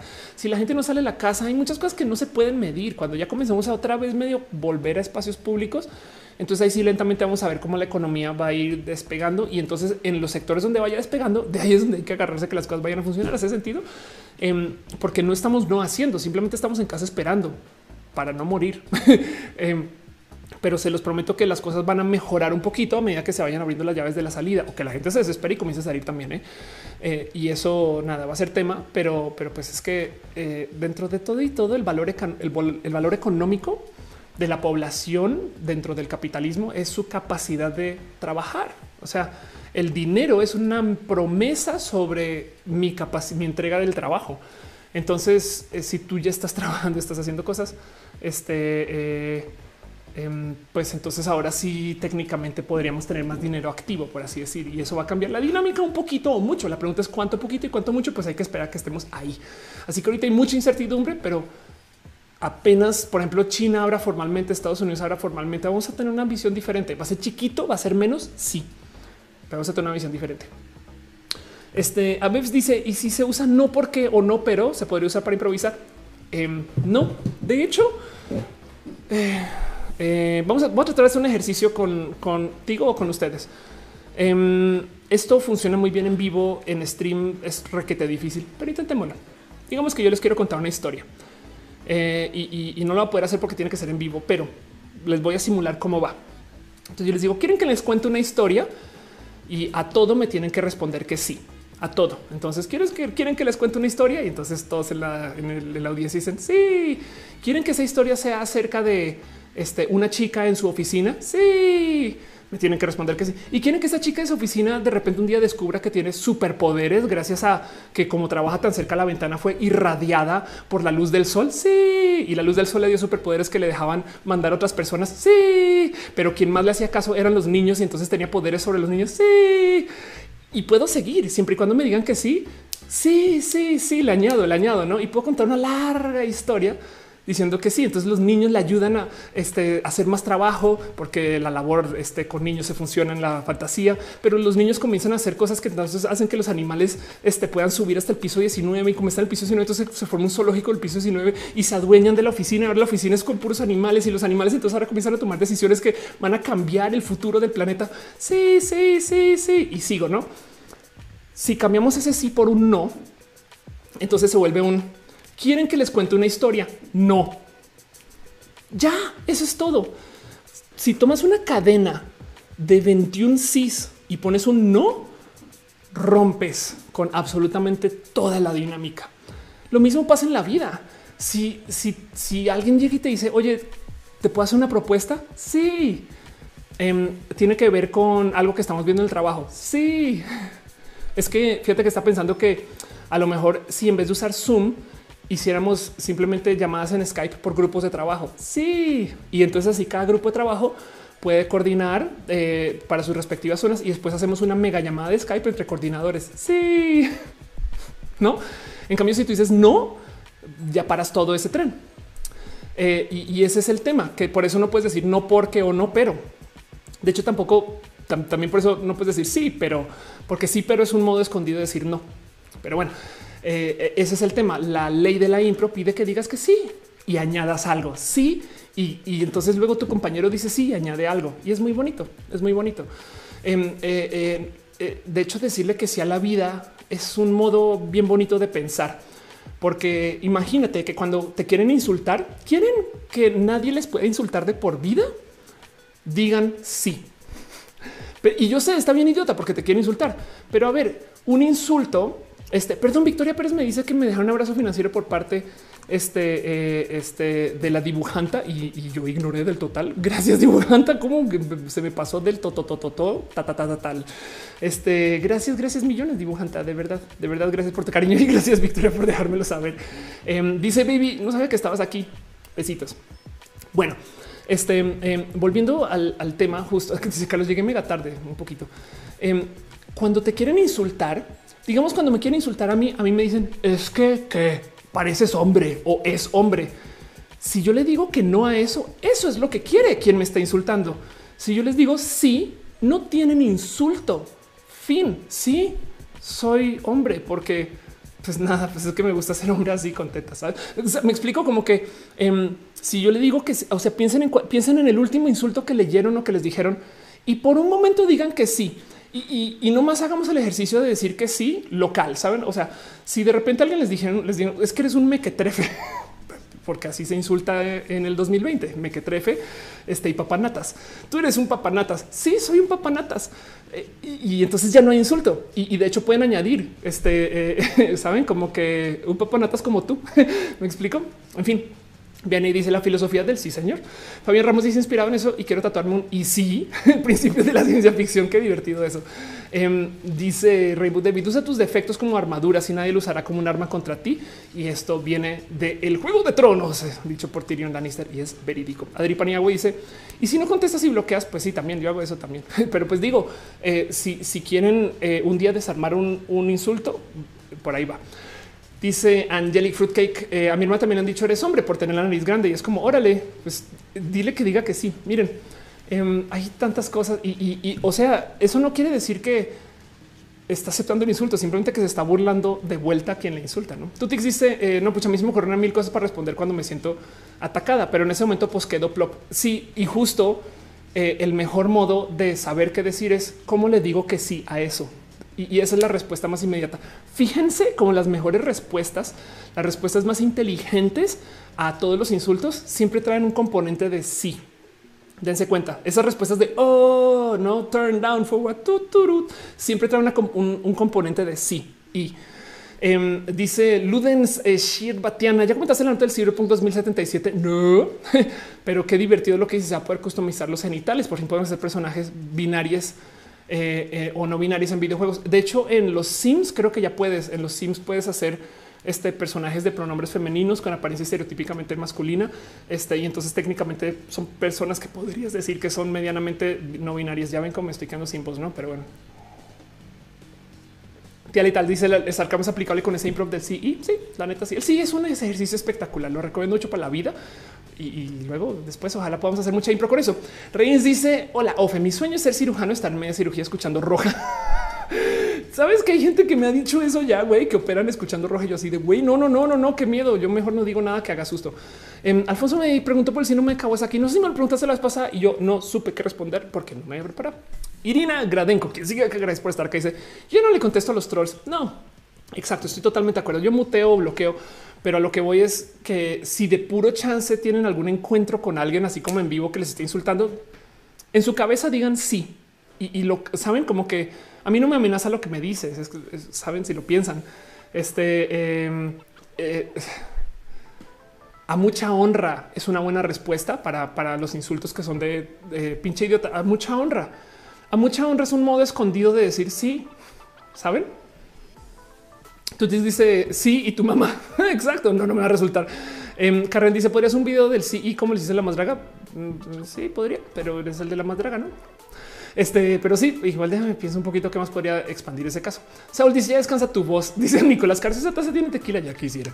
Em, dice Toño García: Chicos, les pongo temperatura, sabes, carnes rellenas a 74 grados, cereales, frutas. Estamos hablando de cocina ya. Adri Paniagua dice: Hoy me dijeron vitola, que no sé qué quiere decir, Adri. Este, pero por ejemplo, em, a ver si encuentro em, a Ay, caray. Hay una draga que le dicen este Wonders, Aurora Wonders. Este, a ver qué es lo que le dicen. Le dicen que es una botarga. Entonces, Aurora Wonders, of course. este se, le aplicó y, son de esas cosas que, o sea, yo no sé si Aurora viene de la, este, eh, del entrenamiento de la impro, pero vean esto. Esto es un modo de desarmar un insulto. Em, dice Wonders, me encantaría que se use con los niños, no para protestar, no sé qué. Y entonces alguien le dice, cuando tú botarga tengas los tuyos, decides sobre ellos. Y de plano dice, la botarga más linda, ¿saben? Y ya, o sea, dijo, sí, sí, soy botarga. Y de paso, soy la botarga más linda. Tu insulto me vale gorro, güey, porque si soy botarga, no entiendo por qué dices, lo dices como si fuera problema. De paso, decir lo dices como si fuera problema también es un modo escondido de decir sí. Entonces yo le digo, confirmo también la botarga más elegante y chida. Y siguió, sí, voy a salir botarga después de la cuarentena. Entonces vean como acá de plano desarmó un insulto al decir sí y añadió algo. No solo soy lo que dice, sino soy la más linda de todas. Pero bueno, dice Franny Vitola era un personaje de la época de oro muy alta y. Ah, pero entonces no era insulto. O, o sí. Tía Letal dice cómo es el proceso de transformación de la draga Amelia que la pudiste conocer la más draga. No hizo su proceso de transformación, pero me parece lo máximo. Todas las transformaciones son espectaculares, la neta. Juliana dice quiero invertir una pequeña cantidad de dinero, pero no sé en qué. ¿Qué recomiendas? Em, la lógica de la cuarentena es que la mejor inversión que puedes hacer es en cosas que cuenten como infraestructura, que ojalá te ayuden a hacer más dinero después y que además eso o en cosas de lujo porque se van a ir a piso. Ahorita es cuando más barato vas a poder comprar relojes de lujo eh, o acciones con estas cosas, no como que empresas que hagan cosas caras. Ahorita es cuando menos van a vender. Entonces, si quieres comprar acciones, compra esto y planea para que cuando se salga de la recesión, esas acciones se disparen. Em, piensa en, todas las marcas de caras que ahorita no están vendiendo y que en los próximos años tampoco. Pero yo recomiendo que tú inviertas en cosas para tu negocio. Ese es el momento para comprar, no sé, eh, laptops, monitores y sobre todo si no te importa que sean de segunda mano, porque ahorita es cuando todo el mundo está sin varo y prepárate para el próximo por lo menos los próximos seis meses. Em, pero es con la gente está sin varo y va a tener este estrés de güey, es que necesito, no sé, güey, vendo mi, mi ampli y, vendo mi sintetizador y vendo este, vendo mi compu y vendo no estas cosas que luego tú dices, no mames, güey, le están vendiendo nada. Ahí entras tú. pero bueno, Víctor dice, la que no era una famosa cómica, la de oro. Ándale. Pero vos dice, Don Cangrejo le dijo a Bob Esponja una vez. Dicen que con esa gorra pareces una chica y Bob Esponja le responde, soy una chica linda. Anda. Adri dice sí, la verdad no lo leí como en tono halago, pero no me dio para decir sí, mejor elimina y bloqueé. Viene y dice el punto es hacer como que no te importa. Exacto, hasta que de verdad no te importe. Sí, y en eso, pues la clave es decir sí. Sí, sí, digan que sí, ustedes digan que sí a todo y, añadan algo, digan que sí y piensen en eso. Es, una, es una bonita mentalidad. Cuando yo doy conferencias de este tema, yo a veces digo que el sí aplica para aceptar hasta la diversidad. Si ustedes se les siente una persona enfrente y esa persona no tiene la apariencia de lo que dice que es. Y ni siquiera estoy hablando de gente trans. Es una persona que dicen, ah, hola, es que yo también soy lesbiana. Y tú, ¿qué? ¿Tú eres lesbiana? Tú no puedes ser lesbiana hasta que uses camisas de cuadros. No, es de güey. Me vale Ah, sí. Y ya. La mejor comedia se da cuando todo el mundo acepta las cosas. La mente abierta implica decirle que sí a las cosas. Sí, y sí, y es, es una bonita mentalidad, saben? Em, y es de paso estresarse menos. Eh, y la vida es loca. Es como Em, este cuento de es más, creo que en subreddit que es This is my life, miau, em, que voy a ver si lo encuentro, que es como de, gatos diciendo no, pues ya me jodí, güey. Ahora esta es mi vida, no? Este es mi nuevo normal. Este eh, así de, pues ya esta es mi vida ahora, güey. Ya así me tocó, no como que aceptar. Es como está de la chingada, pero bueno, esta es mi vida. Esto es decirle que sí y saben como de pues ya así me tocó. Sí, pues esta es mi vida ahora, güey y ya está la chingada. Sí, pero, pero eh, en vez de estresarse, no, no puede ser. Los no estresan un chingo. No. Adri Paniego dice lo malo, voy shame es que seas flaca, alta, gorda, chaparra. Sí, de hecho, opinar de los cuerpos en general está la chingada. Eh, Gabo te dice: Yo aplico la de Po de Kung Fu Panda cuando Tai Long le dice panda grande y gordo. No soy un panda grande y gordo, soy el panda grande y gordo. Exacto. Eso es otro modo de decir que sí, si lo piensan. Fernando dice: Mi ex esposa manejaba los insultos eh, y en un chico se le paró enfrente del copiloto, se baja enojado y que le lanzó un beso con las dos manos y se empezó a reír y se fueron. Pues dice Juan que no puede dejar de ver este contenido. Gracias por estar acá. Juan Sergio Guzmán dices: ¿Crees que la demanda de alcohol y diversión se dispara después de la cuarentena? Súper, súper. Si se está disparando ahorita, yo creo que la gente se va a querer vengar de estar encerrada un rato. Yo pensaba que no, ¿eh? que iban a salir con miedo, pero no va a haber gente que va a salir a meterse un rave, saben? Y ya Dice Alfonso Quiroz, hablando de eso, la tecnología baja o sube de precios. Ahorita la tecnología está tantito más cara porque hay menos manufactura, o sea, cerraron todas las fábricas y de repente pues hace falta computadoras, RAM, no sé qué. Pero apenas pasa el tiempo, definitivamente eh, va a estar más barata porque la gente no va a tener tanto dinero disponible para comprar y renovar su tecnología. No lo dudes. Dice Toño García, sí, claro, la depreciación económica. Sí. Mariel dice inviertan aportaciones voluntarias de Afore. Em, dice tía Letal, ¿cómo será? Of course, de niña. ¿Y qué consejo le daría? ¿Sabes cuál es el problema, tía Letal? Em, que yo de niña, si yo pudiera ir a verme de niña, no sé, atravesamos una máquina del tiempo. Bienvenidos al pasado. Ah, no mames, güey. Estoy en los noventas. hay música este, trans. si llego a verme a mí del pasado y le digo, oye, tenemos que hablar, lo primero que le voy a tener que decir es así de paso, yo soy tú y, pero del futuro y entonces este, no te asustes porque eh, eh, es que hay un tema muy cabrón, güey. pero así las cosas. Ariana Santiago dice, soy la presidenta de tu club de fans.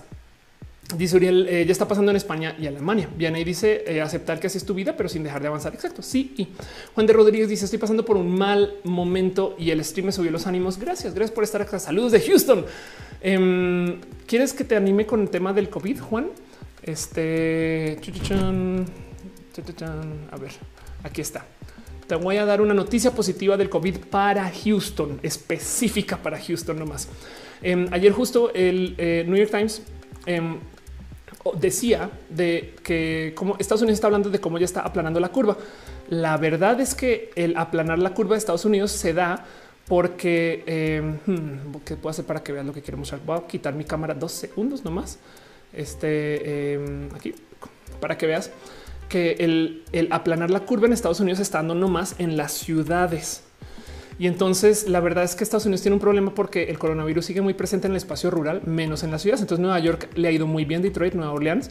Y entonces en Texas en particular, em, ahí para que te sientas tantito mejor, Texas es un estado que no está aplanando la curva, pero si miramos solo Houston, en Houston sí, Houston aplanó la curva, Texas no. Y te lo dejo ahí porque nada, es una pequeña observación, pero pues si, si te estás sintiendo mal con lo de la cuarentena, estas cosas, sépale usted que a Houston le ha ido bien. Quería decirte eso. Dice Dante Cano, eh, se te presenta un señor de 70 años tierraplanista, resulta que es yo del futuro, ¿de cuántos decibeles sería el grito? ¿Sería divertido? Es que miren, hablar con la gente que tiene teorías conspiranoicas es está divertido porque son personas muy creativas. Pero bueno, Dice Ayrton Jiménez, la Vitola es una actriz de comedia de los años del cine oro mexicano. La actriz era muy larga, alta y flaca y desgarbada. Desgar ok. Arika Emma dice, leí que en Francia todo el mundo se puso a comprar ropa en Sara. Eso es venganza con estilo. Puede ser. Este dice eh, que no, no sé, ah, así no de plano. Tía Letal dice interesante un video de esa experiencia psicodélica de una entrevista con una Ofelia niña, una Ofelia grande, choque de multiversos, un poquito. Eh. Grobos dice entonces tal vez si te viste en el pasado, pero no te reconociste. ¡Pum! Bueno, este quieren enloquecerse. A ver si tengo estos tweets muy a la mano, pero eh, me ha pasado que de repente me escribe. Es más, of course, Mauricio Pastrana. Vamos a ver si lo encuentro así tal cual. Igual y a lo mejor es algo que he tuiteado yo, porque seguro mucha gente me ha tuiteado del tema. Pero una vez, y esto y va, varias veces que me ha pasado, que llego a, sobre todo a, aquí está, eh, que llego a abro Facebook, por ejemplo, y de repente hay un comentario en Facebook y el comentario, así como de ay, qué chido video. Este eh, viene de un tal Mauricio Pastrana y es bien raro, güey, porque es de pues sí, todavía hay un Mauricio Pastrana en Twitter. Este y, todavía hay un Mauricio Pastrana en Instagram y de vez en cuando hablamos y es rarísimo. No saben lo raro que es hablar con Mauricio Pastrana, eh, porque es como de eres yo. O sea, yo, yo me he puesto la duda de güey, y si aluciné cosas, me explico, es que tal que no lo haya sido. En fin, em, y entonces ahí los multiversos. Eh, yo Duffy dice que eh, sí soy mujer. Dice Mereme que si me gusta Pokémon Go, sí soy muy fan de Pokémon, pero, pero Pokémon Go me digo ahorita que ya se puede jugar de modo remoto es igual y más chido. Soy como tan encerrada de todos modos que jugar Pokémon Go se me volvió rudo porque no pasaba tanto tiempo afuera. Vende pero el lindo dice aceptar la vida como viene y usar todas las herramientas que tenemos aplica a todos los momentos, pandemias, gracias, alegrías. Sí, exacto. Eso es, es verídico. Justo hay algo ahí con el CI que te hace una persona más fácil de negociar. No, pero bueno, PPSOHLOH, ¿cómo se pronuncia? Pepe, Solo Dice las teorías conspirativas suelen ser bobas y muy interesantes. ¿Tienes alguna que te llame la atención o las pasas de largo? Siempre las paso las paso de largo. Em, me divierten mucho las que son bien idiotas, como la de que Keanu Reeves es inmortal, porque el tema es que todas las todas, las teorías de la conspiración, por definición, tienen un grano de verdad. Y el grano de verdad en la de Keanu Reeves es que se ve igual ahorita que hace 30 años, ¿no?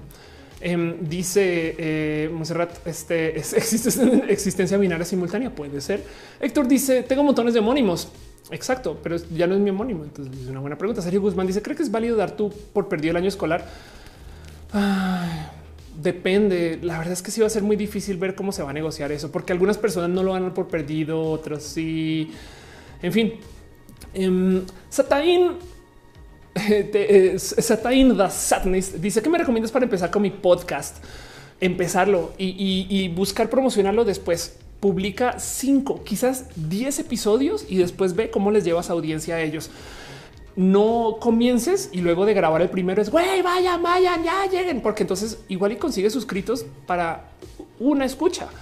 Mientras que si hay varios, como que la gente comienza a escuchar los viejos y se comienzas a trazar, dales como un material. Y en esos primeros 5 y 10, tú aprendes a tener disciplina para grabar, para buscar temas, te vuelves podcaster. Entonces ya cuando comienzas a decirle a la gente vengan a mi casa, este, ya sabes hacer más de un plato. Me explico. Em, cuando, cuando les dices vengan a mi show, pues ya sabes presentar más de una canción o más de un actos, no?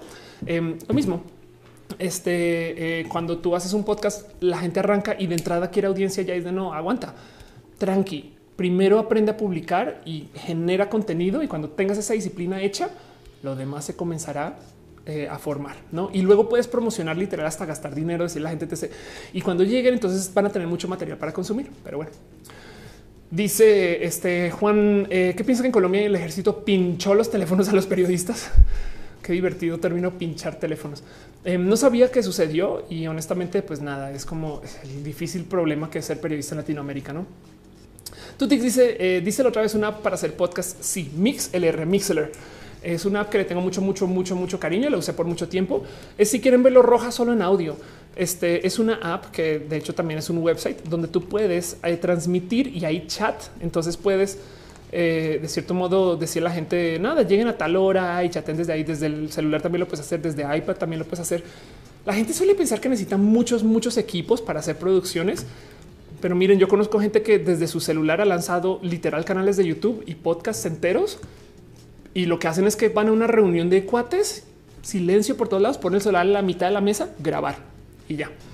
Este, pero bueno, Dice eh, Rainbow David, precisamente desde que empecé mi podcast estoy sacando cada semana. Para cuando saque 10 voy a empezar a compartir y hacerlo cada dos semanas. Poca gente lo nota. Por ejemplo, también exacto.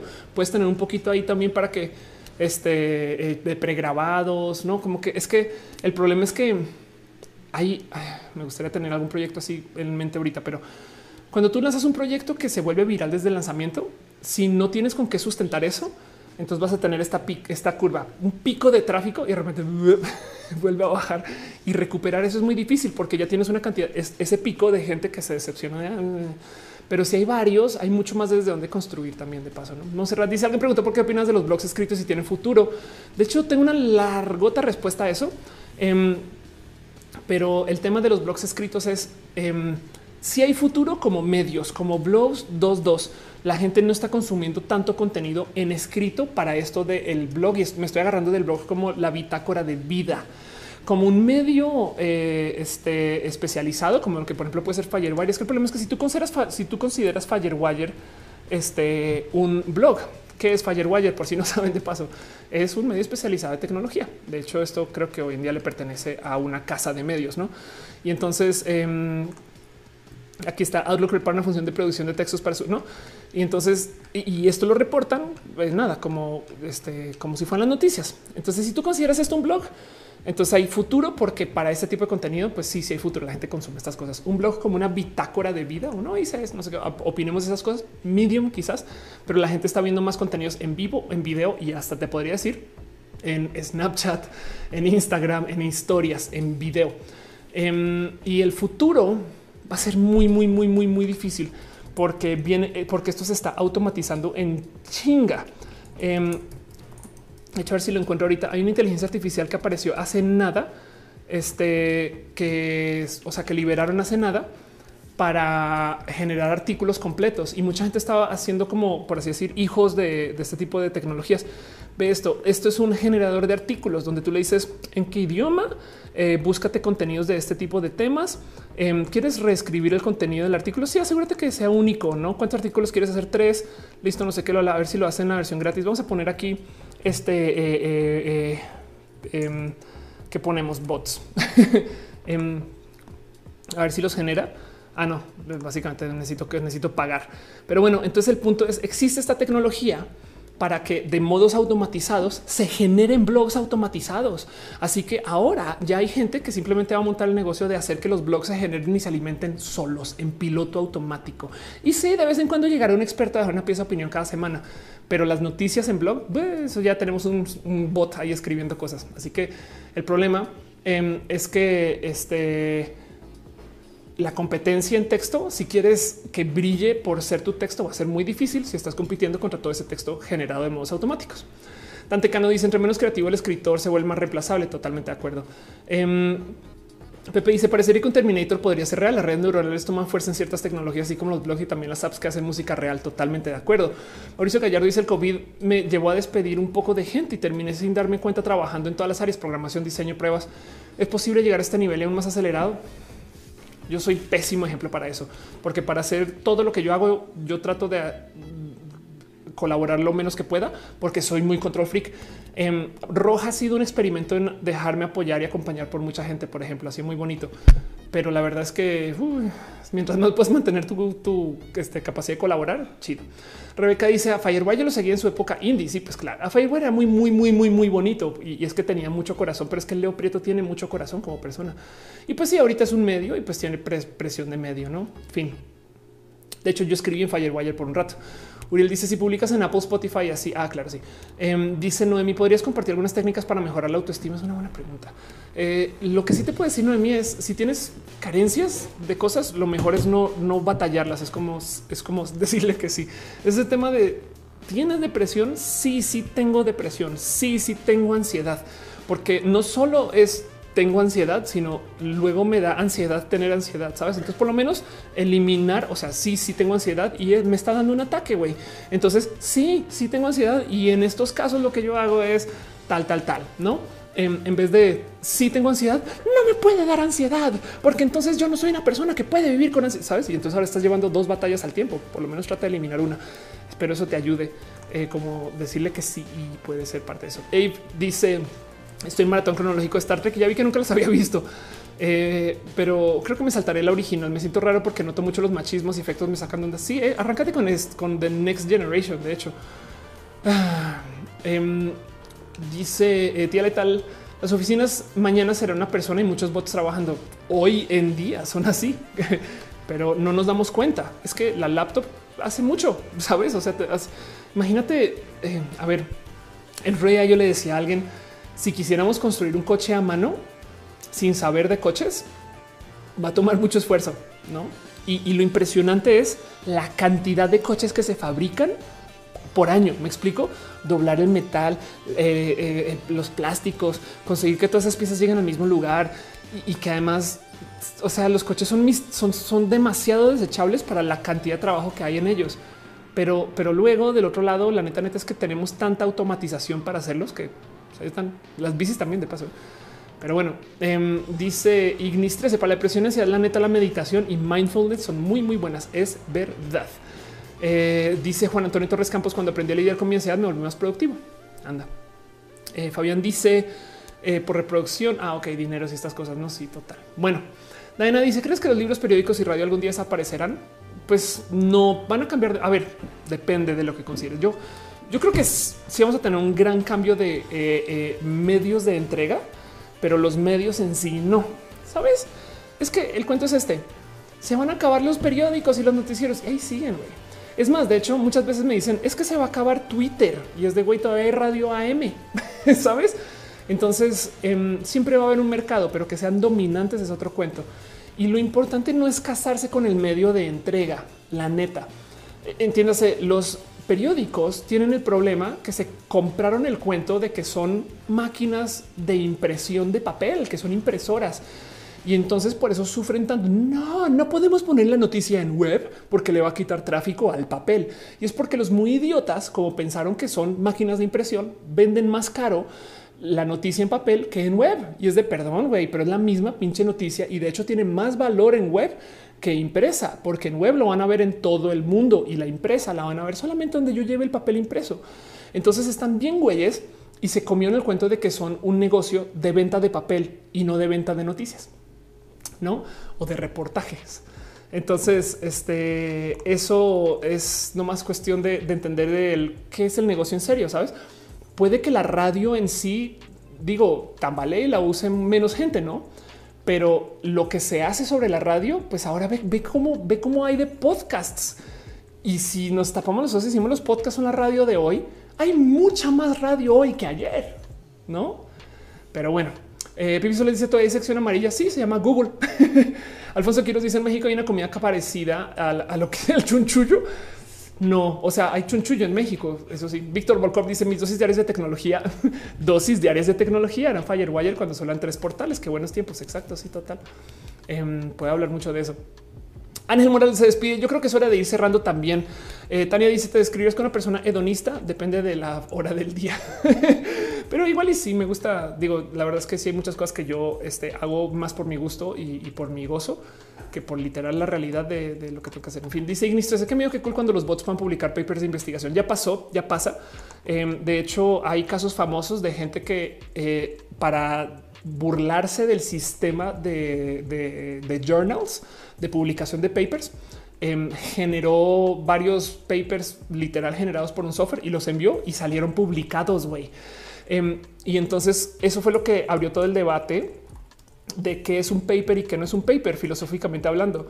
Em, luego está este cuento de este paper eh, que fue el chicken, chicken, chicken, donde alguien básicamente hizo un paper, a ver si lo encuentro, que solamente decía chicken, chicken, chicken, chicken, chicken, chicken, chicken, chicken y lo intentó publicar. Y no sé si se publicó, según yo sí, este, pero todo lo que todo lo que dice es usa la palabra chicken y ya, por si lo quieres buscar un día, este, porque salió la burla de pues qué es un paper y qué no es un paper, no? Este, pero bueno, esto acá me dice que para descargarlo. Ay, a ver si creo que está, creo que en Wire lo mencionaban en su momento. Ya tiene un rato. ¿eh? Este aquí está, véalo, aquí está el, el paper de chicken, chicken, chicken. Ahí lo tienes. Este por sí. Pero bueno, dice Blue esa que si se puede imprimir comida, hay impresoras 3D de comida. Sí.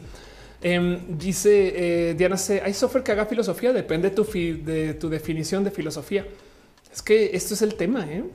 Eh, hay software. Mira, ahí te va. Em, si un software no puede aprender usando redes neuronales y replicar patrones y hacer propuestas sobre esas de ideas nuevas, y entonces en qué momento la mente humana sí puede no, porque no es un patrón que es medianamente similar en comportamientos que ah, bueno, es que la mente humana pues viene de un ser. Ah, ok. Y entonces, ¿qué pasa cuando a la computadora se le otorgue el respeto o el valor de que puede igual de cierto modo ser una persona? Las inteligencias artificiales, de hecho, se les van a dar su respeto como inteligencias el día que no sepamos cómo tomaron la decisión, que no exista el camino para decir, ah, es que tomó esa decisión porque pues hizo este paso de, decisiones previas, no? Pero también parece chiste, nuestro cerebro también hace cosas que son muy determinísticas. Entonces es bien complejo, es bien, bien complejo. Este Arturo, no sé, no sé cómo fue el cuento de, Chicken, pero échense una buscadita. Sí, justo, pero sí hay un debate de qué, qué es un paper, no? Y justo eso viene de, cómo, pues nada, hay journals que publican lo que sea. Tía Letal dice: Harías un video. ¿Qué pasa si la humanidad tuviera un apagón digital duradero? Eh, como en Venezuela, no? Digo, Andrés Urrutia dice: eh, Gracias por tu tiempo. Gracias por estar acá. Te primí con muchos más. Muchas gracias. Muchas gracias de verdad. Muchas, muchas, muchas gracias. Este, eh, gracias por estar acá. Bueno, Llevo ahora hacia el aire 3 horas 45 minutos. Em, dice Sasha Delarge que le gusta mi blusa. Mi blusa de paso eh, es todo un vestido y lo hace la gente eh, este, de Feral. Va, nomás mostrarles eh, para que sepan por dónde pueden conseguir todas estas cosas. Feral este, está en Instagram y es nada, es gente bien pinche bonita que se dedica a hacer eh, todo tipo de bonitos diseños. De hecho, ahí les tengo una René Ghost con ropa de feral. Em, también eh, hacen este tipo de, por ejemplo, si quieren camisas lenchas de cuadrados con bandera de arcoiris, ahí la consiguen en feral. Em, yo tengo esos pantalones también, los amo con todo mi corazón. No, estos este, que tienen la bandera ahí al lado también los hacen en morado y ahí tienen a nadie más y a nadie menos que a Elisa Sonrisas usando este vestido que yo tengo puesto ahí puesto. Entonces, pues nada, les comparto feral.store. Entonces les muestro el vestido como es, nomás para que vean más o menos cómo va. Y ya sepan que esto existe. Gente bonita, voy a ir cerrando todo eso. Jonathan Junior dice ya falta menos para las cuatro horas reglamentarias del stream. Si sumamos lo que se saltó antes, ahí está todo. Pero bueno, Uriel dice hay un paper de chicken y yo que me quiero morir cuando me falta una coma. Exacto. Dice Monserrat, hacen impermeables, hacen todo tipo de cosas con la bandera. Y saben que lo más boni, este Fer Mariferalmente, una de las dos socias de Feral es trans. Este y, y entonces lo chido es que su ropa es muy, o sea, respetan mucho las y bueno, o sea, son queer, y, o sea, es gente bonita y, entonces apoyan mucho a la diversidad, lo cual quiere decir que entonces su ropa respeta mucho medidas diversas. O sea, entienden que em, las camisas pues tienen que tener espacio para el binder o tiene que tener espacio para el cierre. De paso, aquí estoy yo, veanme. Este saben como que no sé, es, bien cool hablar con las feral porque, porque pues, son diversas también. Entonces no sufre una por no, es que a ver, a ver, es que yo soy más alta que no vale gorro. Me explico, es como de sí, sí, ok, cuáles son tus medidas y ya estás. Dice Wendy, camisas más lesbianas no tienen. Eh, puede que no. Y así, este André Rondelis, hablando de educación la pandemia, hay un profesor de mi institución que literal nos pidió investigar el tema y exponerlo a la familia. Ese método funciona bastante bien, pero no en plena contingencia. Sí, exacto. Sí, total. Estoy totalmente de acuerdo con ese pensar. pero bueno, en fin, vaya show. Em, qué chido. Gracias por acompañarme. Gracias por estar acá. Mucha gente ya se está eh, eh, despidiendo.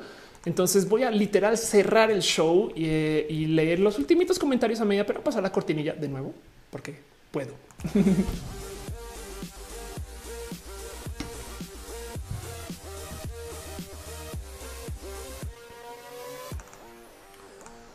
Oye, oye, dice tía letal, ¿qué les digo a mis vecinos?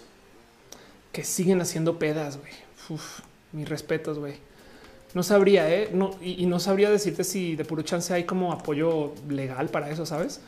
Este, pero bueno, en fin, lo siento mucho. Em, dice, excepto nada, pues por lo menos llévate al corazón que se están arriesgando. Turker dice feliz cumpleaños, gracias, por estar acá. Dante Cano dice solo Roja muestra fotos digitales del vestido en vez de modelar porque digitales. Bueno, que tengo que parar y mover y demás, pero les prometo que después subo a Instagram fotitos del vestido. Se lo súper, súper, súper prometo.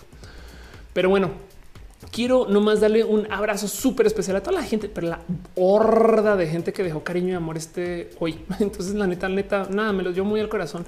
Estoy mucho, mucho cariño a ustedes, pero hoy fue groseramente especial. Este y, de hecho, desafortunadamente eh, se cayó el stream. Entonces quedó por ahí en ignorada eh, María José Reyes, eh, pastel de coca, que es un abrazote. Este molde perfecto 01 em, y Liliana Noguera este, y Roberto Durán. Gracias por apoyar desde sus abrazos financieros. También la gente que apoyó en el segundo stream em, a Cenet Mercado, Dani Vázquez, Luis Gutiérrez, Daniel ALB. Yo sé qué quiere decir ese ALB, Daniel. Pero también abrazo a Rafita Barrera, Joshua Godínez, em, a Cris Abbas, René Bebé, gracias por apoyar tanto. Eh, ok, yo sé que ya te estar. Mira, Angelic Fruitcake, André VT, también Jesus Gae, Taco de Lechuga, Raúl Jiménez, Alejandro Ortega, Asenet Mercado, Ignis 13, Rebeca Flicta. Eh, gracias por apoyar la neta, neta, neta. Dibujanta también. Muchas, muchas gracias, Dibujanta. Mucho cariño, la neta. Este nada, es muy especial. Javier Villarreal, Víctor Volcor, gracias también por ser parte de esto. Em, la gente que eh, eh, se suscribió y apoyó desde el Twitch. Eh, tía Letal se suscribió. Muchas gracias. Spike también se suscribió. Macha Fears, Garnachita, que dejan una cantidad ridícula de bits. Gracias, Macha Fears, de, nuevo otra vez. Este Sora Daisuke suscribió con Prime, The Light Bear, Sushi Kiss, Jair Lima. Este creo que todo esto fue de hoy. De paso, si estoy, sigo, no, no me puedo creer, güey. Pero bueno, Este justo Uva también se suscribió con Prime. Gracias, Uva. De verdad, de verdad. Ezequiel Ramírez Laris también dejó unas estrellas. Paola BT, Leo ZD dejó estrellas. Alonso Marín dejó estrellas. Gracias, gracias, gracias, gracias, gracias. Eh, Luis López, Jess Salazar, Jessy Tapia, gracias por apoyar también. Y también a la gente que justo está suscrita y apoya y deja su amor desde eh, las plataformas del amor y el cariño. Toda la gente que me apoyó en el Mixer Comic Hornet eh, Baby eh, eh, Pepe Solo, Pizza Cat, Nina también. Muchas gracias de verdad. Es un chingo de en fin. Viento ligero también. Gracias por apoyar este y Setsy Bow, eh, Setsy Bow también y Gigi's que pasó también más tempranito, si mal recuerdo. Em, pero bueno, sí, wow, y pasan todo tipo. Ya dejan de mandar, están mandando aditas, cosas que brillan, cosas bonitas, cosas que se pegan a la computadora, cosas que se despegan a la computadora. Esto es muy chido. Muchas, muchas, muchas, muchas, muchas gracias también. Justo em, nada, eh, un abrazo súper, súper, súper especial. La gente que eh, me apoya desde las plataformas, saben, las plataformas del apoyo que conocemos, no? Gracias a la gente que está en el Patreon, Arturo Aleana, Navarro, lógicamente aflicta, Ignis 13, Francisco Godinis, Trini Patacoins. Gracias a la gente que está suscrita como member al canal eh, en YouTube, porque hay varios memberships de paso. Entonces, pues nada, que les digo, son muchas personas y se siguen sumando, pero pues un abrazo especial a Luis Gutiérrez, Rafita Barrera, Shelly Medina, Shenuma, María Emilia, Tigresa Letal, Héctor Arriola, Betani Maldonado, Adunia Flores, Lalo Paván, Aranza Teitzel, Jera IC, Oscar Fernando Cañón, Mariana Rom Galvez, Moglicán, Luis Maclachis, Aquí Barra, Fabián Ramos, Aflicta, Jairo Freddy Merchon Haas, Jenny Ramírez, Arturo Ale, Edgar Riego, Tatoso, Leonardo Tejeda y el pastel más cool de todos, el pastel de Cocoa. Em, a la gente que está suscrita en el Twitch, descontando a la gente que se suscribió ahorita, que ya les di sus agradecimientos. Muchas gracias. También a la gente que estaba suscrita antes que comenzara el show e hice esta lista. Un abrazo a Imrayo, Minos Cowboy, Malib 9, Rob 1939, Arturo Ale, Musicarina, Bob y Boniunia, Rafa Casares, V, Dividir Hernández, Beca Chanda, Daniel FRG, Aristides Villanueva, Pena Rubra, Chango León y por supuesto Caro. Este es también un abrazo especial a la gente bonita del team de moderación, Caro Uba, Uriel, Fabián Monset, Jesse Tutix, Sigado de Pato y pues René, la neta, neta, gracias por ser parte de esto. Y ustedes que se conectaron justo desde las plataformas para conectarse, mejor dicho, la gente que se conectó en el YouTube. Ya sé que YouTube le encanta no mostrarme todos los nombres, pero un abrazo especial a Adri Paniagua, quien de paso hoy sí estás, entonces qué raro. Selenático, que seguramente no está en la lista. Elisa Sonrisas, que seguramente no está en la lista. Ya me lo sé, como ven.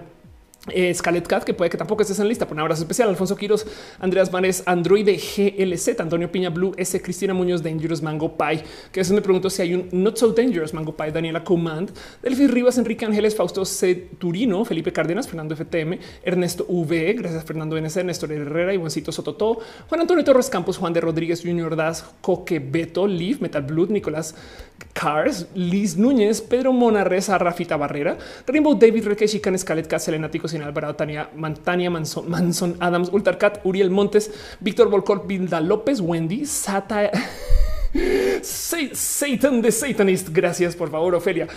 Y Alfonso Quiroz tampoco apareció, pero hola, gracias Alfonso. Moon dice chao. Este te quiero mucho, Adri. Garnachita, de verdad, gracias a todos ustedes, todas, todos. Eh, también la gente que estuvo justo en, el eh, Facebook. Luis Lalo, Jessy Tapia, eh, Adi García, Víctor Frankenstein, Ezequiel Ramírez, Laris, Luisa Ram, Eric Campos, Rebeca Jara, Toño García, Diego Andrés Urrutia, Bogo, de hecho, ese Bogo pudo haber sido Bogotá porque suena súper, súper, súper Bogotá. Pero bueno, dice en el colegio me decían cambio extremo. Yo decía, ojalá pudieran ir para que me arreglaran ese pelo como Reneguita. Alessia Molco, Leo Barbosa, eh, Toño García. Gracias también este, a, quien más está por acá. Mm, eh, Sam Sam. Em, de hecho, por ahí vi que también pasó justo nada, la gente bonita de este el team de las de las chicas perronas. Sam Soto, si pasaste por ahí, te quiero. Eh, Mónica Sofís, Jesús Pacacio. Em, Gracias a Frida Sánchez, Alecilla Molco, gracias a Marta Aguirre, Jesús Pascacho, Pascacho, Pascacho, sí, espero que lo esté leyendo bien. Quien de paso dejó eh, iconitos muy bonitos, Andy Catalina Lizondo, Michelle Garduño, uy, nombres, nombres, nombres, nombres, nombres. Este Pepe solo deja también mucho cariñito de Mixer. Gracias. Fernando ese Lupita Ríos. Si no leí sus nombres, este solamente déjenmelo saber ahí rapidín de todos modos, porque ya saben cómo es, no es a veces no salen todos y demás. Selenático otra vez no salió y otra vez te volví a leer. Lupita Ríos, de paso, un abrazo. Brian Aquilca García. Gracias. Lu, literal Lu. Eh, también había nadie, no? Hola, soy nadie no, y no soy bot. Vilda López dice: Ya no alcancé el live. No te preocupes que va a quedar acá, esté justo en regrabado. Y esas cosas. Cassandra Rivera dice como siempre no salgo de la costumbre, pero pues es que yo creo que hay algo con la gente que nos sale que a lo mejor es que igual y las plataformas dicen esa es una persona especial. Mentiras, no sé. Hay algún motivo mejor escondo esta persona porque es tan cool que entonces va a descarrilar el camino. Coseta Altamirano también, gracias por estar acá. Rebeca Jara, gracias por pasar por acá. Nicolás Carlos, Rafita Barrera, les había leído algunos. Luis Lalo, Héctor Herrera, gracias de paso, gente bonita, por acompañarme en, mi cumple. Dice así, dice nada, no era nadie, es nada. Exacto, gracias. ¿Por qué nada? ¿Cómo hiciste para tener? En fin, qué chido. Neriri 00. Sí, claro, no era nadie porque es nada. Pero entonces ahora podré decir yo, ¿Saben qué? Cuando yo voy a mis en vivo, hablo con la nada y suena la música de este Never Ending Story. Salgo ya acá montada este, en un dragón blanco. Karen Flores dice: Yo soy re especial. Sí, este lo eres. Gracias, Karen, por estar acá. Gracias, Jazz. Gracias, Fabio Benavides. Gracias, Neriri 00.